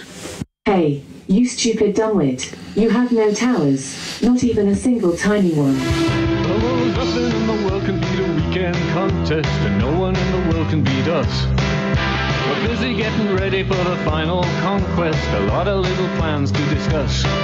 Just an hour to go before we start the show, and then it's 48 hours of hell. Although it's hard to explain why we put up with this pain, well, we do it again and again. We're gonna do it again.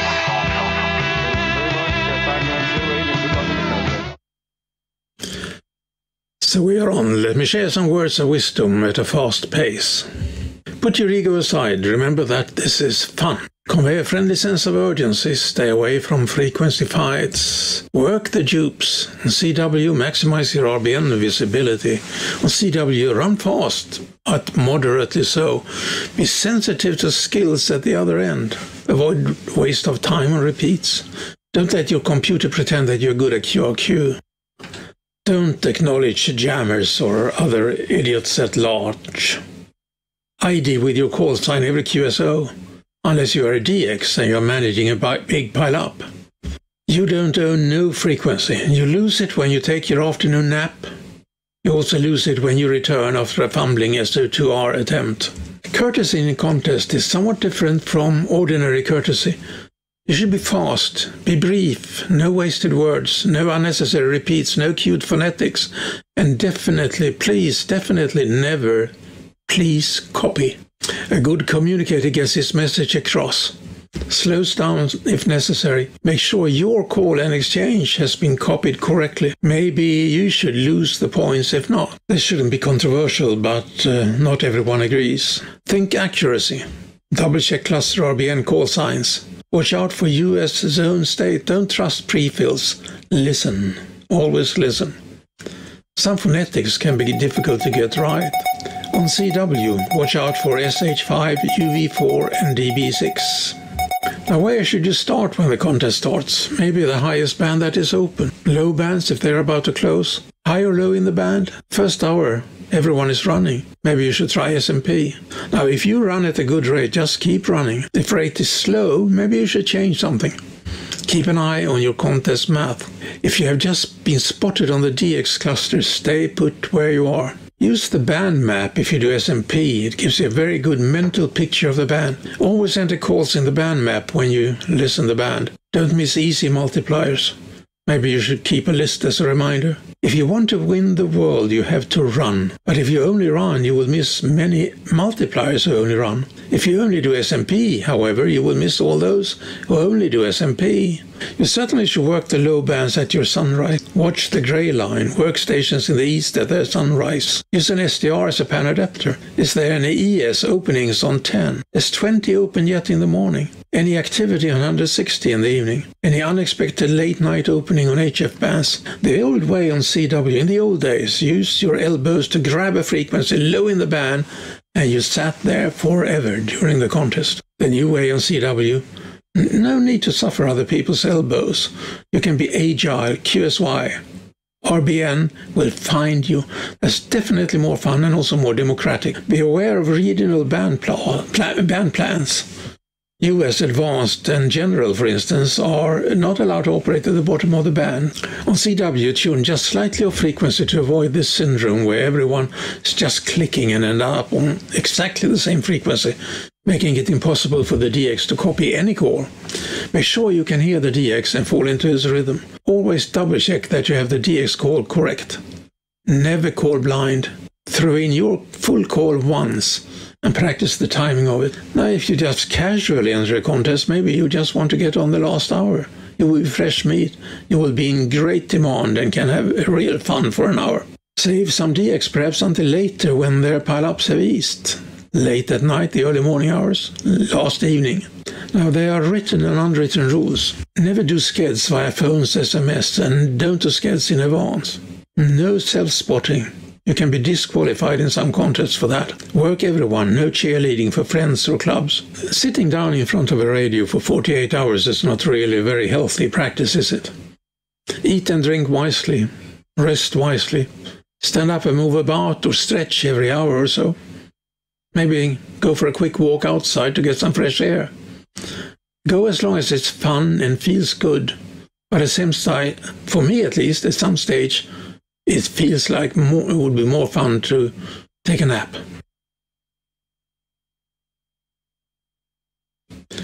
Keep some post-it notes handy during the contest and jot down ideas for uh, improvements for next time. Log corrections, perhaps. Things to do before next. Things to check out. And sooner or later, it's just a few minutes left. An encouraging glance at your target with a smile, and then a final spurt. Ding dong, time is up, it's all over. Another satisfied glance at your target file. You're probably still somewhat high on adrenaline, so why not upload your log immediately?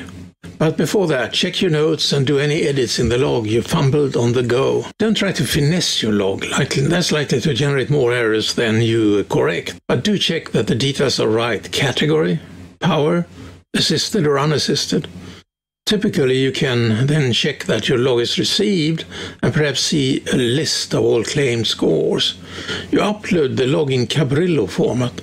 I'm also amused to see that in California they are so into contesting that they have named streets after the log format. After that, it is time to prepare for the next contest, but I suspect you probably will crash out before you are ready for that. Because your ears were still ringing with the sound of contest. As you were falling asleep, you didn't notice the lonely voice of your spouse singing.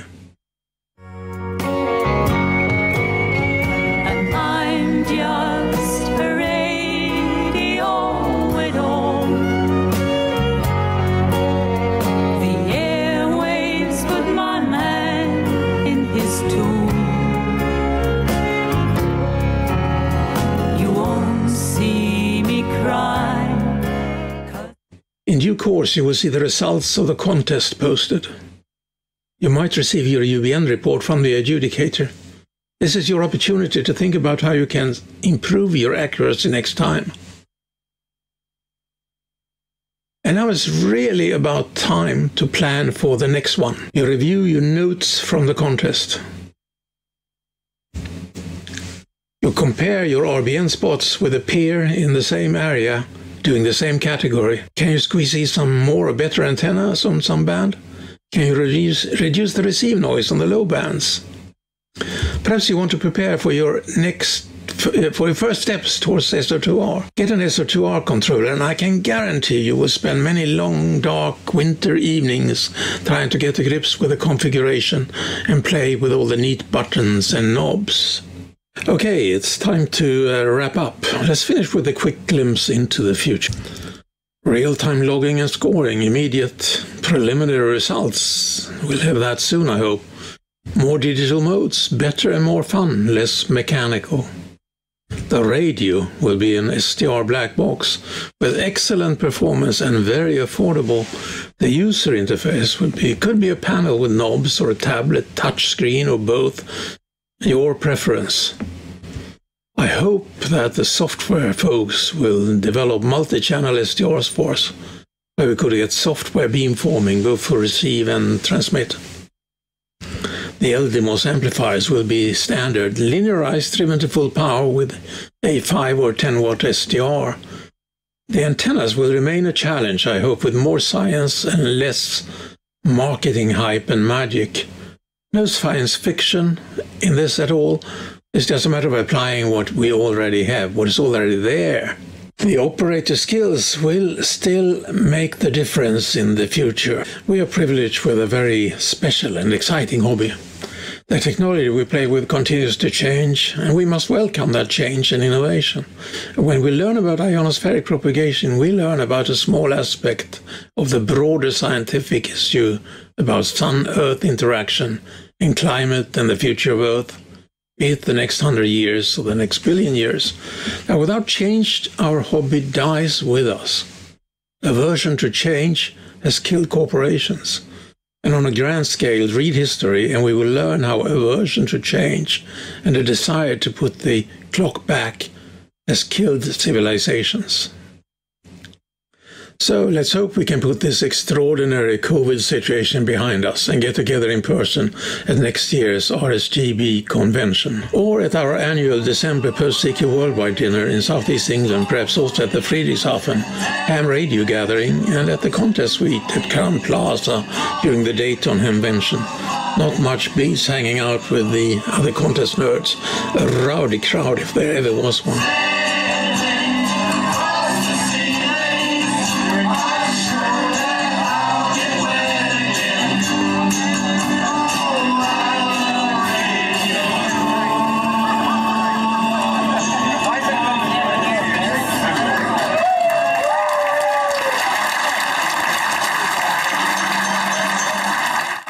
It that Ward Silver and Zero AX and his Spurious Emission Span are at least as good contesters as they are singers.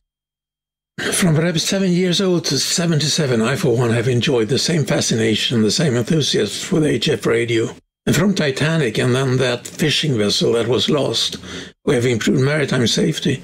But even today, with all navigation and communication technology at their disposal, the mariner's safety, in the end, depend on the human factor and human skills. And the same goes for our hobby in a similar way. From Sprock transmitters long time ago to SDRs and the digital modes today, the human factor, the human skills still make the difference. And now a final test. What do you see here? The Comet Neowise or the rotating tower at EI7M? So, 73, have fun, go contesting, hand out some points in the Scandinavian SSB contest that will be in full swing when this virtual convention finishes. Up, up, up, hey, hey, stop, don't run away, I forgot to tell you. We beat them. W3LPL, K3LR, we beat them. Look at that. But it looks like we ended up lost in Africa.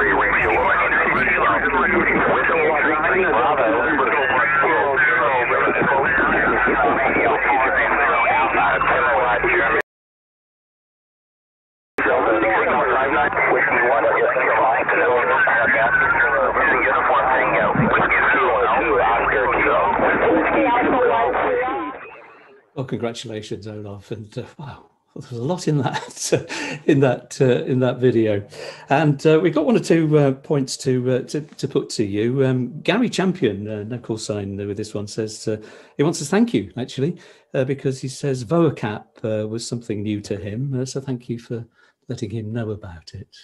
That's the VOA in that is Voice of America, isn't it? It was something to do with the broadcast station.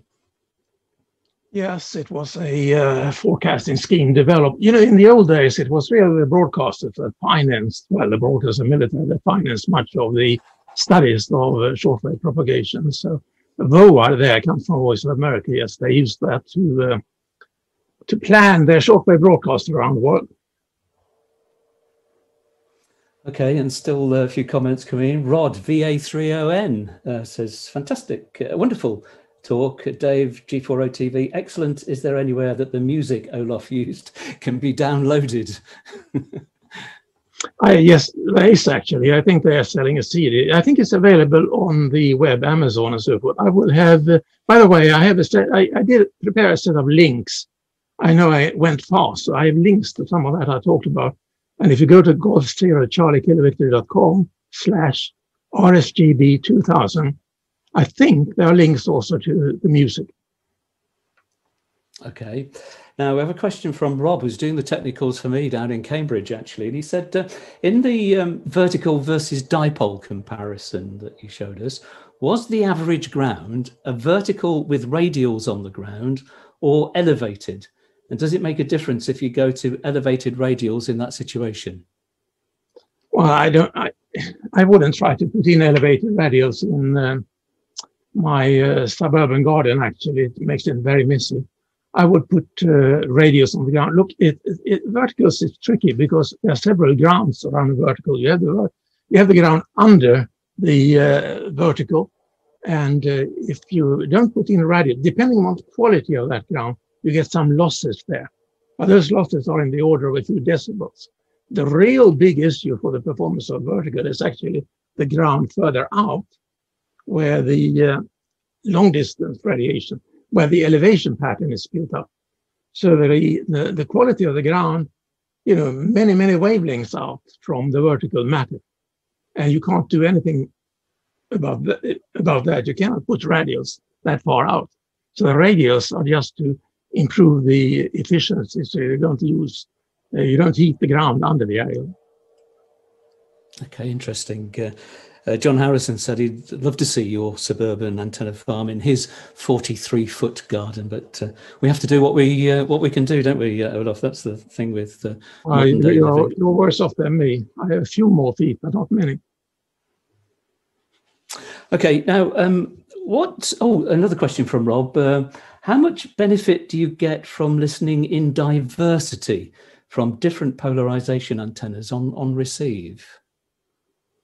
It's uh, not possible to say. I mean, th- th- those things you can only try out. You know, when you listen, particularly on the low bands, it, it's always useful to be able to listen on different antennas because you are interested in signal to noise ratio. It's not necessarily so that your transmit antenna on the low bands is better. Uh, another way, if you have a receiver like a K3 where you can listen to uh, diversity, that may also help, but not always. But the point, the point I make is that this is where experimenting, trying, trying different things may work out. On one signal, by the way, one antenna may be better, on another, another antenna. Okay, I think uh, Bill uh, GM4UBJ is extolling the virtues of QRP. Actually, uh, maybe that's something you haven't tried, uh, Olaf. no, I, I, think I, I, think QRP is fun. You you get more satisfaction out of doing. I mean, if you run one of these big contest stations, which I have done, it's good fun. But the satisfaction, you know, of being able to do things with simple wires, low power, and QRP, yeah, I can get I get that. Okay. Now you're probably expecting this uh, this sort of question. What's your message to those who every weekend they're on the Facebook group saying, "I can't find a frequency because there's yet another contest." What do you say to people when that gets thrown at you? Well, there, there, there's a surprising amount of contests right now. I mean, there are probably more. I mean, on average, there are more contests than there are days in the year. And I can see that, uh, you know, well, okay, how should I put it? If you take the big contest, it's a couple of weekends per year, fine, you have to live with it. Thousands and 10,000 people perhaps get on the air. And that's fantastic. Our bands should be used. Most of the time, during the days, during the weeks, the bands are pretty quiet. People go to work, retire, people do other things. We are chatting on uh, WhatsApp or whatever instead of getting on the air. So uh, I think you have to live with the fact that few contests perhaps may sound overwhelming, but I think in the majority of cases, fairly, there, there, are frequencies available. You have the WARC bands. There may be a CW contest, and you can go on SSB. Live with it. Do you have anything to say to them that might convert them to the to the contest fold? Well, you know, we all have sort of different mindset, different interests. You know, some of us want to uh, chat uh, generally and don't like all the noise and mess and the speed and haste of a contest. That's fine. I mean, uh, that's the beauty of this hobby, isn't it? You know, all these different things we can do. Hmm. Do, have you got a suggestion for a for a contest that might be good for someone wanting to dip their toe into contesting? Well, start with the RSGB or the local contest. They are in the evening, an hour, hour and a half, and they're friendly. They're fast over. But otherwise, or, or now, well, or if you want to do a regional contest like the REF contest, the WAG, the Scandinavian Activity Contest, they are they, they are sort of moderate pace and uh, they're also friendly and fun. Now, you mentioned in, in your talk one of the tools that uh, we could use for checking on activity uh, is, is um, or are band maps. Could you explain what you mean by a band map and where you might find one? Well, well, a band map is, let's say, uh, well, most contest loggers they have a band map. That's like the scale on your uh, receiver. It's sort of a frequency is hmm, a ruler with the frequencies, and against those frequencies, you you sort of put in the the the call that is occupying a particular frequency. You get that if you are assisted in a contest, you get those calls from the cluster from RBN. But if you are non unassisted, you do it yourself. You scan the band, you, you tune uh, across the band, and as you fill in the call in the logger, you either work the guy and then he ends up as worked in the band map, or you you just uh, have working before and you still enter in, in, in the band map so you know who it is and you can then roll over the band much quicker. Yeah, I use one on HRD. Uh, uh, Rod VA30N's been back on. He says, How much station automation do you uh, implement, such as switching and filters and things like that? You know, I even I, have done some traveling alone around the world and done contesting, and I uh, want to have it automated. I want to be able to switch very fast. So when I type in, if I go from one, let's say I'm on 40 and I want to go to 14025, I type in 14025 on the logging uh, in, in, my logger and uh, the antenna switch automatically, the amplifier switches automatically if I have one. And I don't have to worry about twisting knobs and doing the wrong thing. You know, if you are in a contest and you do it seriously, you do get tired in the end and you can make mistakes you save time, but the best thing, the most important thing is, I think, the reliability, the simplicity. Yeah, um, I, I, saw a slide you put up of M6T. Are, are, you associated with a with a superstation like M6T? No, I know the guys. I admire them. That's uh, hard work. Must be hard work putting up all those uh, towers uh, for a contest. Do you think you have They're to be a superstation? Sorry, do you think you have to be a superstation to to actually do well or, or win? No, not at all. Not at all. I, have been doing okay from my rear garden with by wet strings. I think it's, it's a matter of how you enjoy. I mean, okay, there are some guys that are super competitive and they must win, and they use their elbows and they behave badly, you name it. I think it should also be have to win, but the satisfaction when you sort of do better every time, when you learn new things, is uh, rewarding. Uh, on the odd occasion, I go in a contest. The thing that lets me down is typing into the uh, into the um, into the into the logger. Um, I, I, well, you, you were saying that you use a it looked like a very flashy keyboard there with lots of macros, uh, lots of macros on it. Is, is that pretty important for you to use something like that? Well, again, uh, well, first of all, you know, I'm, I'm a poor typist. Uh, I like a good keyboard, and, and these are the gamers. You know, the gamers I use these kind of keyboards. I have the old cherry keys that we used back uh, 40, 50 years ago.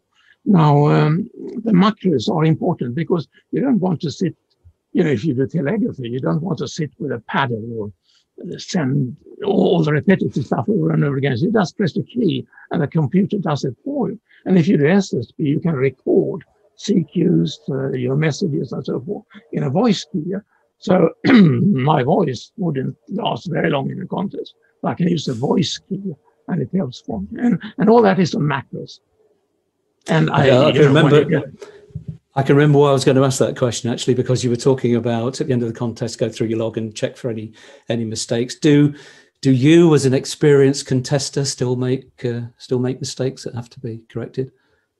Oh, everyone does. Um, you, you, you, that some mistakes can almost not be avoided, but you also learn where they are, so you get a little bit more careful. Those who do a lot of contesting, you know, they begin to recognize the call signs. If you hear M6, you probably think, ah, it must be M6T or uh, or 7M. Oh, that is the I7M. Is that, so you know what you should log. Uh, you after a contest, I have to admit that after a contest, I probably had enough of it. So the idea of sitting there and fiddling with a log and uh, listening to recording and checking, you know, no, that's not on. I want to send in the log and get on with life. Absolutely. Now, um, just before we go, just a couple of comments to you from Masahiro Kitagawa, who is JH3PRR, and I think he is actually in Japan because he's, he's also got other call signs. He says, Olaf, great presentation. I enjoyed it. See you in the contests. And uh, Anthony Turnbull, G4CUS, says, Thank you, Olaf, for an interesting presentation from an occasional non serious contester. So there, something for everybody in your talk, uh, Olaf. Thank you very much. Thanks for, uh, for joining thank us. you. You were five and nine zero zero one in India, Oscar nine two Golf Mike, if that helps. Thank you. Cheers, Olaf. Thanks again. We'll hope to see you at the uh, convention next year. Fingers crossed. Well, look, don't forget to keep your feedback coming. You don't have to do it during the um, during the presentations. Uh, we've got a five minute break coming up uh, in a second. Uh, uh, to, while we line up the uh, next uh, speaker, um, but do keep your feedback coming on what you feel about the level of content in this unusual form of RSGB convention, let's face it. And while we are hoping that we'll be back in normal convention mode for 2021, the RSGB would like your feedback on on that and, and the whole idea of online events. Uh, there may have to be more. Uh, of course, we already have the Tonight at 8 events, of course, hosted by David G7URP. So your comments will be very welcome at www.rsgb.org forward slash feedback. Uh, you'll see that address appear on screen from time to time through the day. Uh, basically, it's on the RSGB uh, website. There it is on screen, uh, where you can also make a donation to the RSGB HF DXpedition Fund.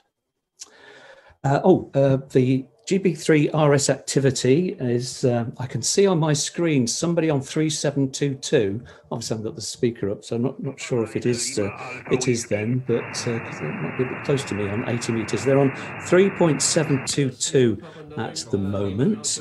Um, if you want to go and have a listen for them, they're also on uh, 2 meter SSB 144.270 and 14.168. At least they were a, a few minutes ago, so uh, don't blame me if they've, they've moved on. Uh, so we're going to see how actually how the QSOs are stacking up at the NRC, and then in a change to earlier listing, listings, we'll be hearing about ionoscatter on 50 and 144 megahertz with Palle OZ1RH. Stay with us. Lovely Bravo 3 Romeo Sierra. Yes, fine, Peter. Nice copy from you. Five and nine. Nice strong signal. three stations Uh, we've opened this um, radio centre on two metres especially today for the SSB, RSGB um, conference, the 20 Society metres, Business Conference, as well as uh, which is done on by And I video can this, see this the year around because of the conditions on 80 virus. are changing quite, and um, uh, you've got a very strong considerably signal into because us I'm today. monitoring So, on and the the name is WebSDR uh, operating and is, uh, is signals Tony Tango a Oscar lot, November. uh, a lot Matthew, weaker now Peter, than it was earlier on. Uh, So Lima Alpha Whiskey from Golf Bravo 3 Romeo Sierra. Over. Anyway, it's to Uh, hear Golf you Bravo coming 3 Romeo Sierra, Sierra Papa 9 uh, Lima Alpha Whiskey. Uh, about my, I tell you something about working condition. It is 590 sugar and uh, antenna, my new construction, uh, three elements uh, beam into your direction and you are using amplifier for about 400 Okay, into your direction again. now. And 50 Charlie, G1 that is all from my side in this moment. And, and how do you copy? Golf Bravo 3, Romeo Sierra, SP9LAW. Yes, a very strong signal from you, Peter. 590 uh, plus, uh, you know, coming through very strong. Yeah, we're running a Flex uh, 6500 at this end um, uh, into a SteppIR antenna and running about 400 watts in your direction, Peter. So um, we've got many other um, activities on different frequencies this morning as a demonstration for this weekend. And um, we, uh, we will probably carry on uh, for, the, for the afternoon uh, today. So back to you, uh, Sugar Papa 9, uh, Lima Alpha Whiskey, GB3RS. GB3RS, SP9LAW, uh, thank you, uh, Tali, for uh, all information. Enjoy your conference and uh, hope to meet you again in the future. Uh, Golf Bravo 3, Romeo Sierra, SP9LAW, 73. Okay, 73 is Peter. GB3RS, give us in.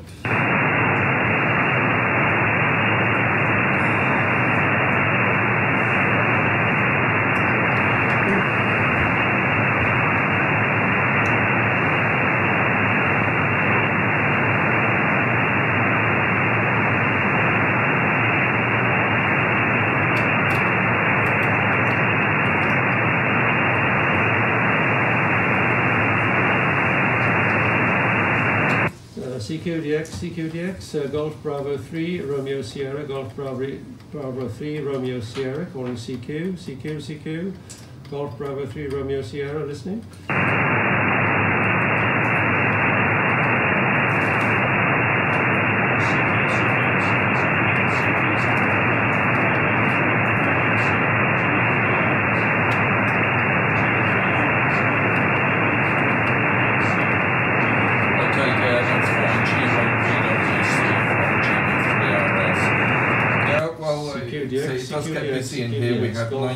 7,000 visitors walking to the NRC throughout uh, last year.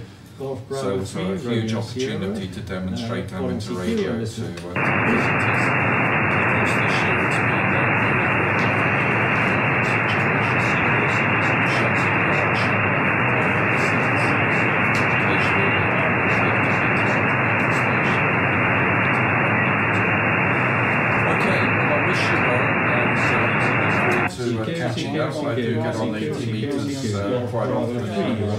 Morning. We have an NRC net, which we start at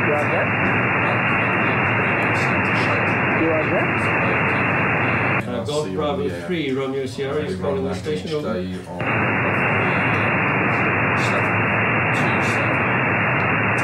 about CQ, 10.30 in the morning, so you'd be welcome to call in. Bravo uh, 3. Romeo Sierra, Okay, all the best to you. See you. Uh, catch up with you soon. Bravo 3, Romeo G1VWC, calling CQ. GB3 are listening frequency. Cheers, guys.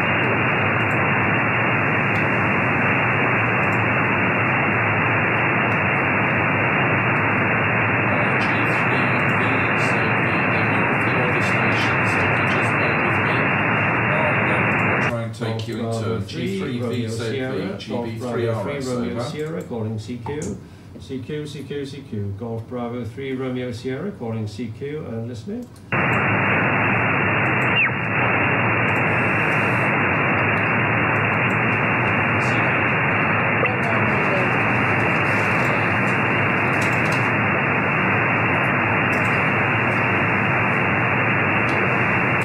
CQ, CQ, CQ, CQ, CQ, CQ, CQ, Golf Bravo 3 Romeo Just give me a break on the name, calling please. CQ and listening.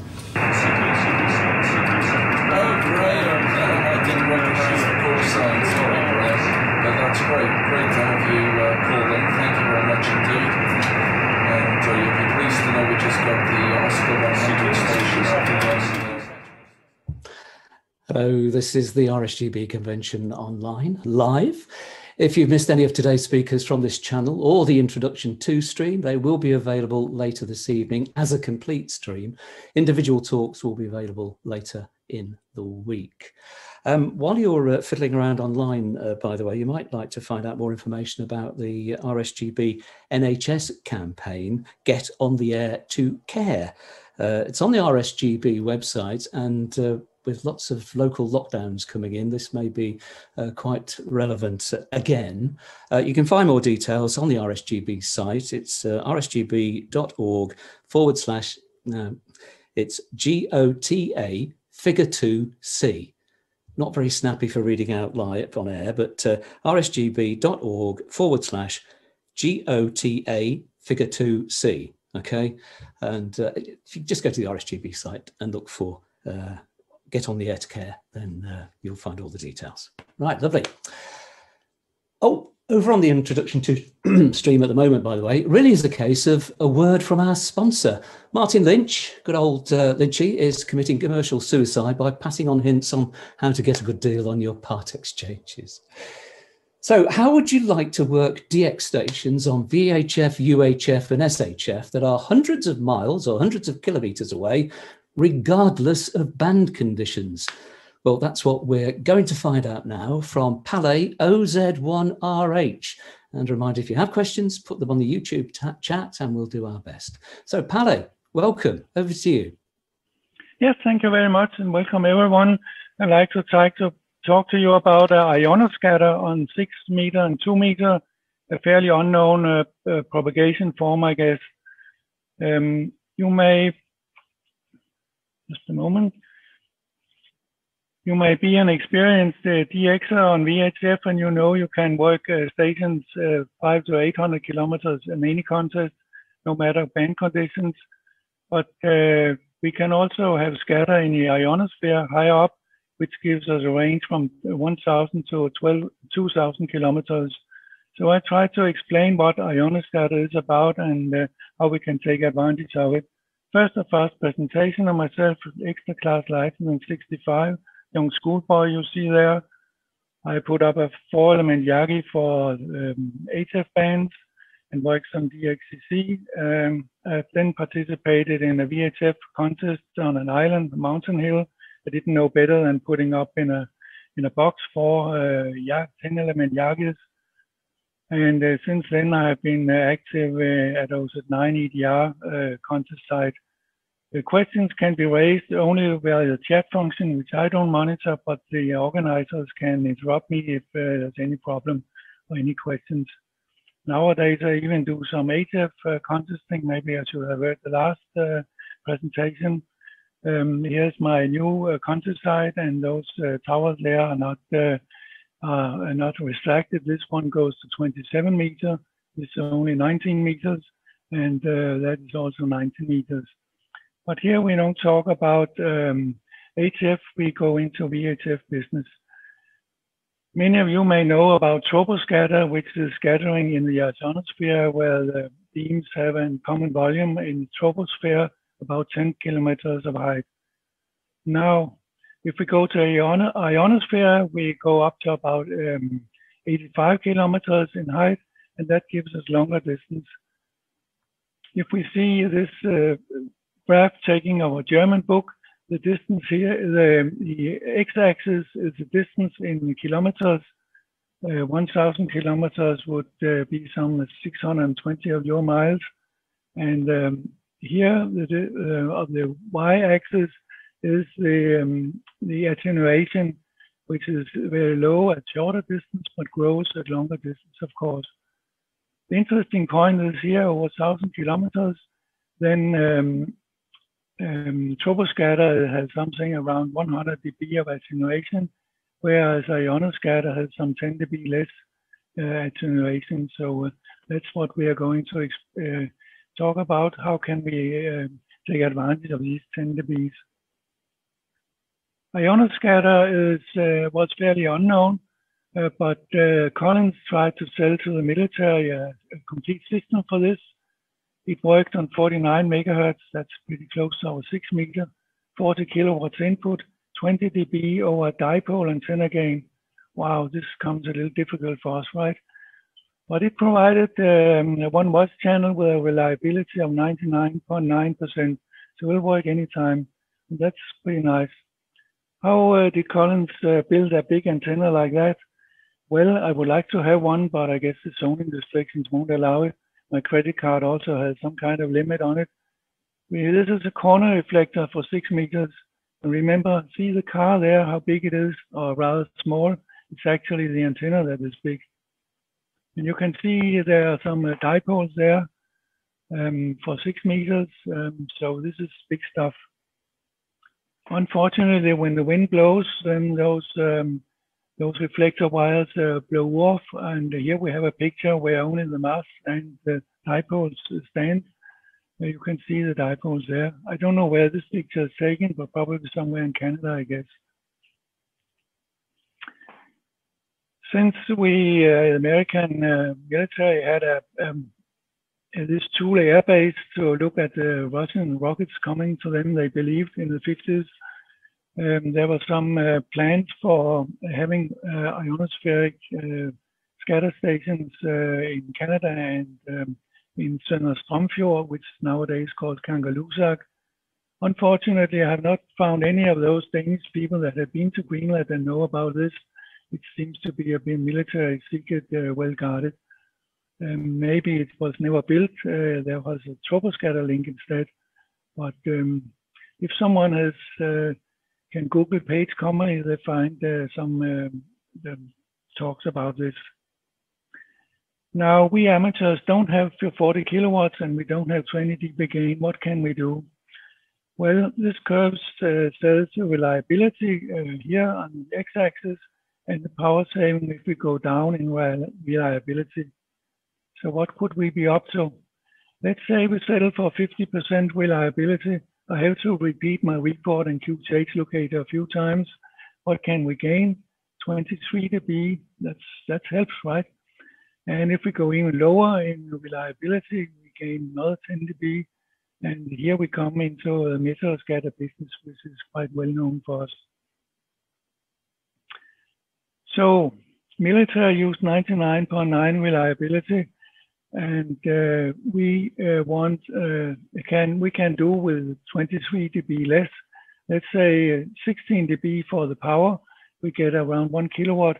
That's probably equivalent to 400 British watts. And we deduct 7 dB from the antenna gain. We get uh, 13 dB. That's a fairly big game square antenna, but uh, 11 is on 50 megahertz. That is possible. And actually, some US stations vote in QST that when they have nice power and big beam, they can do QSOs anytime in this range, uh, 1200 kilometers, which uh, suits very well for ion scatter. Now, if we start using CW instead of SSB, we get another 10 dB. So now we come to the 400 real watts and a smaller antenna. And we can also take advantage of uh, WSJT actually Joe Taylor knows what he's doing, so he made a, a WSJT mode for ionoscatter, uh, which is called iScat. So there's some possibilities there. You now know uh, it may not be easy to use ionoscatter, but uh, there are some um, challenges. But uh, after all, if we can make QSOs on a dead band, we'll win the contest. And challenges, of course, also interested, interesting. So let's look about it. This uh, looks very similar to the troposcatter thing. Um, your signal goes up and is scattered here in the ionosphere and go back to the receiver. To make it more clearly, this uh, common layer of ionosphere where scattering takes place is about uh, 85 kilometers, somewhere uh, between 65 and 85 kilometers, little lower than uh, meteor scatter. And the distance uh, 1,000, 2,000 kilometers up to 1,200 miles here. That is a nice uh, distance on a dead plane. If we go to shorter distances, then the, the um, path loss increases because the scatter angle uh, is bigger. It's similar to ES, very short ES uh, is difficult. And if we go more than 2,000 kilometers, the there would not be much common volume uh, anymore. So um, we don't uh, get much ionoscatter those uh, long distances.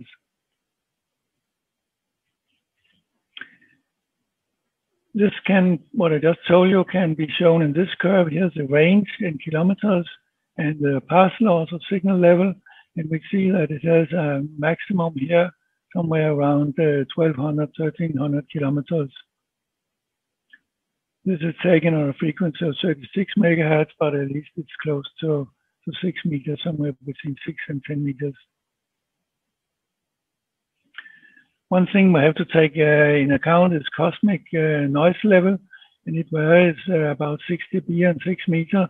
So if you can put your beam on a quiet part of the sky, then uh, you have greater chance of um, making a QSO.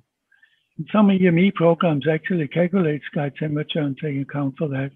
So if you're an EME on 6 meter, you know what you're doing. If not, you, it's, it is possible to, to read and, and do what, what they are doing. Unfortunately, ionoscatter goes uh, great circle bearing, so you have to beam on your QSO partner. So if you beam on a, nice place uh, on the ionosphere where where the cosmic noise is low, and your QSO partner beams, of course, the opposite direction, you may hit a part of the sky where there's a lot of noise. So you can actually experience a one one way uh, propagation, or you think it's one way propagation, because um, one of you can't hear the other. Only one of you can't hear the other. To minimize that noise level for cosmic noise, you need an antenna with high gain, small side loop, but that's kind of difficult and six meters get, uh, gets very big, surely. But if you can optimize your YAG in the plane and in, in the vertical plane, because it's in the vertical plane, picks up uh, noise. One thing to do is to stack YAGs at half, not 1.6 wavelengths or 1.2 wavelengths. And if you do that, uh, that would suppress cosmic noise coming from high angles. This is actually what I've been doing. This stuff is a rotating pole, um, 20 meter high with two uh, seven element Yagis for six meters. Each Yagi about 11 dB uh, over a dipole. And this QTH is only 62 meters up, but it's on a peninsula and overlooking the water in almost all directions. So it's not really that bad. Just to make fun of it, we can uh, turn each antenna uh, differently. We have a rotate on the bottom and one on the top. So um, we can, if we want uh, to make QSOs in different directions, that's possible even also. And we have a stack match, so we can use both antennas, the upper lower, or we can even face them out of phase if we should do that. Most uh, HF people do that, but it's actually applied for six meter also. Now, radiation angle. I told you that um, the scattering takes place in the height of about 85 kilometers. In daytime, the um, ionosphere is denser, the D-layer is denser, so the scattering may take place even a little lower place, lower height.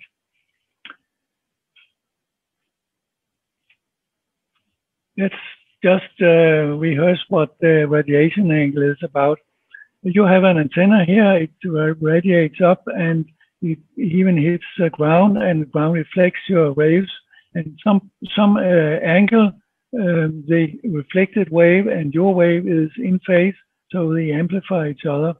And that particular angle where they are in phase gives you 5 to 6 dB gain uh, called ground gain, um, and that is what I call the radiation angle here, same as this one.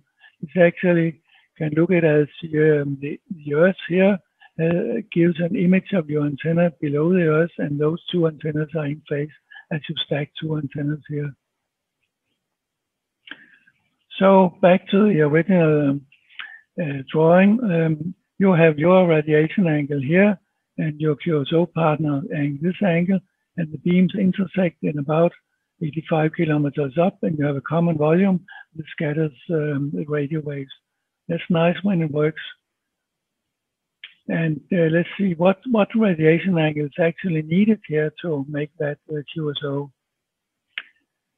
And the red one here is for ionoscatter uh, all day and night round, about 85 kilometers.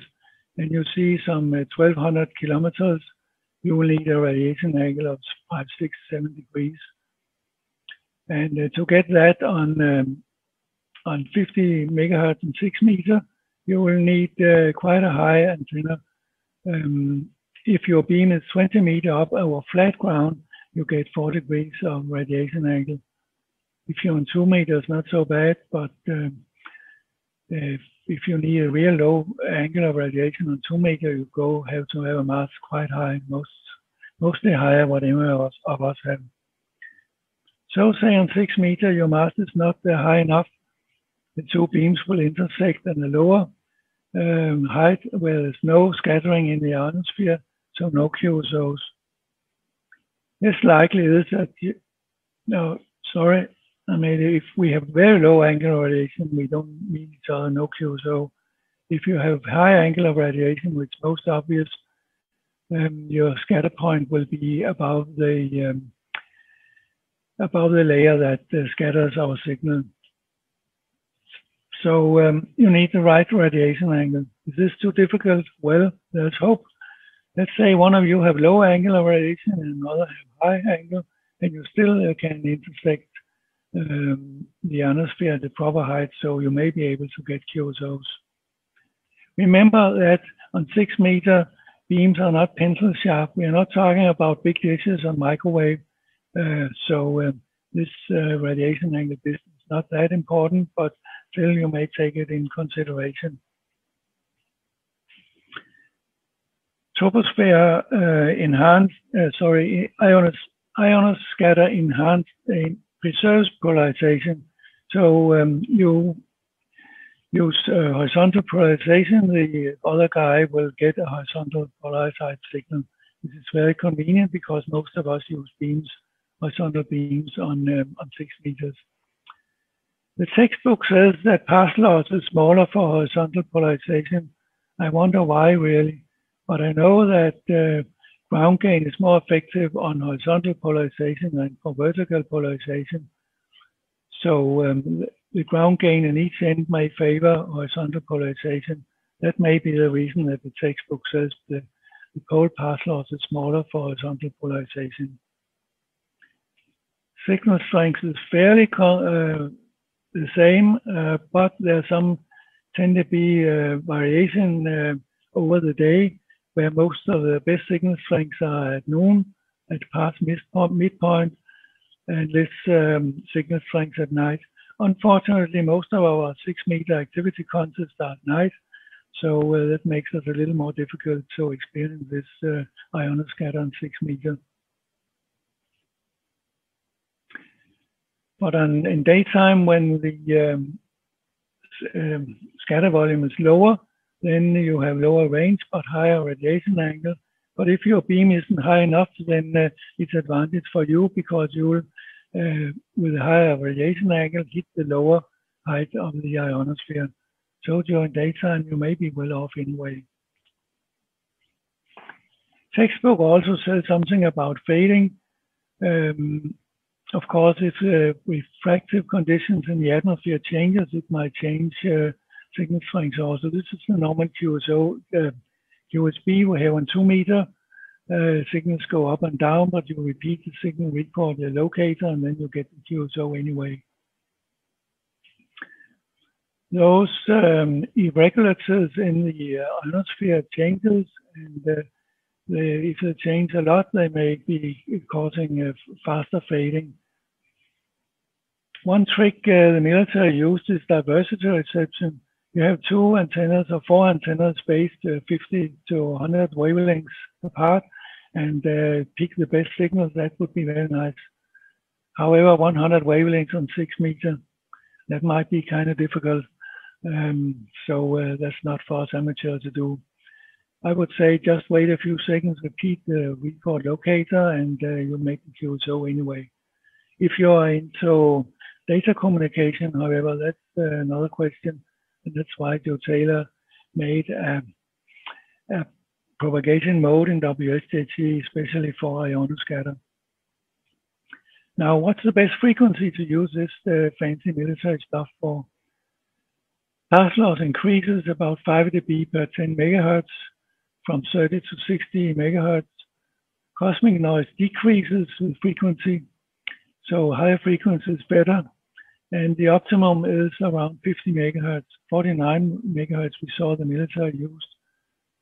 The military never told, told us why uh, 50 megahertz has been a military band for decades, but uh, we may guess that, uh, that there's a reason for that. It might very well be ionoscatter.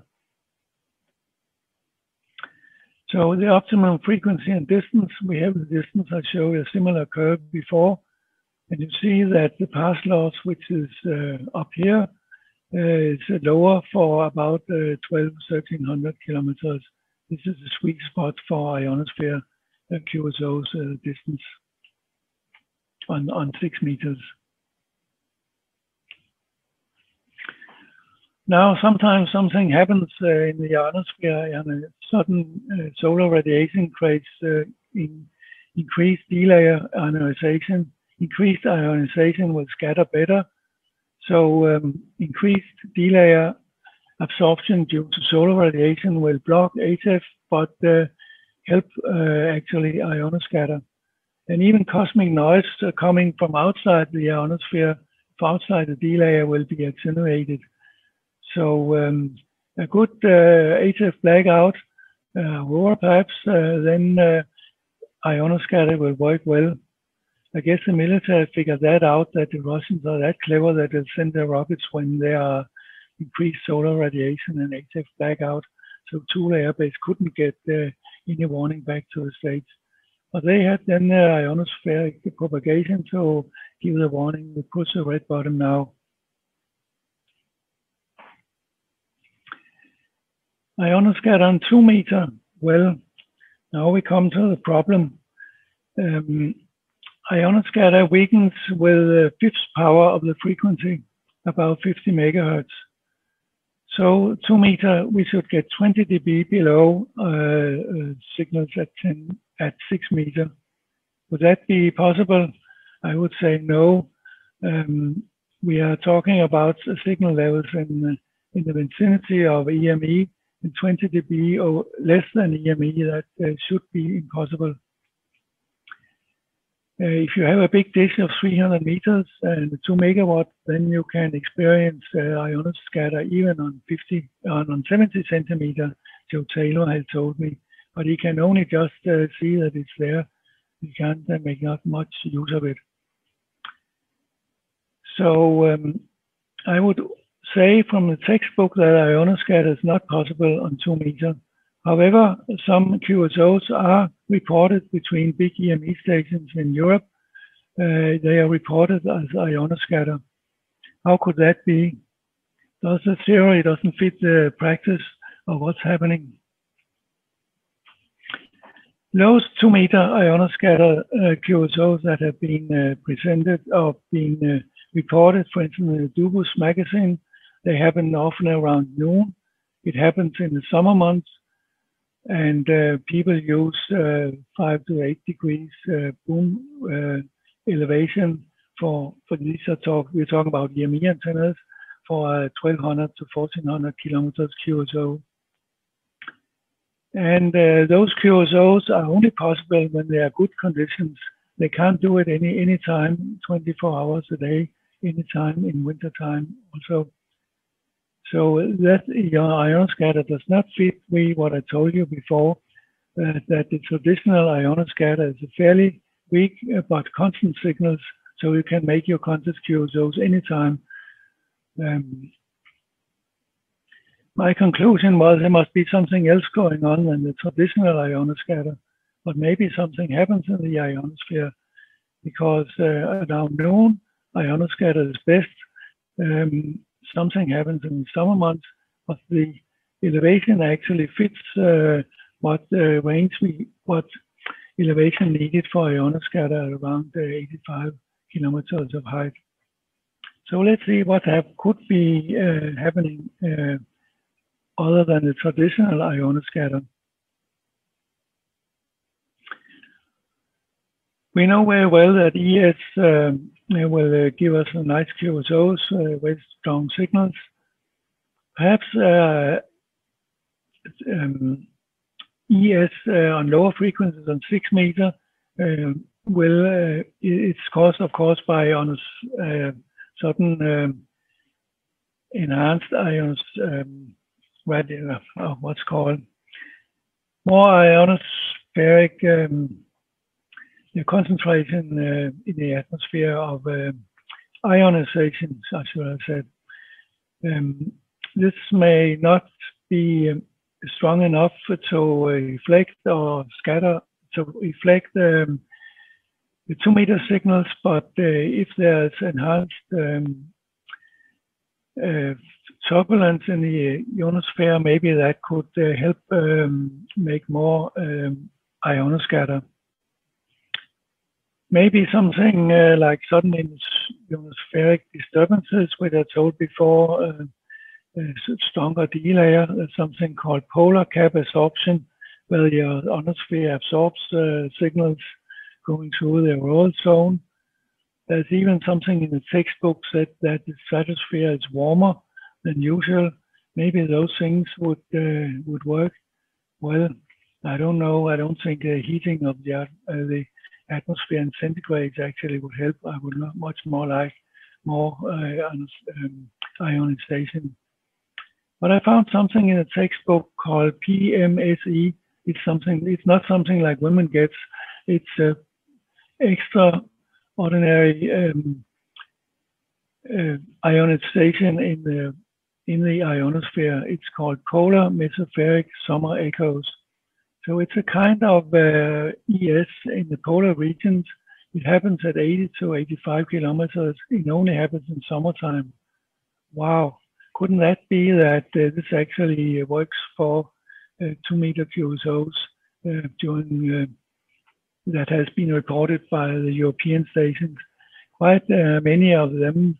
One of the QSO's part is from the northern part of Sweden, SM2, SM5, and the people in mid-Europe, uh, the EME station had contacted them. So I said, uh, well, let me look at what the PMSE actually is.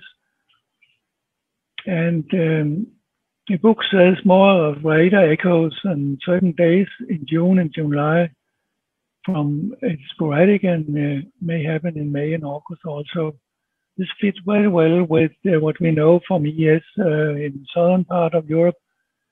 Um, textbook says it's called by uh, fluctuation in the plasma density, which is the ionization concentrate in thin layers, exactly where we see that the usual um, ionoscatter is happening. Here is a curve that shows um, how often there's um, this uh, kind of uh, radar detected um, extraordinary um, ionization uh, in this uh, height of, um, of 85 kilometers. And we see that it happens somewhere between May and August and it's um, not happening every day. Uh, it's not the traditional ionoscatter I talked uh, about in the beginning, but it happens on and off, just like Es.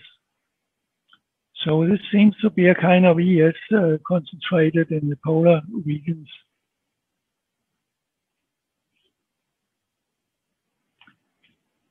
There's another curve here, another picture. They tell us um, here we have um, uh, a, whole uh, day from uh, one o'clock in the morning until midnight, and we see that it's concentrated here around noon, somewhere a little later, sometimes before noon, sometimes little afternoon, but this it is around noon, and it's seldom present here in, in nighttime.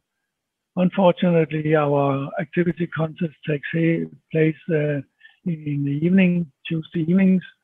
So um, we don't get much of that uh, when uh, when we have our activity contests. But uh, there's something going on up there uh, that in the ionosphere that uh, can be used for QSOs on two meter. So what kind of propagations can we have on uh, on the two meter. We know the troposcatter, the textbook says 400 kilometers. That's because they want a high reliability. Uh, we amateurs know that weak signals, which we can use, we have good antennas, we have good uh, preamplifiers, so we can gauge some uh, 800, 700, 800 kilometers here. The ionoscatter and meteoroscatter get us uh, 15 kilo, 100 kilometers or even a little more, up to about those 1200 miles. Textbook also says uh, there's a form of F-layer scatter um, up here, uh, higher up, and gives even longer range. That's something uh, that I have never experienced, but um, it would be very nice if actually there's even a scatter thing going up higher in the uh, ionosphere. Now we are talking about wishful thinking, but let's see what's actually could be happening. And actually, two meter uh, stations, uh, you, American two meter stations uh, with EME capability says that they can work uh, QSOs anytime in daytime uh, around 2,500 uh, to 800 kilometers of range. Fits very well with what the textbook said. It's too uh, too far to be the traditional scattering from 85 kilometers of height, so they probably have experienced that F-layer scatter. They just need more bigger antenna and uh, bigger more power, and uh, some station with the same capability around uh, around 26 100 kilometers away and they maybe were able to experience it. Textbook also says something about spread F, that the F layer spread in F1 and F2, and we know that from HF, and uh, they may be able to scatter or ductile signals. And um, the commercial uh, stations, they measure the atmosphere, and several of them uh, publish their, their measurements on the internet. So if you don't want to QSO, you can Google the internet and find the interesting stuff of what you could have worked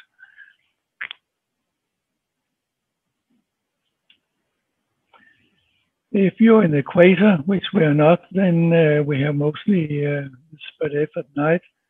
Um, but at high altitude, spread F, of course, course made during daytime. So um, if there are lots of um, magnetic activity, we are seeing some and spread F stuff. Maybe then we have a possibility of making um, QSOs um, using this uh, special kind of uh, scattering in the F layer. I actually wonder if some of those um, QSOs reported as um, Aurora E uh, is actually this kind of, of, stuff because it's also happening when there's uh, um, uh, when there's aurora than when there's magnetic activity.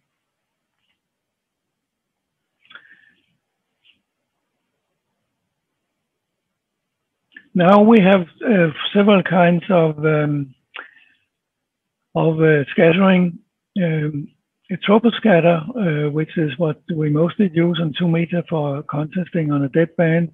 It needs zero radiation angle for all distances. So put your beam as high up as you can or go to a hilltop to get low angular radiation. And we don't get much uh, troposcatter more than 900 kilometers, at least not with uh, amateur means if you are EME capable and take full advantage of WSJT, you may um, experience longer uh, QSOs. I'm not sure, but uh, that's something I would uh, like people to, to try and test. The troposcatter is great circle bearing. However, meteor scatter may give longer distances, but of course you can easily hear when you are using meteor scatter because it's a few milliseconds to a few seconds but it gives nice increase in, in the signal strength. So um, you can use special modes in WSJT for meteor scatter, and uh, it would be very easy to, to do and work some DX. we also know some uh, that Es is, um, is suddenly strong ions, uh, uh, reflections, uh, and it, it's only take minutes but it gives very strong signals sometimes, but it isn't there anytime. Ionoscatter is, however, a constant weak signal, and it's great circle bearing, and um, it has actually an op optimum of 1200 kilometers or more, which is actually what uh, what gives us more uh, more DX, nice, nice DX, even on six meter or two meter on a dead band. That would be a nice uh, thing nice distance to work QSOs, but it doesn't come easy as I said before. Is the signal quality of um, ionoscatter? We are talking about forward scatter, so the signal quality is Q5. If we have a back scatter like Aurora, uh, signal sounds distorted like Aurora backscatter we know on Aurora on 2 meter if you are into CW, you're called and if you're in sideband, you have to talk very slowly and it's difficult on two meter. On six meters, a little easier. You may know, I have noticed, however, if you're working long distance uh, troposcatter signals on two meter, it have a special uh, hollow sound. Um, I call it troposound. It's caused by this uh, incoherent scattering, just like kind of backscattering. It's still forward scatter, but the scatter angle increases, so it uh, will um, give you some uh, some changes in the in the sound. I have um, experienced a few shorter um, ionoscatter signals, and, uh, and they have had a similar DX sound. So um, because the scatter angle is, is uh, somewhat higher on the shorter distances of ionoscatter.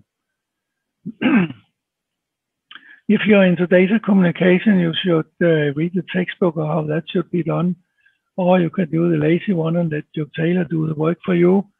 So uh, use the ISCAT mode, which I talked about before. I'm sure he knows what he's doing.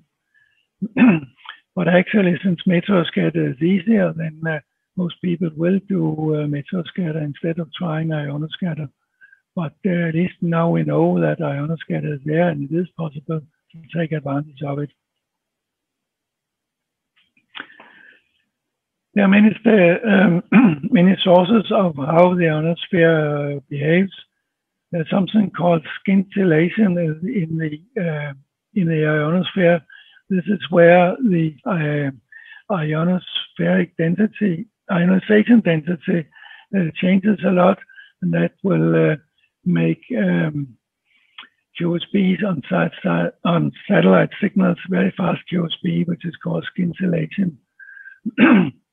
Uh, this this link may not uh, be working anymore, but you can Google uh, that, and that may be an idea of what's happening in the ionosphere. there are even some radars. Uh, this one is one of you in Wales. 46 megahertz is pretty close to 6 meter. 160 kilowatt peak. Well, mm, and a big antenna. Well, my new QTH is actually have room for that. So if you want to put a station like that up, certainly come with it, with, with it to me. I'm happy to make QSOs with it.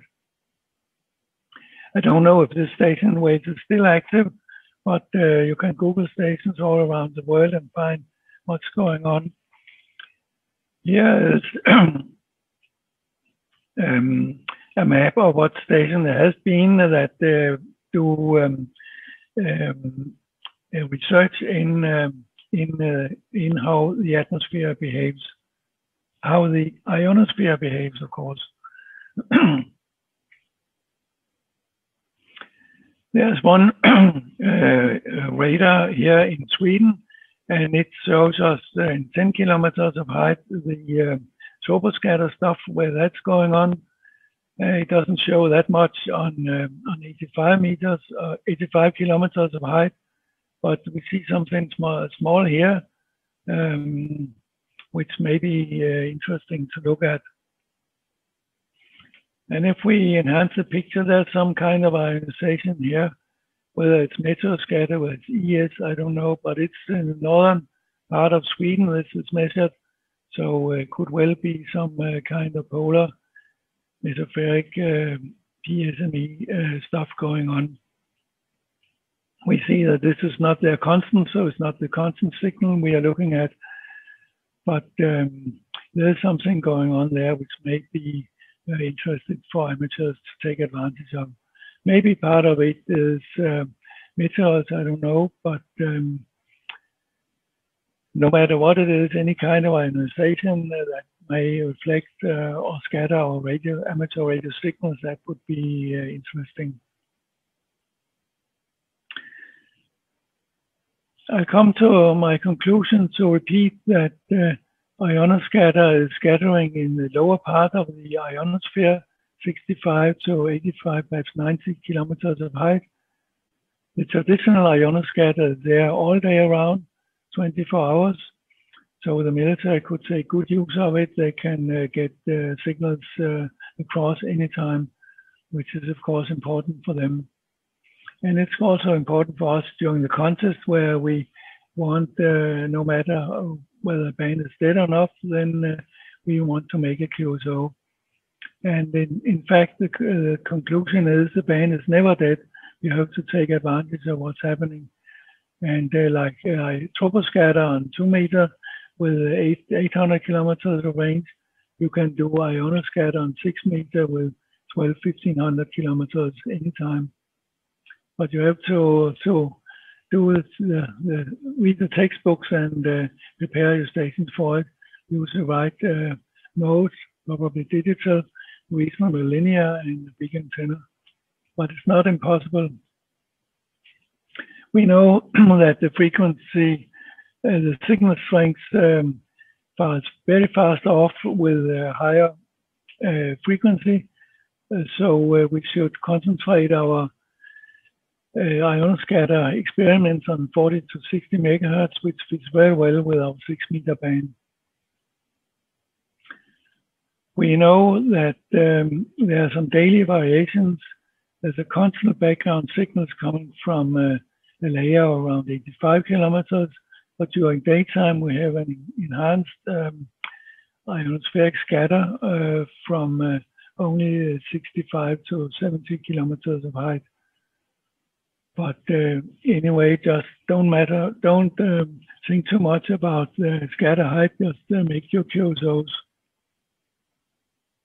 I will once again say, uh, if you can hear the other guy, don't wonder what pro propagation mode you're in. Just uh, make the QSOs and start wondering afterwards. With the big antenna I showed you before, I uh, actually worked some um, some Aurora QSOs around three o'clock at night, and I thought the band would be dead, but there was still Aurora going on, and making a QSOs with a Golf Mike station on two meter, no, on six meter, sorry. I heard some uh, uh, station with French accent calling me, I think I heard Victor Echo something, and that uh, of course uh, made me very interested. And uh, when the QSOs with the Scottish station was finished, I heard the Victor Echo station calling me, and I gave report and locator once, and he gave me record and locator, and QSO was there. And that made the world record on Aurora E, if it actually was Aurora E. But it don't matter what it is, uh, make the QSO, and that's what's count.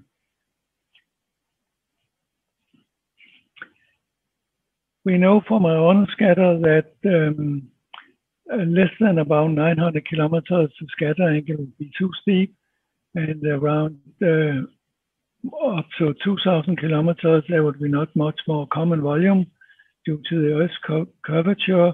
So the and the optimum distance is around 1,200 kilometers. But I'm pretty sure that from the UK, there are many stations in Europe uh, around 1,200 kilometers or 1,500 kilometers away. It's just a matter of being in the right direction giving in the power and make uh, perhaps make a skate and then then you're in business. And I told you troposcatter at zero radiation angle and uh, max uh, 900 kilometers. Meteor scatter short-lived, and you can hear, obviously very easily hear that. And if you experience Es, then uh, you don't want, uh, worry too much. You just make a lot of QSOs very fast and the ion scatter is fairly weak, but it's constant anytime. And you may experience uh, ion scatter on two meter. Um, we're not quite, I'm not quite sure what kind of um, extra uh, ionospheric uh, clouds, uh, extra ionospheric um, ionization it's called, but the textbook says something about this PSME, which uh, seems very reasonable. It's uh, it's also uh, on two meter. It's uh, scattering in the ionosphere, but not the traditional one we experience on six meter. Once again, work first and worry later. And then now I work for you. I would worry about your questions.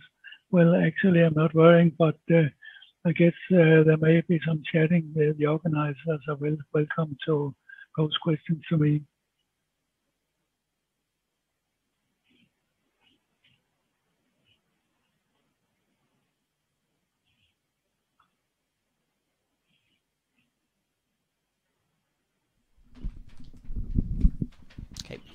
I'm, I'm waiting for questions. Yeah. Um, hi, Palle. Uh, cool. It's uh, it's uh, it's Dom here in the tech gallery. Uh, good to see you. Unfortunately, we seem to have lost our feed from Jim at the moment, uh, so we were also waiting there just then for uh, Jim to give you some uh, questions. But thank you very much for a very interesting talk. I'm sure we will have uh, a a few questions from Jim in in just a moment. Uh, just to we got Kim yet? No, we don't have Kim yet. Well, Cool. anyway, we, we rehearsed a lot about this uh, and taking care of any kind of um, of technical problems. We had backup and backup slides and uh, uh, backup audio. So, well, what we seems didn't have backup, that was the internal stuff there. But I'm sure you know that ionoscatter isn't that easy, but uh, it's there and uh, we're capable of taking advantage of it uh, if we uh, do our work well. Yes, ap- apologies, um, uh, Palle uh, had two internet dropouts within a few minutes, uh, so my apologies for that. I have missed uh, part of what you said, and thanks to Dom for uh, for setting uh, for sitting in. Um, so one or two uh, questions coming up on the uh, chat, uh, Palle. Uh, one was from John uh, G3S uh, G. Where is it? Uh, uh, I'll come back to that in a second. I'll find it in a second. But G, yeah, John G4SWX is uh, listening, and he's uh, telling me he's still on EME every day. Um, and, and from that, I mean, uh, you you did mention uh, EME in, in your talk. How does Ionoscatter compare to EME, and would you use the same digital modes? Um, that depends a little um, on um, on six meter, which is where would uh, would start the ionoscatter stuff. Um, the traditional um, on, on six meter, if you try to do EME, I would say uh, those uh, WSJT modes may be confused by sudden um, signal increase in signal strength, that is uh, from meteoscatter. So they may not decode if there's one small ping in the um, on the meteoscatter uh, stuff. Uh, so uh, Joe Taylor made this Ionos uh, scatter ISCAT mode that is not confused by those um, ping pings. Unfortunately, the ISCAT mode is not as sensitive as the other modes. So if you can get rid of um, pings, um then uh, then uh, you can use the JT65 or what the best modes for for EME. But um, Joe Taylor did use the other mode or made the other mode for that. But nice to hear uh, you, John, that you're there. You know probably more about the ionoscatter practical stuff than me, and you're capable of doing that on two meter even with the right QSO spot. And I believe you may have worked with the SM2 with CEN, I think. And John uh, goes on to ask, he says on uh, 144 megs, there are rapid amplitude changes of a period of about half a second to three seconds. And he wonders, have you ruled out scatter from the burn up of micrometeorites? Uh, there are more than larger rocks uh, as, a, as a mechanism. Uh, well, that, no, um, that, that is definitely a mechanism also uh, involved there. Um, it- it- I would say that um, meteoscatter pings, um, uh, fractions of seconds or milliseconds, uh, they're about the same uh, in that sense that, uh, that they are meteorites and there are many more uh, of those uh, micrometeors. Uh, they're coming there all the time, actually. So uh, John is quite right that there is, uh, so to speak, um, a bottom layer of uh, meteor scattering taking place all the time, and then um, and then there are some enhancements uh, with pings or, or bursts that uh, we amateurs really uh, mostly uses. Um, what John actually asked is ionoscatter the same as uh, that um, ionization coming from those very small micro um, uh, meteors? Um, that could be right, but um, that with um, the uh, ionoscatter enhancing during um, during suddenly ionospheric disturbances, uh, stronger D layer, um, um, that uh, shows that uh, it's related to the, the, the, normal ionosphere, not only the, uh, the micrometers. But micrometers plays a role. That's uh, that's definitely true. And if you're in two meter like John is, then you of course is, um, noticed uh, those micrometers much better than the traditional ionoscatter, which is 20 dB lower than signal strength at on six meter. More questions? Okay, and uh, Elaine, Elaine Richards, G4LFM, uh, says, Pada, you say the ionoscatter signal is a weak constant one, and Chris G4IFX asked this as well. But is there any sign of flutter on the signal? Um, yes, um, there is. Um, uh, I had a slide that uh, shows um, um, that, that there is some yeah, what, what shall I put it? Um, there's some fluttering on it, and there's um, this DX sound, turbo sound, I call it from two meter. It uh, that makes the signal a little more different, but that's what we wouldn't call that fluttering actually. Um, there is during uh, aurora something called sprutter, which is very fast. Um, uh, fading 50 hertz or more, uh, 70 100 hertz uh, fast fading, which makes um, um, RTTY difficult and even voice channel may be difficult to understand. So uh, that sprutter is actually very fast fading.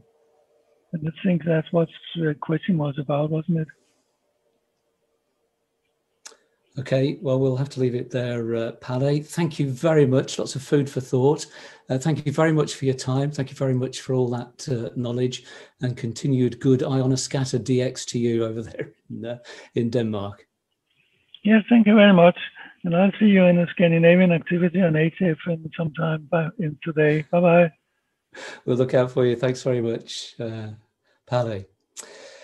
Right. Um, oh, the NRC, they did take a coffee break, but I can see some activity back on 3722 um, on my on my scope. So it may be, it may be them uh, if you want to give them a try. GB3 RS, and uh, they're also on 2 meters, 144.270, if I remember the frequency correctly. Anyway, uh, have a look for them there. We'll. Um, take a short break now and have a look at the NRC. But while we line up our next speaker, who is Alwyn Seeds, G8DOH, on the best VHF and UHF radios for contesting and DXing, we'll uh, look in on the uh, NRC, as I say, stacking up the QSOs.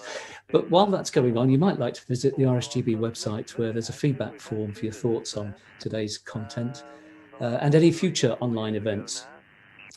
There's the, uh, there's the address on screen. Uh, there's also a page for making a donation to the RSGB HF DXpedition Fund, which is normally topped up by the annual convention raffle. So whatever you can afford will be most welcome. I'll see you shortly. G3LDI.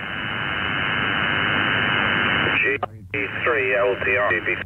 GB3RS. Okay, Roger. And uh, yeah, I can appreciate uh, need to be careful in these times. So, um, yeah, I think everyone's, uh, the more senior people are being pretty sensible about it, aren't they?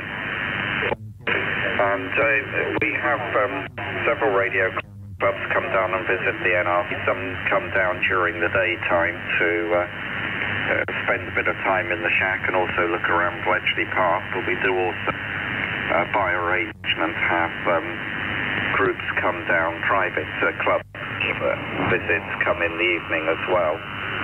But uh, normally restrict that to about 12 people. And uh, it's a private evening visit means that you get more time on the radio. Uh, but uh, those times are all temporarily on hold until the situation improves. Anyway, it's really good. I'm uh, very pleased you've uh, settled into your new accommodation and you managed to get the video up and running, which is always nice. Um, I'm looking forward to catching up with you uh, in the near future, Roger. G3LDI, GB3RS, over. Yes, okay, Martin. GB2RS, G3LDI. Um, well, it was a long while ago when I lived at Wymondham, Martin, so um, I've been here now 33 years, I think. So it's been a fair while at this place as well. I had to do a lot of work to the uh, to the present place to get it uh, to my liking, and of course it's very very convenient having um, that amount of ground to put up antennas. And I do have um, six towers here now. But to the other place, I used to have one tower uh, with a 20 metre monobander and an Elan above it. If you remember that, that was a long while ago now, but that was a lovely place to have because that was very high ground at Wymondham, as you probably realise. Anyway, I trust you can keep your dad in uh, good condition and uh, uh, for with uh, groceries and all, all the rest of it, Martin. It's a it's a sad situation that we're in at the moment. So the sooner we're over it, the better, I think. Anyway, take care. Enjoy uh, what you can down there, and uh, just gonna have a cup of tea and do some work here, and then get back to the um, convention again, shall we say? GB3RS, G3LDI signing. I wish you a very good day. Bye bye for now, Mark. That's fine, Roger. Thank you very much indeed, and do well. And look forward to catching up again soon with you. G3LDI, GB3RS signing clear, and GB3RS is now listening frequency. Any calls, over? Golf 3, Zulu, Papa, Sugar. G3ZPS, Golf 3 Zulu Papa Sugar. This is GB3RS. Uh, good afternoon to you. Thank you for calling in. The name is Martin. Martin. And uh, you're a good strong signal, so uh, let's find out where you're located and the name, please. G3ZPS, GB3RS, over. Okay, Martin, G3 for Papa, Sugar returning. Yeah, very good. Uh, I'm watching the live stream as well. I wonder if I might hear myself. Name is Steve, Sugar Tango Echo, Victor Echo. I'm in North Kent, town of Dartford. Uh, running 400 watts here to a dipole from an uh, FT101 ZD. Not a new one, but an old one. Uh, very good, yeah. Been watching my mate Jim Lee, G4AEH. Our call signs are very close. And also Jim Bacon, G3YLA. He's the year before me. Just celebrating 50 years of G3 ZPS. And uh, not many G3s younger than me. I'm one of the youngest. I was only at school when I got the call. Anyway, it looks good stuff. I've watched some of the presentations. No, I can't hear myself. It's probably a bit of a delay, uh, Martin. Good stuff anyway. We know where you are. Uh, my friend uh, is um, one of the people who works next door to you at the Computer Museum. Uh, G3 Zulu Papa Alpha.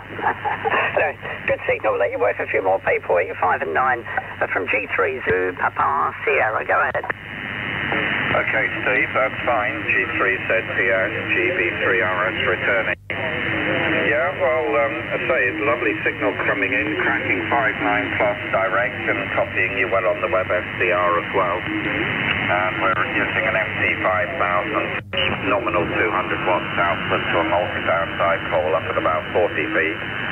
And if you know the centre here, and you obviously know Dave, G3ZPA, Dave uh, a good uh, a good friend and uh, has helped out down here at the radio centre as well from uh, on many occasions and has donated some of the equipment, uh, especially in the foyer area, which is the World War II uh, area with the, the receivers uh, talking about the Y stations and the voluntary interceptors. So uh, that's good, uh, Steve, and uh, delighted to have you call in, and uh, I'm glad you're enjoying the convention as well. We haven't actually got to see any of it here yet, but uh, I'll have to uh, try and catch up on the lectures um, retrospectively, and there's several I want to want to hear. Okay, Steve, back to you for any final comments, and then we'll take a listen. I think there was someone else uh, hovering on frequency. G3ZPS from GB3RS, over. Okay. Martin, very good. Yeah, excellent stuff. Yeah, Dave's a good mate of mine, G3 Zulu Papa Alpha. I've been up there. Hello again, and welcome back to the Learn More About stream live for the RSGB convention online. We've just been listening in there to uh, GB3RS operating on 18 meters. Here in Nuneaton, I can't see them on my screen. I couldn't hear them when I uh, listened in a few minutes ago, but I did hear Steve G3ZPS. Hello, Steve, if you're uh, if you're back with us on the stream. Right, well, Mike Richards is about to present his pictorial introduction to data modes over on the Introduction to stream. Here, it's time to hear from Alwyn Seeds, G8DOH, about the best kind of radios for contesting and DXing on the VHF and UHF bands. And don't forget, if you want to ask Alwyn a question, you need to use that chat facility on the actual YouTube stream. And don't forget to include your call sign. We'll do our best to fit you in before the end of the session at five to three. So, Alwyn, hello. Uh, we're not talking Hello. Chinese, uh, cheap Chinese handhelds here, are we? well, it's amazing how cheap some things are that are really, really good. Um, so, very good afternoon. Greetings, uh, greetings from uh, somewhat overcast uh, central London today, and I'm going to talk about uh, VHF UHF radios with an emphasis on good performance for contesting and and DXing. So, uh, this is the outline of the talk. I'll first scope it, uh, talk a little bit about the RF environment. And this really matters because um, we need to fit the radio to the RF environment it's going to work in. Uh, then, in turn, receiver performance, transmitter performance, and finally, conclusion. Um, there will be some uh, what I'll describe as league tables of, uh, of uh, transceivers, uh, which uh, you'll of course, if the when the talk is available later, you can browse in more detail at your leisure. So the scope. I want to talk about the key issues for transmitter and receiver performance at VHF UHF. They're not the same as for work at HF. And the main reason that they're not the same is because at HF, the background noise levels are a lot higher Although I should say that, of course, many of us suffer from RF uh, noise of one sort or another, even at VHF, UHF, and um, I will say a little bit about taking that into account. Um, the talk is for terrestrial operations. Um, if you're doing EME, so hopefully you're not looking at anything on this planet, uh, the key thing is to have the noise figure that you require very low.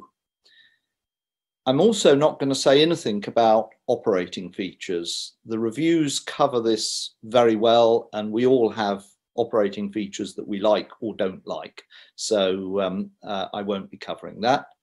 And finally, a disclaimer. I don't have any financial interest or involvement in any manufacturer or dealer in amateur radio equipment. This is my personal view of the situation. So first, the radio frequency environment. If we look towards the horizon, uh, these are the minimum noise levels that uh, we will be able to receive. And what you'll note from this table, if I get the magic laser pointer to illustrate the point, the noise level at six meters is a good 10 dBs more than the noise level at 70 centimeters. Therefore, having a really, really low noise figure receiver for six meters is not as important as having a no, low noise figure receiver for 70 centimeters or even more so 23 centimeters and above. If you make the noise figure very, very low on six meters, the main thing you will do is make it easier for the uh, receiver to be overloaded by strong signals. So we need to take into account these actual levels of noise. The qualification, of course, is that in urban areas, the noise floors are much higher. These are the minimums. And I can tell you in my bit of central London, uh, the noise level on two meters uh, is over 30 dB above this uh, level. So you can't really operate in any serious way on two meters uh, at, uh, uh, at two meters. The next thing is receiving other stations, and in particular, those stations that are quite close to you. So, the strongest signals that we can receive are those which are simply line of sight, so free space path loss. And the free space Path loss depends a little bit on frequency, and as we'll see, depends on antennas too. But basically, as we go up in frequency, uh, the free space path loss gets larger. And in on practical paths, because there's some ground scattering, the loss typically is about 10 to 30 dBs larger than this minimum. Now, the reason that uh, this is important is to see how strong a signal will we get from another local station so that we can dimension what kind of receiver performance in terms of dynamic range we need. So the other factors in the equation for received power are how much power the other station's transmitting with, how much gain the transmitting antenna has, the path loss, of course, as we've discussed, and how much gain we have for our receive antenna. So what tends to happen is that at the higher frequency bands, for a given physical size, we can get more gain in the antennas, and that makes up for the increase in path loss. So taking those into account, you can estimate what will happen if there's a legal limit station 10 kilometers away, how much power will be received. I've allowed for not huge antennas, but the sort of thing that contest stations use. And this is quite interesting because what it shows is that the most difficult bands to struggle with are two meters and 70 centimeters. Um, signal slightly less strong because the antenna gain is somewhat smaller at the lower frequencies and because of path loss relative to the antenna sizes that are practical, um, slightly weaker at 23 cents. So these tend to be the bands where we see the worst uh, challenges. And there's some data uh, taken from the two meter trophy, I think it was in 2015. And uh, here's the spectrum we were receiving at uh, G3M.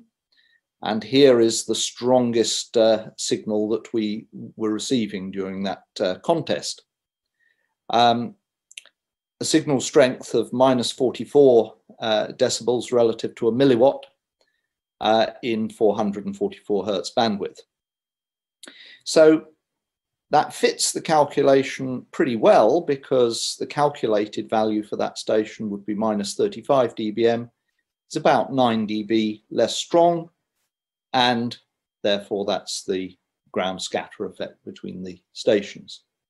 You could be very unlucky and, and be propagating across water that was very smooth and actually manage to enhance your free space signal, uh, but it doesn't happen that often uh, there's wind and waves to be considered. So the strong signals are really strong of order minus 30, minus 30 to minus 40 dBm. And if our receiver can't handle those, we will be in trouble. So now on to the receiver performance. There are two challenges. The first one that doesn't get enough attention is that there's lots of other RF in the world lots of out of band signals. And as I'll show, a lot of those signals are really strong. So the first thing we need to do is to filter out out of band signals. We're not interested in them, so we should get rid of them. Our second problem is strong in-band signals. We're interested in these signals, so we can't just filter them out. All we can do is make the very best receiving system that we can. And very best in this context means the receiving system with the biggest possible spurious free dynamic range. As I'll show in practice, um, if you're using um, equipment that you can buy as opposed to building your own specialist receiver, the easiest solution is a good transverter with a high performance HF transceiver at the moment. Um, I will also look at transceivers in a box, uh, but the performance tends to be less good. So out of band signals first. This is what I measure in rural Oxfordshire on two times 18 element for 70 centimeters. So 70 centimeter antennas but I'm looking across the frequency range uh, from a few tens of megahertz up to a gigahertz. What you see is that although it's way out of the band of the antennas, the local FM broadcast signals are really strong, minus 40 dBm. Tetra, public safety, uh, is very strong as well. Digital audio broadcasting, not quite so strong, but still significant. Uh, there happens to be a, a scanner, a telemetry scanner, um, just down the road uh, from uh, my site. And that's stronger still. That's about minus 36 dBm, and it's almost in band, so the antennas work quite nicely for it. Then all of digital television, and then cellular above there, and of course that extends even higher. So these signal levels are really high, and if you shove them straight into a um, high gain preamplifier, you may manage to overload the preamplifier before you do anything else and wreck your receiver performance. So you need a good filter. This is um, uh, one of the um, uh, uh, preamplifiers for 70 centimeter that you can buy. And the nice thing about this preamp is that the outer band signals have been thought about. So it has very nice filtering and just knocks the outer band signals down by 30 dB to 40 dB. And that really makes it easier to build the system. So when you're looking for preamps, look for ones that have thought about out of band signals. Don't just look for the one that has the lowest possible noise figure. So I said that the key metric for performance is the spurious free dynamic range for the receiver. And what spurious free dynamic range is, is the difference between the noise level, no signals present, to the signal level, the input signal level, at which distortion products just begin to come out of the noise, just come out of the noise. So we want to make this as big as we possibly can. The picture I'm showing here is a classical picture for what's called weak nonlinearity. And in weakly nonlinear systems, the in-band products that cause us the most problems are the third order intermodulation products. Uh, they're of the form, if you have two signals, F1 and F2, they are 2F1 minus F2 or 2F2 minus F1. So they are just the spacing between the two signals away from those signals. So they're close to the frequencies we're trying to work at. That's why they're a problem. As we'll see later, for systems that are not weakly nonlinear, the other intermodulation terms can actually be as significant or more significant than these. So although this, this picture is valid, whatever the order of intermodulation, we still need the maximum spurious free dynamic range. But on systems that are not weakly nonlinear, it may be that the first intermodulation terms to cause us interference may come from a different mixing process. They may be fifth, seventh, or higher order. But whatever pops out of the noise first sets the limit for the spurious free dynamic range. So basically, we can define the receiver performance with just two parameters. One, the internally generated noise level, which should be such that we can hear the weakest signals that are on the band, and two, the spurious free dynamic range. So it's actually really a rather simple specification. Now, there are other receiver problems that we need to worry about, and one of them is what's called reciprocal mixing. This is where the local oscillator or clock in the receiver is noisy, has jitter and modulation on it, and then a strong received signal can convert, acts as the local oscillator to convert noise around the local oscillator down to IF and mask our wanted signal. That's called reciprocal mixing. We can also suffer trying to receive a particular signal from another station that has a noisy signal, that has radiated noise. That radiated noise can mask our wanted signal, as here, and I'll show an example of that a little bit later in the talk. So now let's talk a little bit about architectures. This is a hybrid radio architecture. So well-known example is the Elecraft K3. There are plenty of others. We take in a signal, bandpass filter it. Note this is quite a broad filter. Preamplify it, mix it down to an intermediate frequency and place it through a sharp filter. So for sideband, three kilohertz wide filter. We then feed it into an analog to digital converter, perform all the DSP filtering functions on it, recover the audio, and that's the audio output. So that is a hybrid radio architecture. Now notice that the number of signals that reach the analog to digital converter is determined by this filter. And the strong signal performance of this type of architecture is determined by the weak nonlinearity of the mixer and of the filter, and possibly if it's a really badly designed preamp, by the preamplifier also. But these are the critical components, and they are the things that you have to spend money on to get a high performance system. Obviously, the local oscillator must be spectrally pure, as I discussed in the last slide. So, for that architecture, as you gradually increase the strength of signals, you can see here the third order intermodulation products, which are limiting, will limit the dynamic range of the system, just beginning to pop out of the noise. If we put stronger signals into the receiver, we now see strong intermodulation products, which if we were trying to receive a signal on those frequencies, that would be a big problem.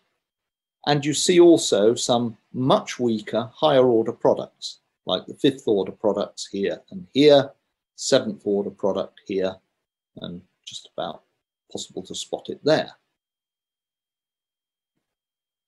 And then if you wind the input power up even higher, that's uh, minus 25 dBm per tone in this experiment. You can see the third order product, the fifth order product, the seventh order product, the ninth order product. But notice that the third order is the strongest, the others are weaker, which is why people used to talk so much about the third order intercept point. As you'll see in this talk, I don't talk about that uh, metric, and the reason is because we need to address issues with software defined radios also. So here's a software defined radio architecture. This is the ICOM uh, IC9700. Again, we have a bandpass filter, preamp, but the preamp goes straight into an analog to digital converter, then DSP and audio and loudspeaker. So there is no front end mixer. There is simply an analog to digital converter. That means you don't need the high performance mixer and you don't need the narrow bandwidth filters, crystal filters. You do all your filtering in DSP. That saves you money, which is good.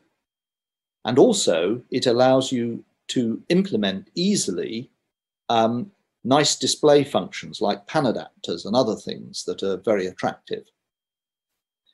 However, the analog to digital converter has to cope with a whole band full of signals without distortion. That puts a big challenge for the analog to digital converter. And so you need to spend your money on that component. The problem for analog to digital converters is that they may not be quite accurate. There's quantizing error for small signals. There's clipping strong signal nonlinearity for large signals, And there may just be inaccuracy in the transfer function of the analog to digital converter. Any inaccuracy leads to distortion and spurious products. The dynamic range is six times the number of bits. You can use oversampling to um, increase the dynamic range, but achieving accuracy at higher sample rates is even more difficult. If you have multiple equal strength signals going into the analog to digital converter, they, their peaks sum as voltage, and so the overload power reduces as 20 log to the base 10 of the number of such strong signals. You can imagine the effect of that in a UK activity contest, and indeed I'll play you an audio clip to illustrate it. So here's an illustration of the nonlinear behavior of an ADC. And you see, actually, you've got third order products, fifth order products, seventh order products visible there. They're all much the same signal strength. There's a whole host of them. And as these sig main signal levels vary, these things pop up and down in size. And I'll show a plot of that. So accuracy is key. So what I've measured here is the intermodulation characteristics, that's the ratio of intermodulation products, third order intermodulation products over noise, for a, a transverter and a K3 as opposed to an IC9700. I have an IC9700. It's a very useful remote controlled radio, which is why I was able to make these measurements. So here are the intermodulation product levels for the transverter and K3, and you see strong signals, it starts to produce quite bad intermodulation products. As I reduce the strength of those signals, the intermodulation products get weaker and weaker until at about minus 47 dBm in this case, um, they drop below the noise level. So the IP to noise in 500 hertz uh, becomes zero. And if you reduce the input power further, that's where it stays. It never comes above the noise. So the spurious free dynamic range is from the noise floor of the system up to this point. And in fact, it's a ratio of about 99 dB on my system. So in the IC9700, as I reduce the strength of the input signals, and this is, I'm just looking at the third order products, I don't look at what happens to the higher order ones, but they're present also. The intermodulation gets weaker and weaker, and there's not a huge amount of difference here, so it look, looks good. But as the signal gets weaker, the intermodulation products come up again. And then it, you make it weaker, they go down again. They're bubbling along close to the noise floor, then they come up again. And they don't finally disappear until you're at minus 80 dBm per tone. So on a real band, the question is, what's the dynamic range? Well, with my strict definition of spurious free dynamic range, the range is from the noise floor up to the first time one of these products gets above the noise floor. That's here. And it's 63 dB in 500 hertz for an IC9700, for my IC9700. Other reviews measure things a little bit differently, and I've listed some of the different reviews. Um, in the ARRL uh, review, they take this as the point where the upper end of the dynamic range is. So that gives a much larger dynamic range. Another review sets it just below the start of this peak, gives a somewhat smaller dynamic range. Sherwood is more conservative and takes this raising above the noise floor, gives a smaller dynamic range still, and I'm miserable. I use the strict definition of SFDR, so I give you the lowest dynamic range. What difference does it make in practice? Well, I've, I've, um, what I've done is I recorded simultaneously the uh, um, last week's UKAC on two meters um, with the ME2 HT stroke K3 and with the IC 9700.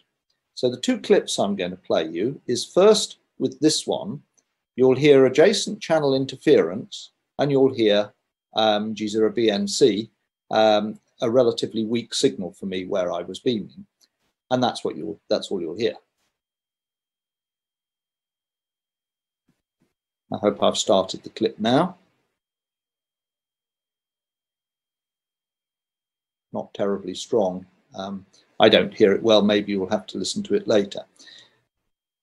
But very different uh, thing happens. Right. Thank you. Thank you for technical advice. right. It's very. It's very good that uh, we have. So let's just. Brilliant. Right now we get things to work. Okay, so this is the one. This is the one with um, uh, from the ME2 HT K3. I'll let it play to the end. Here's the one, exactly the same input signal strength, exactly the same frequency, but on the IC 9700. You hear all that crackle.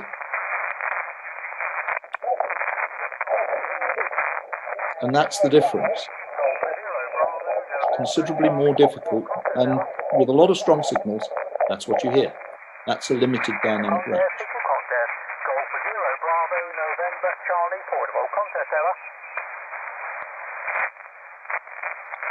Nasty noise. Okay, let's move on.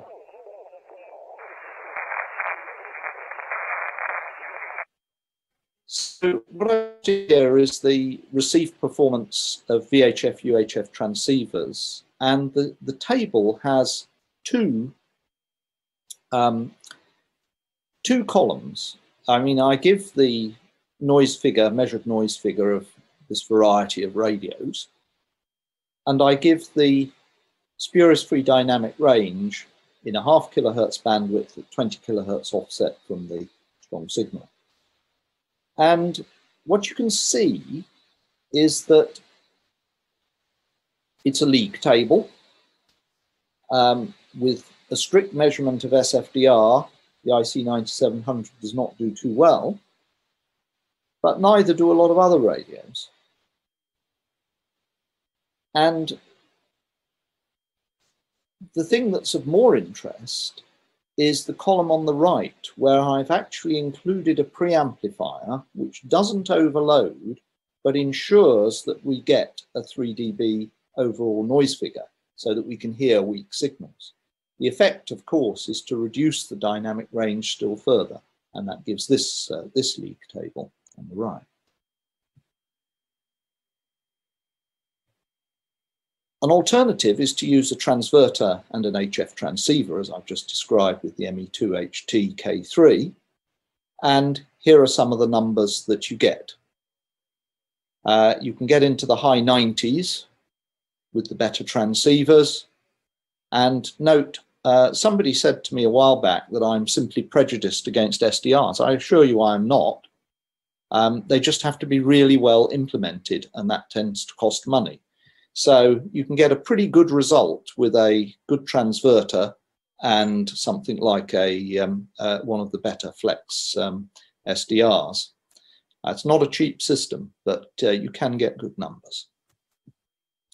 So uh, that's the league table. And so the typical system is to incorporate an HF transceiver, a transverter, and then on the receive side, a bandpass filter to get rid of out of band signals, a preamp to define the noise figure, and this vital component, an attenuator. And the idea of this attenuator is to just give sensitivity so that when you connect to the aerial, the receiver just very slightly degrades the noise you get in from the aerial. because that gives you the biggest dynamic range you can possibly get. There is no point in having no attenuator, a huge gain preamp with a very low noise figure, which gives big signals into the transverter. Yes, you'll hear very weak signals if there are no strong signals, but the strong signals amplified by the preamplifier will overload the rest of the, of the system and limit your dynamic range. On transmit, if you go out uh, on transmit, an attenuator to set the level to the PA so that you don't get excessive distortion, and again a filter to make sure that you're not producing any nasty out of band signals uh, to trouble um, fellow Spectrum users. So that's a simple system to construct. So let's say a little bit about transmitter performance to conclude. There is now an RSGB contest code of practice which sets recommended limits for spurious signals from transmitters. It covers both intermodulation products and noise, and it divides stations into what I call small stations, so a single antenna, 100 watts uh, output power or less, which has a slightly more relaxed specification than a, a large station, which has multiple antennas and more than and or more than 100 watts uh, output. We have to make the limit for spurious emissions stricter because otherwise a badly designed one of these can cause havoc to many other band users. These numbers are given in a measurement bandwidth of 3 kilohertz. You can read the code of practice on the RSGB um, uh, contest website. Intermodulation distortion is probably the easiest thing to solve.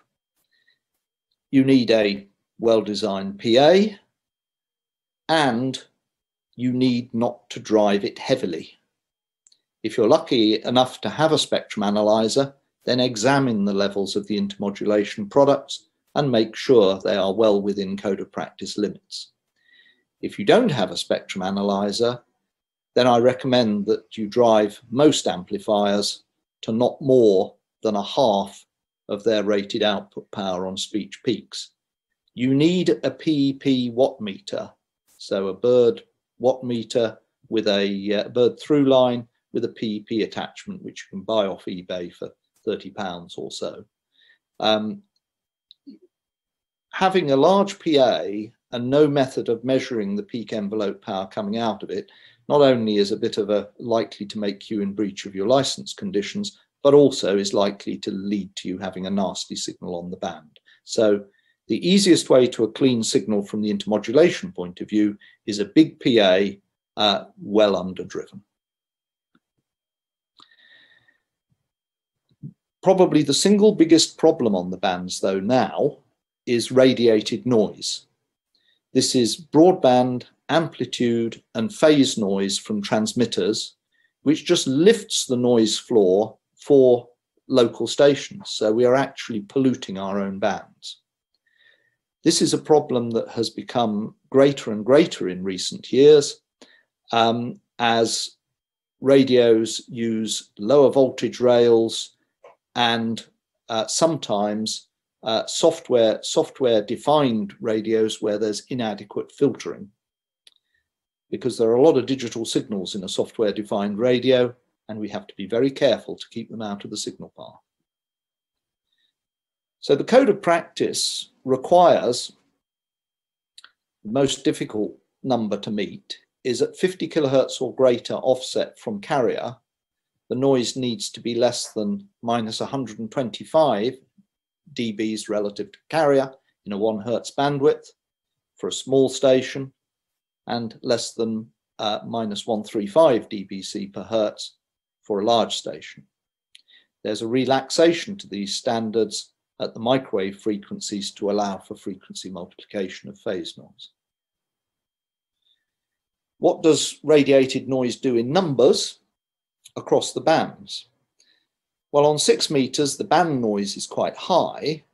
So actually, the penalty from this specification for a receiving station 10 kilometers away um, if we meet the code of practice, there isn't actually a penalty on six meters.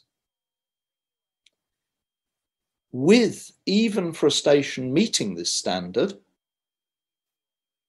on four meters, the noise would rise by about one S point from a station that met the standard. On two meters, the nearby station 10 kilometers away would see an increase in noise floor of 2s points. And this is for equipment that meets the standards. So people who've said this standard is too stringent, um, I would beg to disagree based upon these calculations. Of course, if you have no nearby stations, you don't have to worry so much. But in our crowded island, there are very few stations who have no other stations within 200 kilometers of them. So here's an illustration. This was the, um, I think, two meter trophy in 2016. Here's part of the band, um, plus minus 100 kilohertz, and there is a station with bad radiated noise. So the station's not transmitting at the moment, the noise floor in uh, 444 hertz bandwidth was about minus 140 dBm. On comes the station with high radiated noise. The noise floor has just shot up by 10 dB, blanking out any weak signals within not just local to him, as with intermodulation products, but right across, right across the band and it sounds like this. You'll hear the noise coming and going. That's the radiated noise.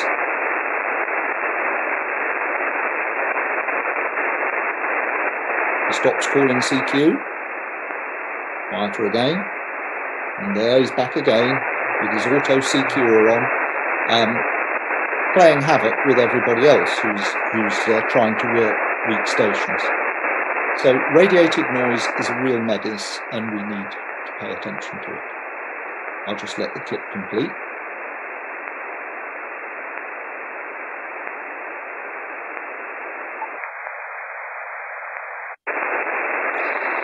So some measurements. Um, these are uh, measurements on a variety of VHF transceivers. I've plotted, these are the code of practice limits um, at 50 kilohertz offset here. And this is an ancient IC202, a very early SSB transceiver for two meters. This transceiver, um, the curve here, the green curve is phase noise, the black curve is amplitude noise, and the blue curve is composite noise. That's the total noise power. This ancient transceiver can meet both the small signal, uh, the small station and the large station limits uh, for radiated noise. No problem at all. Let's move on to a modern radio, the IC9700. This radio, uh, set to 85% of full power, just meets the small station limit on two meters. But if we turn the power down, the amplitude noise comes up and it now breaches the small signal limit, small station limit for radiated noise. Um, I'm just talking here of the small station limit. This radio cannot meet the large large station limit at all. So it, it should not be used with a power amplifier ever. On 70 centimeters, um, the noise is above the small station limit. So it breaks the code of practice limit by 10 dBs on 70 centimeters. On 23 centimeters, uh, it breaks the code of practice limit by 17 dBs. If we use an HF uh, transceiver with a um, an HF transceiver uh, with a transverter, uh, we can make use of low phase noise transceivers. So this is measurements on a K3S, and it meets both small and large signal limits comfortably. So here finally are some league tables. Um, of the transceivers in a box, only the IC202 has a green traffic light because it could be used for small or large stations. The IC9100 and 9700 on, on two meters can meet small signal. The rest can't meet the code of practice,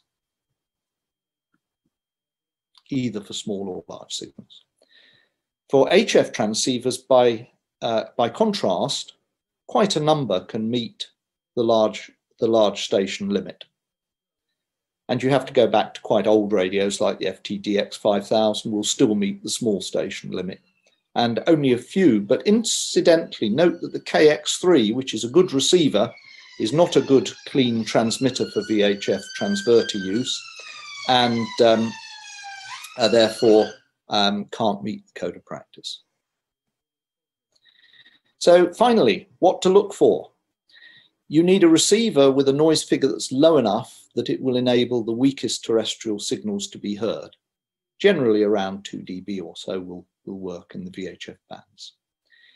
Don't make the lower noise figure, uh, don't make the noise figure ultra low because you will compromise strong signal handling. You need to get the maximum spurious free dynamic range that you can with this low noise figure. 100 dB and 3 kilohertz bandwidth would be very nice to do and is quite tough to do. On transmitters, you need low intermodulation products, should be looking for minus 70 dBc at 20 kilohertz offset from carrier.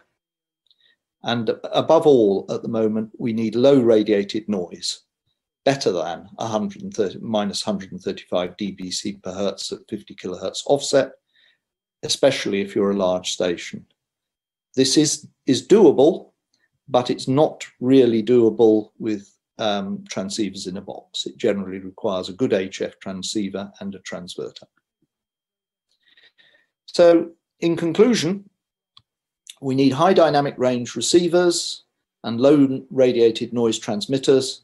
That way we can all hear the DX and hopefully work it. There isn't a current commercial VHF UHF transceiver which can be used with a legal limit PA uh, to make a large station uh, if there are near neighbor stations. Uh, a transverter approach is needed. Some of the commercial VHF UHF transceivers have such bad, such high radiated noise that they shouldn't be used with a PA, and some are even higher and shouldn't be used at all uh, where there are other stations in the neighborhood. So there is another advantage. If you have a low radiated noise transceiver, it may well have low phase noise, which will benefit your reciprocal mixing performance on receive. So you will get benefit for yourself on receive, as well as being a good neighbor. And in summary, it remains the fact that a good HF transceiver with a transverter and an underrun PA with its level carefully set is the easiest way of having a high performing VHF UHF uh, station. So here are some uh, uh, some uh, things to read. Uh, the QST and RADCOM equipment reviews are worth reading the technical sections of, as well as all the operational features. Sherwood Engineering, Rob Sherwood, uh, publishes a great table of transceiver performance, which I highly recommend.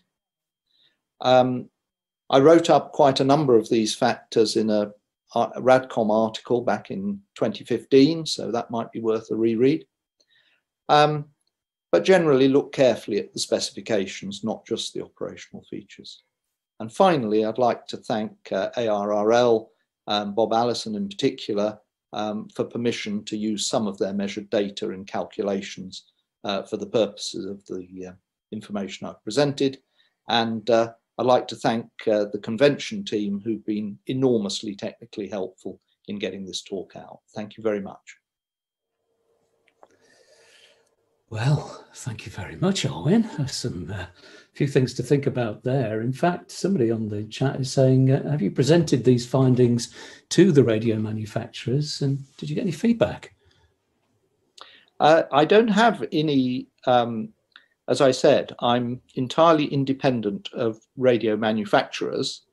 Um, I have certainly had correspondence with um, uh, some of the better um, transceiver manufacturers and uh, quite quite interesting dialogues. And I, have certainly found that um, people who think about um, making these products commercially, uh, one of the things is there's a lot of work done on HF transceivers, and the requirements for HF are really a bit different from those for VHF UHF. So, so you know, the understanding is um, is developing, uh, but um, no, I'm not. Um, I'm not planning to, you know, to lobby um, uh, to lobby the manufacturers of transceivers. Um, I think I've got a lot of sympathy for them because when all's said and done, they've got to make a product that people are prepared to buy. And, you know, it's no use them providing a really high performing product that nobody can afford to buy. So, what I uh, I think the best thing is for us all to be intelligent customers. Um, we can actually uh, still find some very high performing transceivers on the second-hand market, and perhaps if we focus on that rather than buying the latest, um, you know, the latest uh, commercial offering, it may send a message that we need slightly better RF performance in the new transceivers that are coming onto the market. But let's not forget, it's going to be a big challenge for any manufacturer to build this very high performance at a low price. It's no easy, it's no easy technical problem. So um, uh, I do think manufacturers respond to general customer feedback. Uh, and if we're intelligent customers, uh, we'll probably get better products. Well, Eric Swartz said this morning he uh, definitely responds to uh, customers' feedback. Um, Tim Haig, a M0AFJ, said your findings on the 9700 mirror what he's found on a Cornish hilltop and says it must be a lot worse in IO92. And he also suggests that perhaps reviewers of this equipment should stop pulling their punches. What, what do you think? Um, well, again, I don't want to criticize um, I don't want to criticize the reviewers. I mean, reviewing is a is very hard work, you know, making you know making these sort of measurements. And one thing I think I should say about the measurements I made on the IC 9700, trying to measure intermodulation products that are just above the noise floor. Um, it's tricky. I mean, you've got to be very patient. You've got to sit there and you've got to make the measurements very you know, very carefully. And, you know, if I had to, um, you know, go through all the routine measurements that that reviewers make on radios, I mean, it would take a very long time to extract all this data. So, you know, I think the reviewers, I think the reviewers do a very good job, and they don't want to write a review that is so technical that nobody's going to appreciate the finer points of it.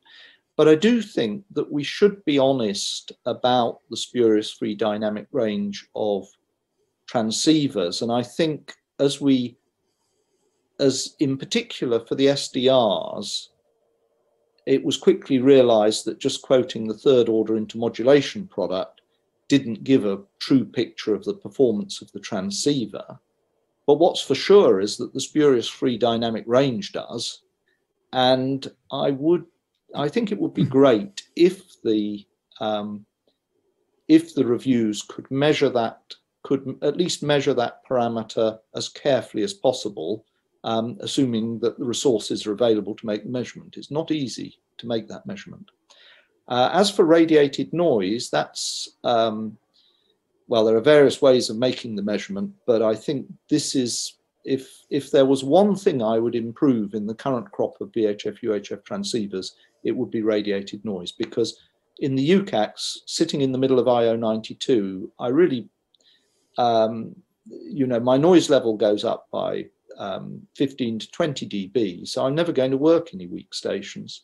Um, and I think that's a real shame.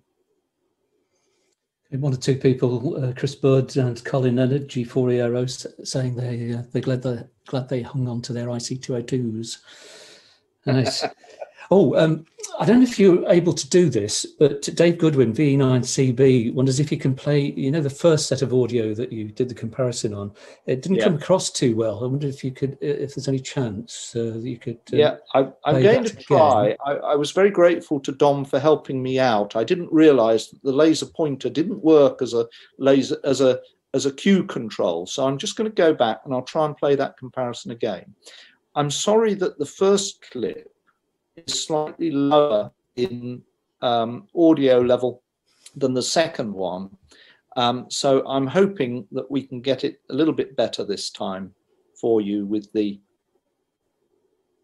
wonderful assistance of our team. So this one really, if it could just be eased up a little in level, um, it would help. It's uh, it's not regulated to best BBC standards. I do apologise.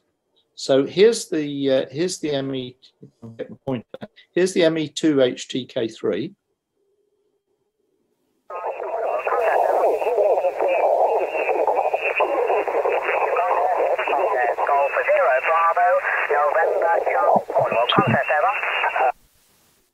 Did did you hear that? Yes, I, I heard that. Okay. Okay, right. Now, here is the IC9700. Now, what I want to emphasize is that in this test, I used a, a hybrid splitter. So the signal strength going into the two systems is absolutely identical.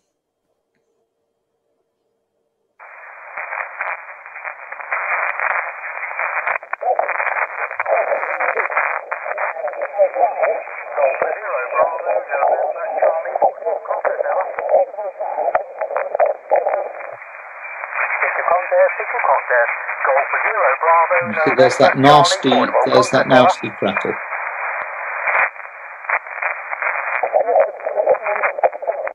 Okay, thank, thanks for doing that. It it was um, it broke up for me, but that could be just my uh, just my my link. Uh, how are we doing for time? I can't tell. My clock's gone off. Um, Ian Uh, GW7APP uh, says he bought the FT991 with the idea of taking part in a small way with the VHF UHF contest. So does it mean he has to sell it or not use it for what he wanted to? Well, I, I think the answer for the FT991, which has very, very large level of radiated noise, is obviously it's got, you know, a whole huge range of bands in a single box. And it's compact. It's a lovely thing to take out on the hills.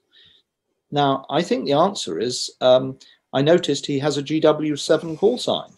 So if he's lucky, he may live in one of these parts of the country where he doesn't have any near neighbors. So if he can be far enough away from his neighbors, he won't cause them any problem. But uh, far enough away for, for an FT991 um, is probably 100 kilometers plus. Okay, we're going to have to leave it there, Owen. Thank you very much. I think there's plenty to think about uh, there. Thank you very much uh, for the questions too. Indeed. Thank you.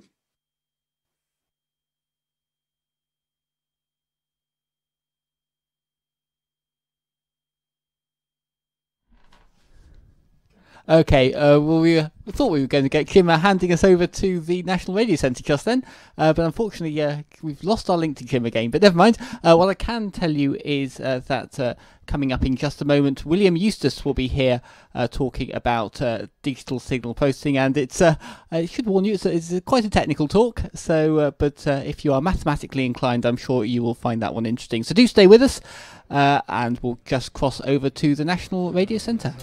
Very, very good Simco Alpha, got extremely good old power forward into a 1.8 metre dish. That is a really, really good signal uh, prior to it as well. Uh, 1.8 is a little bit uh, too big for me, unfortunately. I wouldn't be able Well, uh, CQ, CQ, CQ, Golf Bravo 3, Romeo Sierra, calling CQ and listening. Um, the largest I could get from the home location. Uh, the I'm afraid I'm not too strong at the moment. I need to try and peak the beam uh, on you. I think it was. Uh, I've got a Charlie Romeo in there on the call sign. 3 Romeo Sierra, So uh, I'm going to QSY the calling frequency down to 270, 270 Uh, the and see Zulu if I can copy their uh. QSL. Yes, no problem.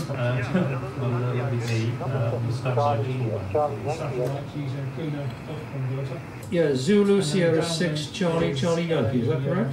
Yeah, that's correct. Good afternoon. Uh, GB3RS, Golf Bravo 3 Romeo Sierra listening frequency. Okay, thank you for that. Uh, we're just uh, just tuning up, uh, turning the antenna down in your direction, so hopefully that's picked up your signal a bit stronger. Um, the name of this end is Tony, um, and I'm calling you from the Radio Society of Great Britain's main radio station at the uh, Bletchley Park um, uh, Computer Museum. Okay, Mike 1 Charlie Mike Radio, M1CMR, GB3RS, good afternoon to you. Thank you for coming back to the call. Sorry, uh, it was a little bit of a struggle. Yes, yes, you're also pick you up 5'7", so initially. I it's a nice clear signal going to from you. hold It's, up. uh, it's Name uh, is been Martin, suppressed a bit by some Martin QSB, Alpha but Romeo, uh, Tango certainly a strong signal. Martin. Um, also I'm um, located at the RSGB's contact, National uh, Radio with, um, Centre at Bletchley uh, Park. Our colleague down in, That's in North um, Buckinghamshire. Which is uh, Zulu, In Zulu Italy, Oscar One Oscar Papa 91 Papa X-ray. that he come on this So how are you afternoon as well. copying? Mike 1 Uh, Charlie Mike Radio, perhaps respond to our, GB3RS uh, over. our, uh, National Radio Centre um, output today. We are, we're running a sort of virtual conference, if you like, via radio and video, um, in place of the conference which would normally take place at this time of year. Over. Yes, I understand. That's the time, if you will, with your uh, virtual uh, meeting, as it were. And in the radio, that you have propagation. Oh, not today, to make it popular. Again, it's still the ILL. One in the very north part of the Republic of South a long way from Cape Yeah, the Mike 7 Golf Juliet Hotel. Yes, uh, Um, Zulu I Sierra lost the other Charlie Charlie station. I don't know if you can hear the other station, but Yes, I'll that's fine. I fade mean, I, away I with had a. Mike really 7 uh, Golf good Hotel, opportunity some Tango years ago Hotel, GB3RS. five weeks off my work and uh, go, come to South Africa to, um, to visit my brother-in-law in, in um, um, Okay, yeah, thank you, Graham. And apologies to Durban, the that's other what he worked station. Shell, and, uh, but Shell Oil Company. If you're still trying to get through, but I really lost the other one, the complete QSB. So, Mike 7 Graham Golf Tango Hotel. Please meet up with Graham. Whereabouts in Milton Keynes you're located. You National Radio. So back to you, Mike 7 Golf Tango Hotel, GB3RS over. Romeo. Near Junction 14 over at Broughton, so uh, not a million miles away from you, so uh, that's why uh, your, your signal's bouncing out of the box, as they say. So, uh, yeah, um, just thought I'd pop up and say hello, because I could hear you uh, struggling with the other station, but I, I also couldn't hear him, so uh, I'll just say uh, 73 to you, and uh, thanks very much for getting back to me. Mike 7 Golf Juliet Hotel, 3 Zulu November uniform. Okay, Graham. Um, I just need to clarify the call is at Golf Juliet Hotel. I've written down Golf Tango. Derek spelt Denmark, Echo Radio Echo Kilo, located seven miles north of Poole on the sunny south coast, small village between the towns of Blandford and Wimborne. And I've been reading the mail, so uh, won't hold it too long with you, John. Lovely signal and well done for putting on this special event. GB3RS, G4BGX, over. We're running uh, IC 9700 with an amplifier here, and it's uh, peaking up to about 250 watts at the moment. Your 7 LBP, very high, probably about 25 watts in this region, but it's on compact miles. So, back up and thank you for calling in, it's much appreciated. And I think there's another station already in 667 here in Manchester. Just anything GJHG4BG3RS. Yes, Yes, okay, John. Improvement on the signal. You've pushed towards 20, so solid signal from you. And uh, yes, actually update, and uh, we'll have a look on the RSG uh, information package and uh, see what's finally going on there. But well done for putting on. Well, the uh, GB3RS activity going great guns on uh, 3.722, 18.142, and 144.270. Welcome to the penultimate lecture for today. The final one at four o'clock is designed to take your CW to the next level. Now, though, William Eustace, M0WJE, tells us about the underlying concepts of DSP. Notes and slides will be available to download as there'll be no time for questions here. Contact details will be available on screen. William Eustace. Good afternoon. My name is William Eustace, and today I am going to discuss the concepts underlying digital signal processing. Uh, I'd like to begin with something of a, a disclaimer and an apology. Uh, the explanation, with the description which was circulated at this talk, is not entirely accurate. Uh, it is not a basic talk, it is a reasonably advanced talk, and I never claimed it was easy to understand. Um, it requires roughly A level mathematics. Certainly, you will need a reasonably solid mathematical footing, uh, because this is fundamentally not a mathematics free zone. Um, I'll try and explain everything as we go through there. Secondly, this talk is about the concepts involved. It covers some of the maths, it is not a practical tutorial. If you want to learn how to do something without worrying, without caring about why, uh, this talk is not for you. Uh, so, to recap, there is going to be maths, there is going to be quite a lot of maths. I will explain it, but you need to be ready for that. And uh, I make no claim that this will equip you fully to launch into practical DSP design. So, uh, having said that, why do we want to learn about DSP? Uh, well, it, it, it, pervades every aspect of modern amateur radio. Uh, software defined radios, in particular, have been playing a larger and larger role in the sort of rigs you buy on the high street, whether it's uh, for VHF or HF. Um, and of course, uh, from an amateur perspective, there's a lot of tinkering that can be done with tools like GNU Radio. Um, so it, it is an area, hopefully, of some interest, and understanding the underlying concepts is quite useful when you work with these systems. Today, we're going to talk about the distinction between things we will for now vaguely term the time domain and the frequency domain in the context of signals, and how we go between them. We will briefly cover Nyquist's theorem, which uh, is also known as the sampling theorem, and then talk about uh, impulse responses, way of measuring a system effectively, convolution, a tool to apply them, and how these two things are used together to build digital filters. So, without further ado, what is a signal? Um, it's, it's, a good question to ask at this point. Uh, we're going to define it as a time-varying function. Uh, we write a mathematical function in this way, um, that is to say, f is the function, t is what we might call the argument. It's a variable we put into the function, and for each value of that variable, we get something out. So we might say t 0 seconds, the value of the function is 1, at t equals 3 seconds, the value of the function is 5, and so on a lot of signals in the classical electronics world are analog. It's it's a voltage, uh, but in DSP, evidently, mostly we digitize things first. And when you digitize something, you effectively round it uh, to some number of decimal places, as it were. You uh, quantize it, and this loses a certain amount of information. But usually, you pick the number of decimal places, as it were, so that you don't lose too much. Uh, so we won't worry too much. We won't worry any further about this. Um, and uh, the final and important distinction is between a discrete signal and a continuous signal. Uh, I have two possible signals here. In green is what I would term a continuous signal. That is to say, it is uh, it, it has values at all times, t. By contrast, in orange, we've sampled the signal. We've discretized it.